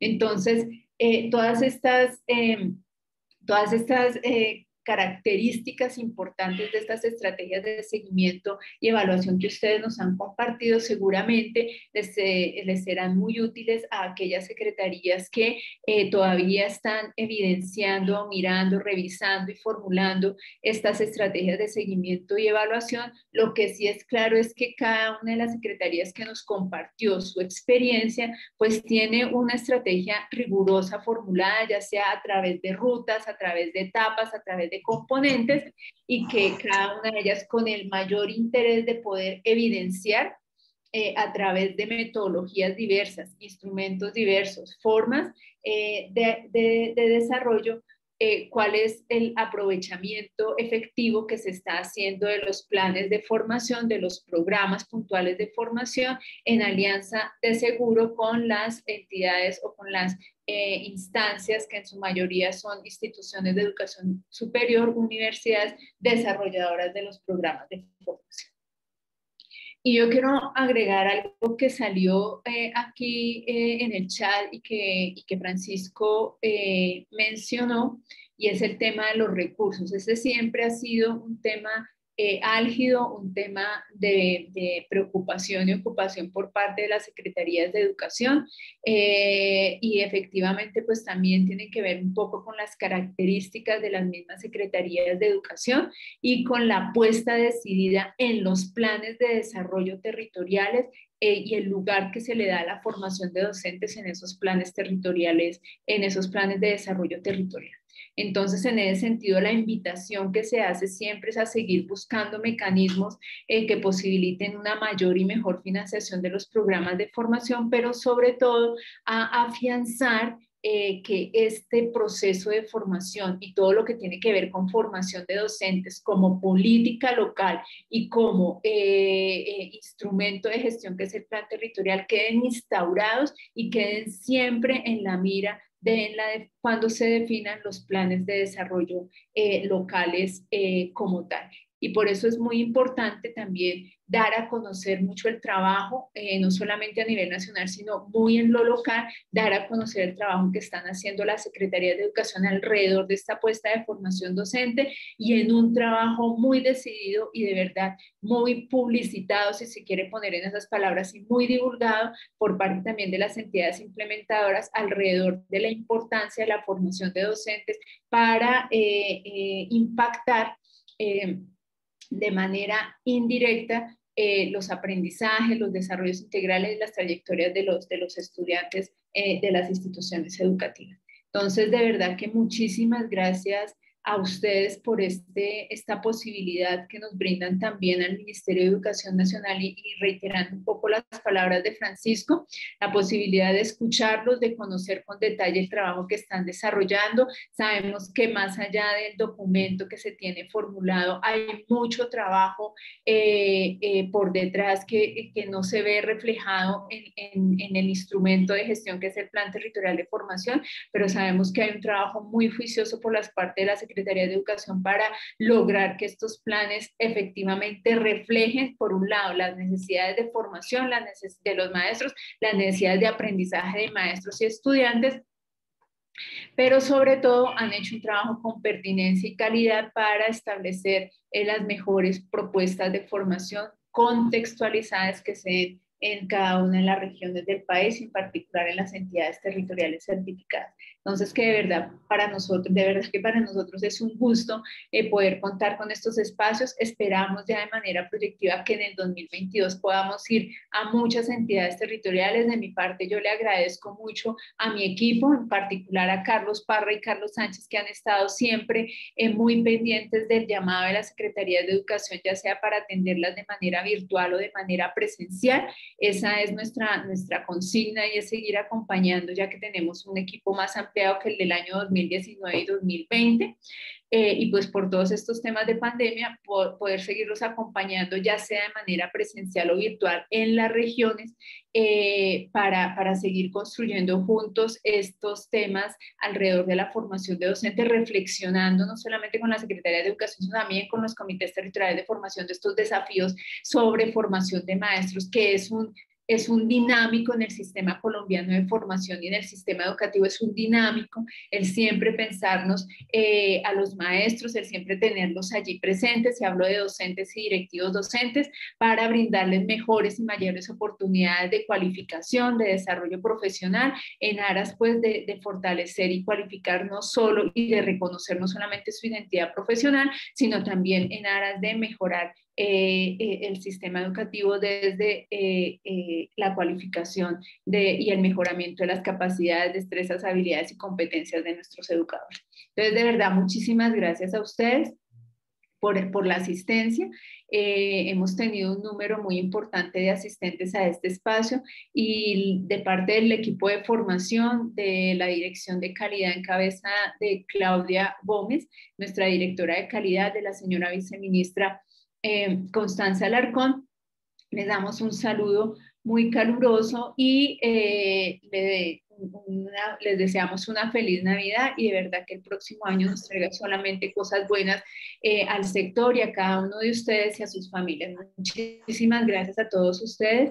No sé si Carlos Parra o Carlos Sánchez, que han estado acompañando este proceso, tengan algo para, para agregar, pero de mi parte, un, un infinito agradecimiento por eh, estar siempre pendientes de estos temas, por estar construyendo con nosotros estas reflexiones, por darnos la oportunidad de estar con ustedes en estos espacios y con, el- con la mayor eh, dedicación estaremos, sí, eh, estaremos acompañándolos el próximo, eh, el próximo año. Muchísimas gracias.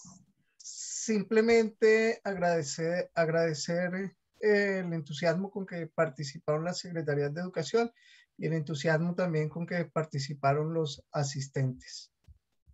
Mm, De parte nuestra, pues agradecer eh, a la Secretaría de Educación, Claudia, ha sido un año muy interesante, muy intenso también en términos de estos procesos de formulación, pues pandemia obviamente afectó, digamos, el normal proceso de construcción, de formulación de los planes territoriales de formación docente, pero aún así hemos visto un gran trabajo de la Secretaría de Educación y este webinar justamente es un ejemplo de todo el trabajo que hay alrededor del país, en los territorios, en torno a la reflexión y al diseñar acciones que nos permitan avanzar en esos procesos de formulación de la política territorial de formación docente. Entonces, nada, simplemente eh, mucho agradecimiento por todo este trabajo. Ha sido un año muy intenso y seguramente nos espera otro año igual o más intenso, pero pues con mucha disposición también a hacer las asistencias que se correspondan. Entonces, muchísimas gracias a todos los asistentes, Claudia.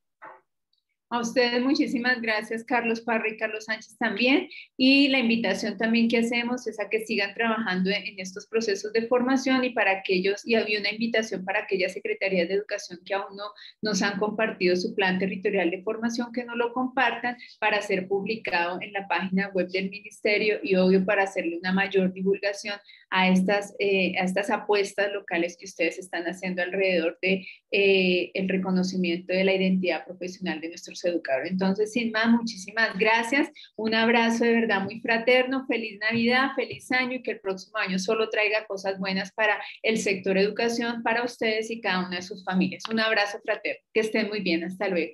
Igualmente, feliz Igualmente. año nuevo también. Feliz Navidad para todos. Gracias.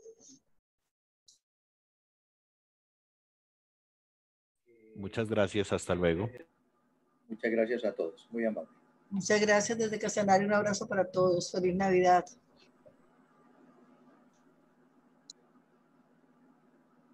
Gracias, Nidia, por todo tu apoyo. Feliz Navidad también.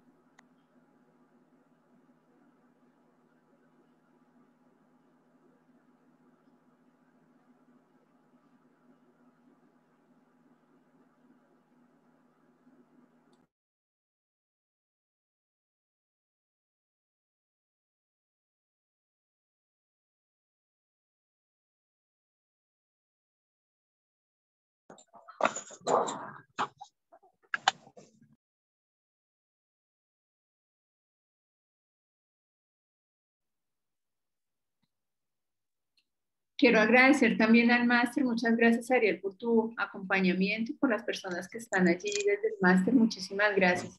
Nos estén, que estén muy bien. Les, Con les mucho gusto, señora Claudia. Recuerde que aquí cuenta con, con todo el equipo que hay detrás. Gracias, Ariel. Quedamos pendientes de la grabación para poderla publicar en la página web del MED y pues que las secretarías que no nos pudieron acompañar o quienes quieran buscar a Claudia Pedraza, la mesa 3. Ah, una ventana. eh, podamos, podamos publicarlo prontamente en la página web. Gracias, Ariel, y a todo el equipo del máster. Un abrazo también para ustedes. Feliz Navidad y feliz año. Que estén muy bien. Muchas gracias. Lo mismo, señora Claudia, para usted y su equipo.